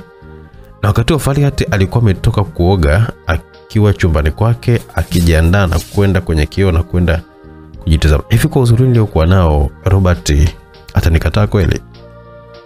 Akiwa kama alivyozaliwa, akawa anajitazama kwenye kioo huku akiwa anasema maneno hayo. Ama kwa hakika vioo vina siri nyingi sana. Vikisema siku vionyeshe mambo yanayofanywa na watu kupitia kwenye vioo, tunaweza kabisa kujikuta tunajiita tuna wote machizi. Lakini wakati akiwa anajitazama nyuma yake muda mrefu, maraika alikuwa ameshafika bila kujua chochote Kila Akaanza kushikashika nywele zake, lakini akashtuka na moyo ukaanza kwenda kasi sana, baada ya kuhisi kama vile kuna mtu alikuwa amemshika begani. Hivyo aligeuka haraka sana, lakini hakuona mtu. Lakini mtu alikuwepo, sema amwone, basi aliendelea kujichunguza tu. Lakini Marekani alianza kufikiria kitu cha kumfanya mwanamke huyo ambaye anaona kabisa anataka kuwa kizuizi kwa ajili ya kumpata Robert. Sijui ni muue huyu binti ili akose kabisa au nimweke ukilema maisha yake yote. Malaika akawa anajiuliza hapo hapo, akanyosha mkono wake kwenye kitufe cha kuzima taa ya ndani, na papo hapo ikazimika na kukawa. Hey, hii taa vipi tena, mbona imejizima yenyewe? Falihati akajiuliza huku akiwa anaendelea anaelekea kuiwasha tena taa. Mara baada ya kuiwasha, akarudi tena kwenye kioo, ile taa ikazima tena. Tukirudi kwa Malisa, alikwenda kuchukua juisi nyingine huku nyuma. Yule mzee akaweka dawa kwenye ile juisi nyingine na kuanza kunywa yeye mwenyewe. Mimi nilijua kwamba anamwekea Mama Lisa, lakini kumbe anakunywa mwenyewe. Ilikuwa ni dawa ya kuongeza nguvu ya kiume. Punde Malisa alirudi na juisi nyingine na kuanza kunywa, na kisha wakaanza mambo yao ya kikubwa. Mzee huyo siku hiyo alikula kuku na mayai yake. Tukirudi Masaki chumbani kwa Falihati, vituko viliendelea baada ya taa kuzima tena, na huku bafuni bomba la mvua likaanza kutilisha maji. Hapo ndipo Falihati akawa ameanza kupata wasiwasi. Alienda ukutani haraka sana na kwenda kuwasha taa. Hmm, mbona naanza kuogopa? Akaingia bafuni na kufunga maji ambayo alikuwa anamwagika. Sasa alichokifanya haraka kama ameenda kujitakasa na kuchukua msaafu na kuanza kusoma. Kiukweli alikuwa ni muumini sana wa dini ya Kiislamu. Kwa hali alikuwa ndani aliatilia mashaka, na ndipo akaamua kumwomba Mungu wake amlinde kwa usiku huo. Wakati wa malaika alikuwa ametulia tu akiwa anamtizama Farihati alivyokuwa anahangaika. Mm, ana bahati sana isa, hakuna kitu na kiheshimu kama binadamu akiwa amenena amenena neno la Mungu, na hii ndio salama yako kwa leo. Tena na bahati sana we. Malaika alikuwa akijiongelesha baada ya kuona Faliat akiwepo katika ibada ya kumwomba Mungu wake, na siku zote ndio maana tunaambiwa wakati wa kulala tusisahau kumwomba Mungu wetu atulinde na usiku ulio mrefu. Hakika ukifanya hivyo, vitu vingi sana vibaya utaepukana navyo, yaani kama jini anashindwa kukuzuru ukiwa unaomba dua. Sasa hao wachawi watatuwezea wapi? Labda? Malaika alianza kuikagua ile nyumba vizuri, akaenda hadi sebuleni, akaanza kuangalia picha za familia zilizokuwa ziko ukutani, lakini alijikuta akiwa anaangalia sana picha ya marehemu baba yake na Farihati. Hadi akasogea karibu kabisa, akaona kuna cheni ya dhahabu ambayo eh, alikuwa ameivaa huyo mzee, imefanana kabisa na cheni za dunia yao. Ilibidi aitoe ukutani ile picha na kuishika, akaiangalia vizuri ile cheni ya dhahabu ambayo ilikuwa iko shingoni mwa mzee huyo kisha karudisha ile picha pale pale ukutani. Hakuongea chote kile, kabidi tu atoweke kimeujiza muda huo huo. Tukirudi kwa Malisa, ilikuwa ni asubuhi. Mama huyo alikuwa ndo kwa kwanza kuamka, alienda kumfungulia mlango mzee huyo na kuondoka, maana usiku wa kuamkia siku hiyo ilikuwa ni siku ya mapumziko kwenda kuwanga. Unajua hadi wao wachawi waga kuna siku wanapumzikaga eti sio kila siku kwamba anakuwa wanaenda kuanga. Basi mama huyo akiwa na furaha alirudi ndani na kuanza kufanya usafi. Alipomaliza kaandaa chai na muda ulikuwa umeenda kwelikweli, lakini Lisa akawa hajaamka. Hiyo ikapelekea mama huyo kupata wasiwasi, kabidi aende kugonga mlango, lakini ikawa kimya. Hebu nipishe bwana, kama una njaa si ukale watu huko. Marisa alianza kumfokea msukule Frank baada ya kuwa alikuwa anamsumbua tu muda wote kila anapoenda mama huyo, na Frank alikuwa yuko pembeni. Ah, ni, basi nimekuruhusu nenda huko nje kutafuta chakula ule. Basi ule msukule ukachekelea na kuondoka. ama huyo ilibidi afungue mlango na kuingia baada ya kuona mwanaye haji kufungua. He, vipi mwanangu? Nina mtiki mkuta mbona unalia? Mama Lisa alianza na swali baada ya kuona mwanaye kilia Sijui kimenitokea, maana nahisi maumivu huku nyuma, ni kama vile kuna kitu kilikuwa kimepita, na sio nyuma tu, hadi mbele pia nahisi maumivu aise, yani hata kutembea kwenyewe nashindwa. Pale pale mama huyo akapiga simu kwa dereva wake, akakuja haraka sana, akamchukua Lisa na kwenda naye hospitali. Walipofika kwa dereva alikuwa anataka kumpigia Robert. We, usimpigie huyo, hao ndo wachawi wenyewe. Yaani kila siku tu mwanangu anapata matatizo na chanzo itakuwa ni huyo huyo. Eh, anataka amtoe na huyu ili abaki peke yake, aanze tena kulilia hizi mali. Sasa hamwi atashindwa na nitamwonyesha kama mimi nani. Mama Lisa anaweza kuongea yoyote baada ya dereva kutaka kumfahamisha kaka mtu haya matatizo, ila nimeamini Mwanga ana haya, yaani anaita wenzie wachawi wakati yeye ndo mchawi. na ndo ambaye anamchezea mwanae, lakini anachoongea ni anamaanisha kabisa ise, anajua Robert ndo ambaye anamfanyia mabaya mwanaye, yaani haoni mkia wake kabisa. Baada ya muda, daktari anamuita mama huyo na kumpa majibu baada ya kumfanyia uchunguzi. Aisee, um, umesema mnaishi wawili tu nyumbani kwako na hakuna mwanaume yote yule ambaye aliyekuja. Sasa haya majibu yanasema mwanao ameingiliwa kinyume na maumbile, tena sio huko tu, amepita sehemu zote bila hata ridhaa ya mhusika, na baada ya uchunguzi zaidi inaonekana kwamba kabla ya tukio alitumia dawa ya kuweza kunyong'onyesha mwili wake na kushindwa kujitetea. Tukirudi kwa Faliati, alichukua simu na kumpigia Robert na kumwamuru aje nyumbani kwao Masake ili wafanye makabidhiano ya nyaraka kadhaa za hoteli.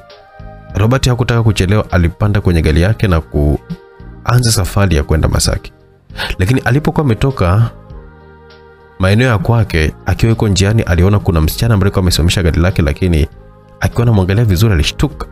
Ilibidi asimamishe gari na kisha afungue kioo. "Hmm, mbona kama sio mgeni kwenye upeo wa macho yangu? Robert akamuuliza yule binti, "Ah, ah, umesahau mkeo uliyempata katika shindano la kuogelea?"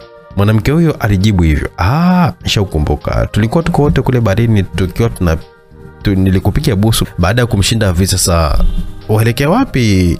Zunguka basi uingie kwenye gari." Binti yake akaingia kwenye gari, lakini kumbuka, kama ni yule waliyekuwa naye kule baharini, basi atakuwa ni jini malaika na atakuwa ameshajua kama Robert anaenda kwa Farihat na ndio maana akajitokeza. Eh, naambia mke wangu, mbona uko maeneo haya au umekuja kuchepuka eh? Robert alikuwa akifanya masihara tu, hakuwa anamaanisha kweli, lakini sasa majini ni tofauti kabisa na binadamu. Wao siku zote hujua mtu akiongea anamaanisha, na ndio maana waga watu wazima wakisikia unalopoka ukisema mimi kama jini akija akisema kwamba ananipenda namkubali. Yaani kauli kama hiyo ukiona isema alafu jini kama amekusikia lazima akufate kweli, anajua kabisa umemuita. Wao hawajui masuala ya utani. Basi ile kauli ya Robert kumuita mkewe ilimpagosha sana Malaika. "Mm, ujue unazidi kuniteka mme wangu, yani huku nimekufuata wewe, maana toka nikuachie namba yangu siku ile hata hujawahi kunitafuta.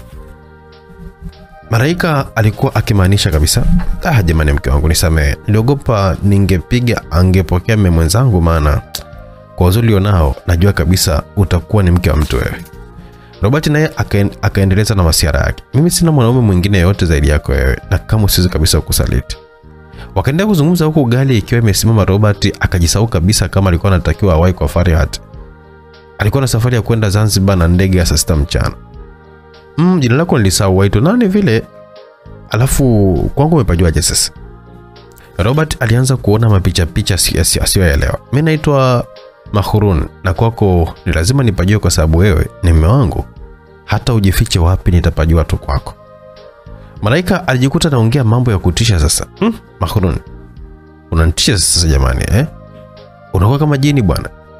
Yaani kama Robert angejua kama kweli ni jini wala hata singesema hivyo. Kwani jini ukimwona unamjua? Malaika akamuuliza Robert. Um, tatizo kuna muda wanawake kama sisi ni vigumu sana kuweza kuwajua, labda akiwa kwenye umbo lake la kijini sasa ndo mtu unaweza kumjua. Robert alijibu hivi. Kwa hiyo umbo lao la kijini linakuwaje?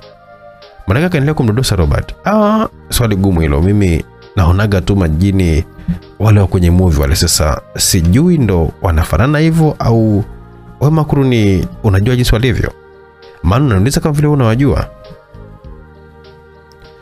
Tukirudi hospitali, daktari aliendelea kumwambia mama Lisa, itabidi uende kituo cha polisi ukafungue mashtaka. Hili swala sio la kufumbia macho hata kidogo. Mama Lisa kujua anafanya nini, maana mtu pekee aliyekuwa ameingia kwenye chumba cha mwanaye ni yule mzee wa kichawi. Akaanza kukumbuka alivyokuwa ameambiwa kwamba mwekee dawa mwanae kwenye ile juice. Ese kwa hiyo mzee ndo ambaye ameamua kunifanyia hivi, sikutegemea kabisa. Malisa akawa ajisimama moyoni na anaogopa kumwambia mtu na hata kwenda polisi pia hawezi, anahisi atagundulika tu kwamba yeye ni mwanga, na kama yule mzee aki- akikamatwa anataka kumchafua tu. Siku hiyo mama huyo alijuta sana, akaanza kuona kuwa Robert amemchukia bule, wakati hana tatizo lolote lina mpaka ikapelekea aingie kwenye uchawi mpaka akampoteza mwanaye kipenzi Frank na kumweka msukule. Aliogopa kuingia chumba cha wagonjwa kumtazama mwanaye, maana nafsi ilimsuta sana. nitaweka wapi sura yangu mimi? Je, nani ambaye ataweza kunielewa kwa haya ambayo niliyoyafanya? Malisa akawa anaongea maneno hayo huku machozi akiwa anamtoka. Tukirudi kwa Mikocheni, Robert alijikuta akiwa amejisahau kabisa ise, akawa anaendelea kuzungumza na yule mwanamke bila hata kujua ndo chizi wa kike. Mbona unijibu sasa? Nimekuuliza Macron, wewe upande wako unajua jini ana mwonekano gani? Robert akamuuliza Malaika. Mm, jini ana mwonekano mzuri tu, sema binadamu wanampa sifa mbaya, lakini jini ana mwonekano mzuri kuliko binadamu. Sema akikasirika anaweza kujigeuza akawa anatisha kutokana na hasira zake. Malaika alijibu hilo swali. Mm, hizo tamthilia zenu bwana mnazopenda kuangalia watoto wa kike ndio ambao mna- mnajifanya mnajua sana hadi maisha ya jini. Robert alikuwa anajua kwamba ni masiara. Nikuulize swali Robert, hivi jini akitokea akikwambia kwamba anakupenda utamkubalia? Swali hilo alikuwa anamaanisha kabisa. Mm, inategemea na moyo wangu, maana ujue moyo hauchagui mahala pa kwenda ku haijalishi kwamba umependa kwa chizi, mlemavu na hata huyo jini mwenyewe unasema hilo ni jukumu la moyo kuchagua mahala pa kutoa. Robert alijibu vizuri kabisa hilo swali, maana imeshai kumtokea akampenda chizi, na ndio maana anajua kabisa moyo hupenda kokote kule, haijalishi ni nani na unatokea wapi. Hasa upande wako mwanamke akufanyia nini ili kumpenda? Wakati Malaika akiwa anauliza swali jingine, ghafla simu ya Robert ikawa inaita na alikuwa simu mwingine bali ni fali ndo alikuwa anapiga simu. Ah, halo Robert, mbona umechelewa hivyo wakati nimekuambia kabisa nahitaji kuwahi ndege itaniacha? Basi kama vipi tufanye nikirudi, ngoja mimi niwahi isije kabisa ikaondoka eh. Malaika alionekanika kufurahi baada ya kufanikiwa kuharibu mipango ya na kubaki na Robert wake. Du.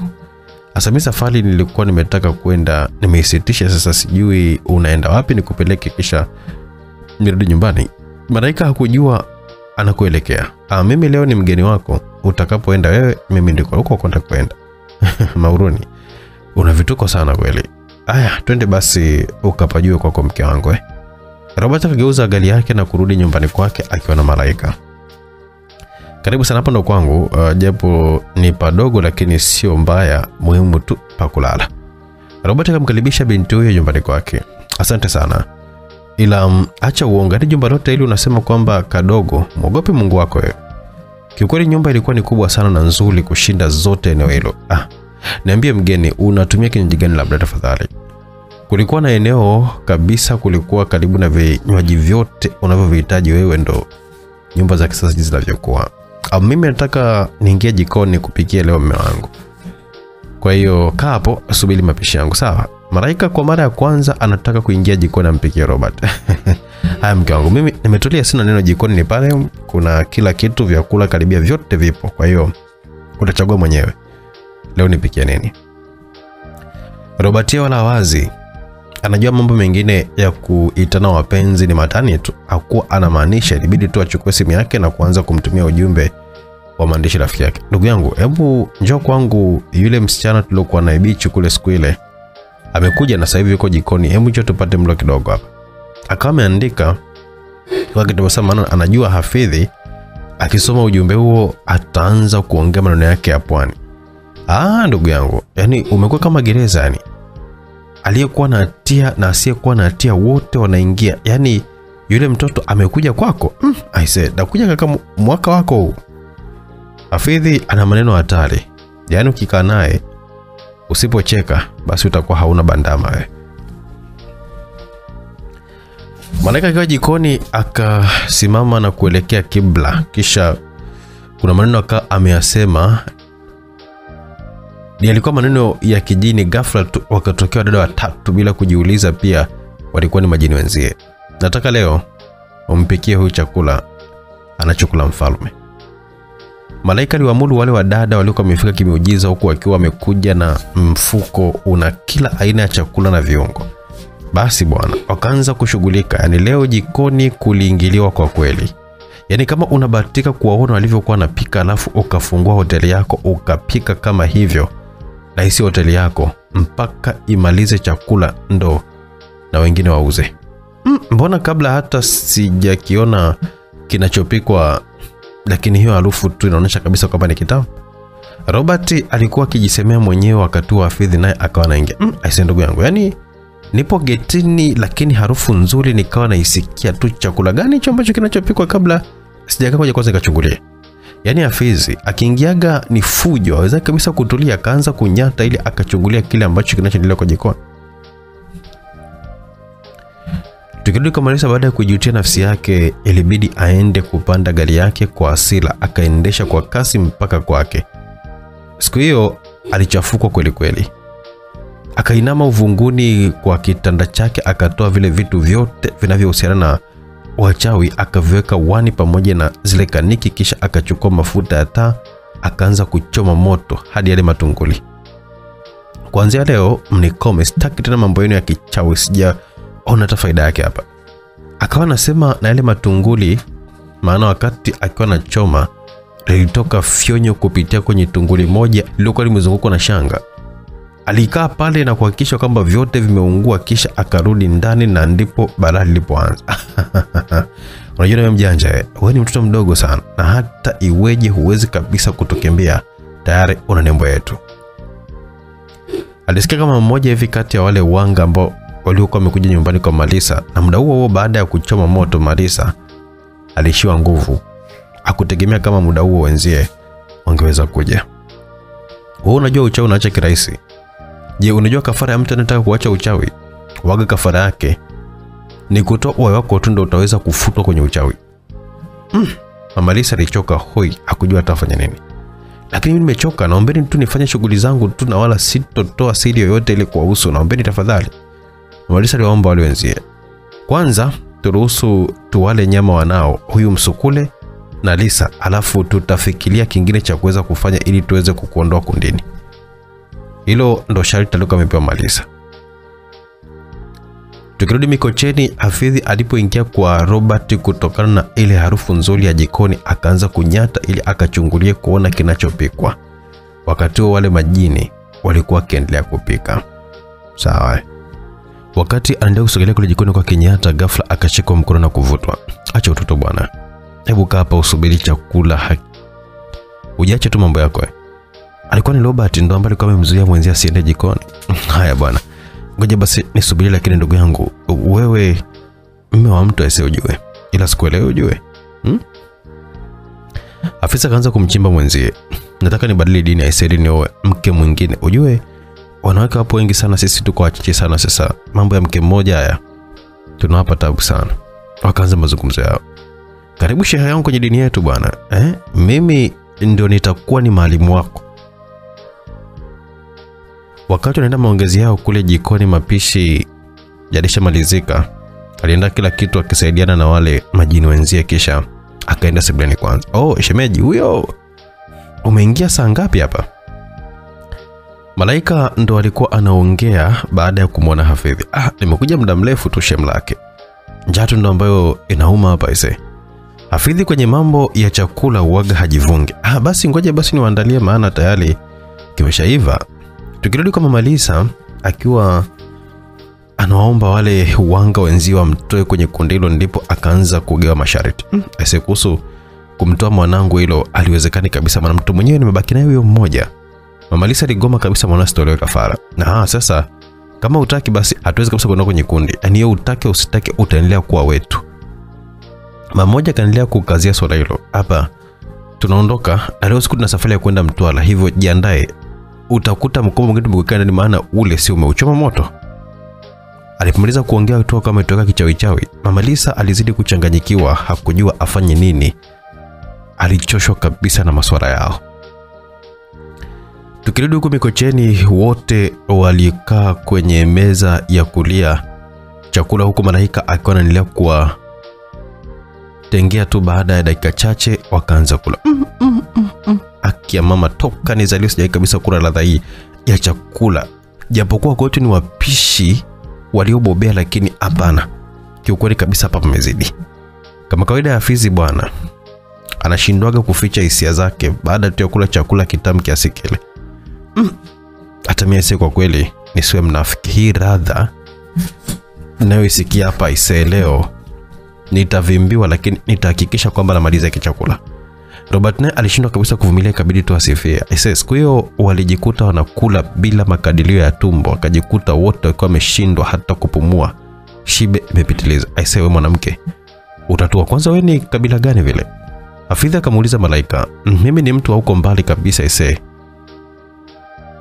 kabila letu halitambuliki hapa. Malaika alijibu hivyo huku akiwa anaondoa vyombo na kupeleka jikoni, na kama kawaida yake majini wenzie hawakuwa mbali, walipokea vile vyombo na kuanza kuosha. Mm, sasa ndugu yangu, kama kweli utabadili dini, basi mwanamke wa kuoa ni huyo hapa, maana hiki chakula sijui kama tutakula tena. Hakuna atakayeweza kupika kama hivi aisee. Hafizi akaanza kumshawishi mwenzie, na siku zote usiombe kabisa ukala chakula kilichopikwa na jini, ni kosa kubwa sana. Yaani ni kama vile sumu vile, maana kila siku utataka kula tu chakula chake. Jamani, mimi ngoja basi niwaache, kuna kazi yangu ambayo sijamalizia, nataka nikaifanye. Hafidhi kabidi awaache wakiwa wawili tu, Yaka ondoka zake. Asante sana Mahron kwa chakula chako, kiukweli ni kwamba unajua sana kupika. Walianza mazungumzo baada ya Hafidhi kuondoka. Asante, ila kawaida, mbona tu tena leo nimepika haraka haraka tu jamani. Robert akaangalia saa akaona muda umeenda sana, giza lilikuwa limeshaanza kuingia. Sema Huruni, naona muda umeenda sana, uwa, unaweza ukawa unatafutwa kwenu, ni wapi vile nikupeleke na gari yangu? Robert alitaka kumsindikiza Malaika kwao baada ya kuona muda umeenda sana. Ah, kwetu huwezi kabisa kufika na gari, alafu hakuna kuweza kunitafuta. Nishaga kwamba naenda kwa mume wangu. Robert akawa bado anahisi kwamba ni masihara, lakini kadri muda ulivyokuwa unazidi kwenda, yule binti aliendelea kubaki. Robert, nataka nikaoge. Robert akaanza kupata kigugumizi, hata kujibu akawa anashindwa. "Oh, wewe si nimekuambia kwamba nataka nikaoge jamani? Malaika aliongea kwa msisitizo. Um, yalikuwa mbali sana samani aise, bafu bafuni ni pale, sehemu ya mataulo ni pale vile.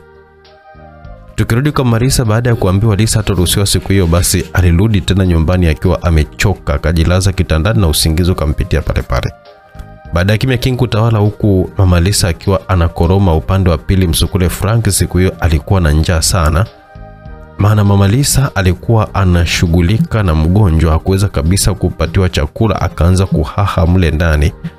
Akuona kitu ikabidi atoke nje na kuanza kuzurula usiku wa manane. Hapo alikuwa na kiu ya kunywa damu, akaanza kuangalia huku na kule, mtu yoyote atakayeweza kukatiza mbele yake basi anaye lakini katika pitapita akaona kuna nyumba ilikuwa ina banda la kuku hivi, na kama unavyojua sisi binadamu tunasifia sana nyama ya kuku, ni tamu. Ndivyo hivyo mashetani hawa wabaya pia nao wanavyopenda damu ya kuku, na ndio maana mganga akitaka kutoa kafara kwa ajili ya tiba atakuagiza kuku ili awape mashetani damu. Basi msukuri Franco umeingia kwenye lile banda la kuku, ukaanza kukamata mmoja baada ya mwingine na kuanza kuang'ata shingoni na kufyonza damu na kuishia hapo tu. Zile pumba alizokuwa amewekewa kuku kwa ajili ya, chakula akaanza kuzila yeye, na ndo chakula wanachokipenda sana misukule wao, ndo ubobwa wao. Sasa upande wa pili, mama Lisa akawa anaendelea kukoroma tu. Ghafla akawa ameingia wanga wakiwa kila mmoja ameshika ungo wake na mwiko wa kusongea ugali na shingoni wakiwa wamening'iniza matunguli, wakaanza kuimba nyimbo zao huku wakiwa wanacheza. Mmoja akawa anapuliza filimbi hiyo ndo ikamwamsha mama Lisa, na hiyo sauti ya filimbi, kama wewe sio mwanga au mtaalamu wa mambo hayo, huwezi kabisa ukasikia, japo ina kelele kweli kweli. Na kama wewe ni mwanga alafu upo jirani, lazima tu utasikia, na ukisikia unatakiwa ufike marapo. Basi kuna wanga waliongezeka waliokuwa wanaishi jirani na mama Lisa baada ya kusikia filimbi hiyo, na kuna kila aina ya mlio na ishara zake. Kuna mlio mwingine uwaga ukilia mwanga anajua kabisa huo haumuhusu, ni kwa ajili tu ya wanga wenzie waliokutana mara fulani. Lakini kuna mlio mwingine mwanga akiusikia anajua kabisa huo mlio unataka wote mkutane mara hapo. Sasa mlio uliokuwa umesikika siku hiyo ulikuwa unahitaji yoyote atakayesikia afike akiwa na usafiri wake, maana kuna safari itakuwa imepangwa na wakubwa. Basi kuna mwingine akawa amekuja na fagio ya chelewa lile la mti wa kusimama ule la kufagilia uwanja. Hiyo pia ilikuwa ni chombo cha usafiri, ukiachilia ungo ambao ndio maarufu kila mtu anajua. Na Malisa alipoamka ikabidi avae nguo za kichawi na akachukua usafiri wake ambao ulikuwa ni ungo, kisha wakatoka hadi uani ambako wote walikuwa wako maeneo jirani, walikuwa wamekutana. Jambo leo kuna safari ya kwenda Mtwara kwenye daraja la Mkapa. Kuna basi moja ambayo tumelizamisha pale, hivyo tunatakiwa tukatoe ile miili ya mijitu iliyokuwepo mle ndani. Kuna kiongozi mmoja ndo akawa anawaambia wenzie jambo ambalo alikuwa amewaitia hapo. Basi kila mmoja kuna mafuta fulani hivi akawa amegewa ili apake kwenye chombo chake cha usafiri. Ni yalikuwa ni mafuta ya watoto wachanga pindi wanapokuwa wameuawa, wanawachoma kwenye makalai makubwa, kisha mafuta yanayokuwa yanatoka mwili wanaokuwa wanayatumia kuweza kupaka kwenye vyombo vyao vya usafiri. Wale waliokuwa wamekuja na ungo wakawa wanaupaka ungo kutumia tu yale mafuta, na wale ambao walikuwa wamekuja na ufagio basi wakawa wakipaka, kisha na wao pia wakajipaka mwilini. Na sharti la kupanda kwenye huo usafiri, unatakiwa ufumbe macho na utakiwa kabisa ufumbue mpaka utakapofika safari yako. Basi mmoja baada ya mwingine akaanza kukalia chombo chake, kisha wakaanza kunena lugha zao chovya chovya na imuzimu mashariki, magharibi, kusini na kaskazini. Hakuna nguvu ya kushinda nguvu ya giza. Basi wakiwa wanasema maneno hayo, wakaanza kupaa. Basi baada ya kufanya mambo yao, kila mmoja akiwa amefumba macho akaanza kupaa.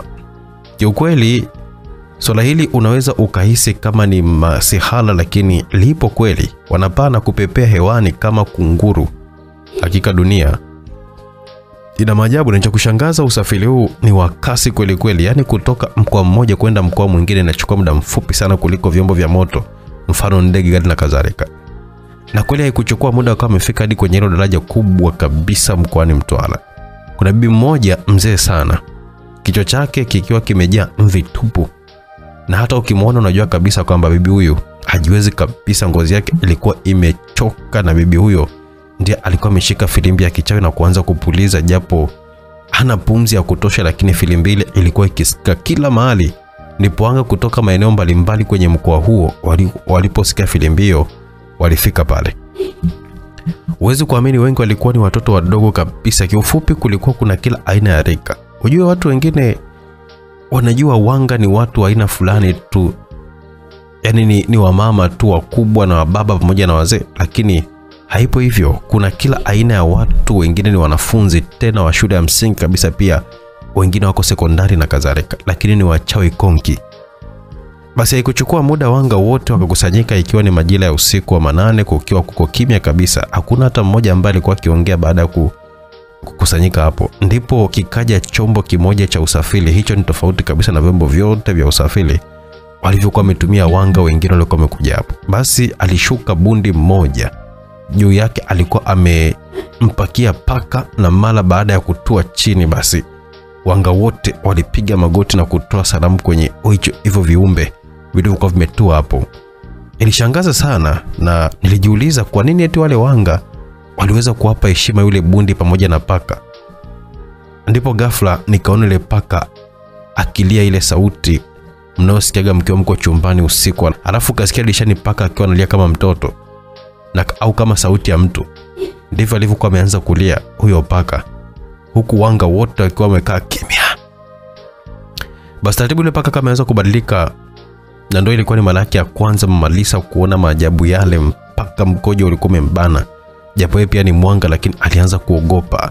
Ukiangalia watu wote walikuwa kimya, akaanza kujiuliza mmm, aisee, tumekuja kufanya nini? Au wameshanisemea kwa wakubwa kama nataka kujitoa? Basi Malisa alianza kujiogopesha mwenyewe eti huku akiwa anashuhudia yule paka mweusi mwenye macho ya kuwaka kama dhahabu akianza kubadilika. Basi lile paka likaanza kutuna kadri muda ulivyokuwa unazidi kwenda na kuwa kubwa na kwa haraka haraka, unaweza ukajua kwamba atapasuka vipande vipande, jinsi alivyokuwa anabadilika mpaka mwisho wa siku akawa sawa. Tuachane na huyo paka kwanza, turudi huko Mikocheni. Malaika akiwa bafuni akaanza kujiangalia kwenye kioo. Ujue kioo kina maajabu ya kipekee sana. Najiuliza siku zote sipatagi jibu, na mara nyingi maajabu ya kioo mtu wa kawaida huwezi kabisa kuyaona. Ndio maana baadhi ya waganga hutumia vioo kuweza kuangalia tabili zao, na kama siku hiyo kioo kikiamua kukuonesha jinsi ulivyo, basi utaweza kujikataa kabisa, maana binadamu wengi wamejawa na roho za chuki, tamaa na ubinafsi na kadhalika. Sasa hiki kioo kinaweza kuonesha uhalisia wako wa ndani kabisa, lakini kama ukiweza ukitumia. Basi malaika akawa anajiangalia, ghafla akaanza kubadilika na kuwa kila kiumbe ambacho aliwahi kubadilika kujibadilisha, akaanza kushuhudia maumbile yote aliyokuwa akijibadilishaga lakini kumbe alishawahi kuwa kama nyoka aina ya kobra, maana alibadilika kupitia kioo na kuwa nyoka. Lakini kilichomshangaza likaja umbile lake lile lile, lakini kwenye ile hali ya uchizi. Akanajiuliza, mbona hakuwahi kabisa kujibadilisha na kuwa hivyo? Mwisho wa siku aliachana na kioo, maana alijikuta akiwa amejisahau kabisa na kuanza kubishana na kioo ambacho oga kidanganye, lakini kumbe malaika hata akiingia bafuni kuoga harusi kabisa kuoga mwenyewe. Wapo vijakazi wa kijini pale pale walitokea bafuni na kuanza kumwogesha, maana mkumbuke, huyu ndio kiongozi wao huko ujinini, ambaye amelisi kiti cha marehemu babu yake. Haya, tayari mshaniogesha, naomba nikienda kule sitaki kabisa kumwona mtu yoyote, naomba usiku wa leo mniache peke yangu. Malaika alikuwa anawaambia wale vijakazi huku akiwa anafungua mlango na kutaka kutoka bafuni. Mkuu, tafadhali usitoke kwanza. Je, unakumbuka ulivyokuwa na huyo mwanadamu? Ulikuwa upo kwenye umbile gani? Umejisahau? Yaani kukosa wale vijakazi leo sijui ingekuwaje, maana alijikuta yupo kwenye umbo lake na alikuwa anataka kumfata Robert. Basi pale pale akajigeuza na kuwa umbo la mwanzo. Taratibu akarudi huku akiwa amevaa taulo tu. Kama unavyojua bwana, wanawake wakiwa wanataka yao huletaka kila aina ya majaribu kuhakikisha kama mwanaume upingi. Basi alienda hadi karibu kabisa na Robert, akachukua mkono wa Robert na kuunganisha kiganja cha mkono wa Robert na kiganja cha mkono wake na kushikana, lakini kitendo hicho kilisababisha Robert kuchanganyikiwa, yani moja kwa moja hisia zikawa zimemjia kuwa ni chizi wa kike. Hisia zake zikamtuma kwamba ni yeye kabisa, na ndo staili hupenda kuitumia ule chizi wa kike wakati wa kuanza kufanya mabaki kubwa Wewe ni malaika? Robert alijikuta akiuliza hilo swali baada ya hisia zake kumwaminisha huenda akawa ni yeye, lakini anawezaje kuwa yeye wakati mtu aliyekuwa naye afanane kabisa na malaika hmm? Haya, Tukirudi mkoani Mtwara, yule paka aliyejibadilisha na kurudi kwenye umbile la kibinadamu na alivyobadilika na kuwa mtu wa kawaida, hapo hapo wakatoa heshima kubwa kwa mtu huyo. Bwarena, Bwarena, ardhi ya Bwarena, giza lako Bwarena, na nguvu ni zako Bwarena, na sisi ni wako Bwarena, na utukufu ni wako Bwarena. Oh Bwarena, oh Bwarena. Hiyo ndo salamu waliompa huku akiwa amepiga magoti, wakubwa kwa watoto wakiwemo na wazee waliokuwa wamekula chumvi nyingi. Wote walipiga magoti na kumpa heshima mtu huyo alionekanika ni mkubwa sana kati ya wachawi wakubwa hapa Tanzania. Hata mimi ilinichukua muda sana kumwangalia na kujua kwamba ni mtu gani huyo ambaye anagewa heshima kiasi hicho, na yataka uwe na macho ya ziada ili uweze kumwona mtu huyo. Alizungukwa na nguvu za giza, yaani mtu mwenye kinga ndigo za asili hizi. ukibatika kumwona usiku wa giza, kesho uweze kabisa kuiona. Sasa cha kushangaza, baada ya kusogea karibu na kumwangalia, uweze kabisa kuamini mtu ambaye watu wote walikuwa wamempa heshima. Alikuwa ni mtoto mwenye umri wa miaka kati ya 15 hadi 17. Ndiye aliwapigisha magoti watu wote waliokuwa wamekusanyika hapo, hadi aliyekuwa amekuja kwa umbile la paka alishangaa sana, mtoto kama yule awe kiongozi mkubwa wa chawi Mkuu, tumekusanyika hapa kwa ajili yako. Wewe ndo mtawala wa giza, na bila wewe hatuwezi kabisa kufanya chochote kile. Oh, mkuu. Basi mwanga mmoja alisogea mbele na kuanza kuzungumza kuwawakilisha wenzie. Gwano na Gore, Zango na Zangore, kwanza ongeleni sana, kazi yenu nimeiona. Kama mnavyojua, sehemu hii ndio mahala pekee tunapotegemea kupata kafara kila mwezi. Ni moja kati ya nguzo kubwa sana kwetu. Sasa hao wanaojiita rambaramba walitaka kutuharibu na kutoa majini yetu eneo hili. Nashukuru vita hii tumeweza kuishinda, na tusiishie hapo, tuhakikishe kwamba wale waganga wanaojifanya wanatoa majini tuwatokomeze kabisa, maana ni kunguni upande wetu.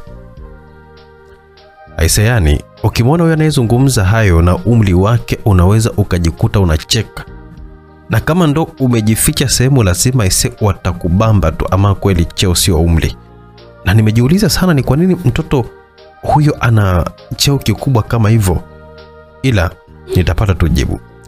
Kingine, nawapongeza kwa kusababisha ajali kubwa iliyotambulika nchi nzima, na kabla serikali haijaanza kufanya mambo yao, basi usiku huu sisi tumalize yetu. Hivyo natoa ruksa kazi yanze. Baada yule kiongozi mtoto mdogo tu kutoa oda, kazi kaanza. Aise, kama serikali ingekuwa inaamini uchawi, basi hawa watu wangelikuwa kwenye kikosi cha uokoaji. Walipaka dawa zao maalum, na baadhi yao walizama kwenye maji yenye kina kirefu bila uoga na kuanza kuibuka na zile maiti, na walihakikisha kwamba hawakuacha hata mmoja. Lakini sasa watu waliokuwa wameingizwa mle ndani ya maji hawakuwa watu wa kawaida, ilikuwa ni misukule ndio ambao walikuwa wameingia kwenye maji na kubeba zile maiti. Yaani waga, siku zote misukule waga inakuwa na nguvu za ajabu kweli kweli,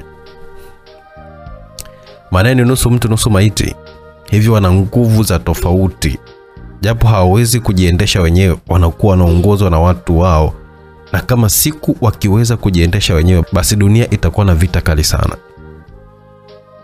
Basi walianza kushangilia baada ya kuona ile mili ya wahanga na kuilaza mahala hapo walipokuwa wamefikia, na ile misukule ikaanza kufanya kazi ya kuanza kuwakamua maji wale marehemu ambao matumbo yao yalikuwa yamejaa. Na siku zote ujue, wachawi wanategemea sana misukule kwenye mambo yao,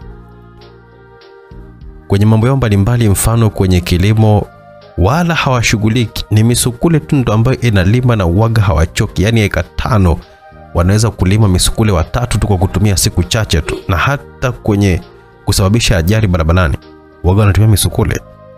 Lakini upande wa pili, Mama Lisa baada ya kuangalia vizuri, akamwona mwanaye Frank naye pia yupo kwenye ile misukule iliyokuwa inafanya kazi hiyo hiyo usiku huo. Mm, Frank amefikaje huku Mungu wangu?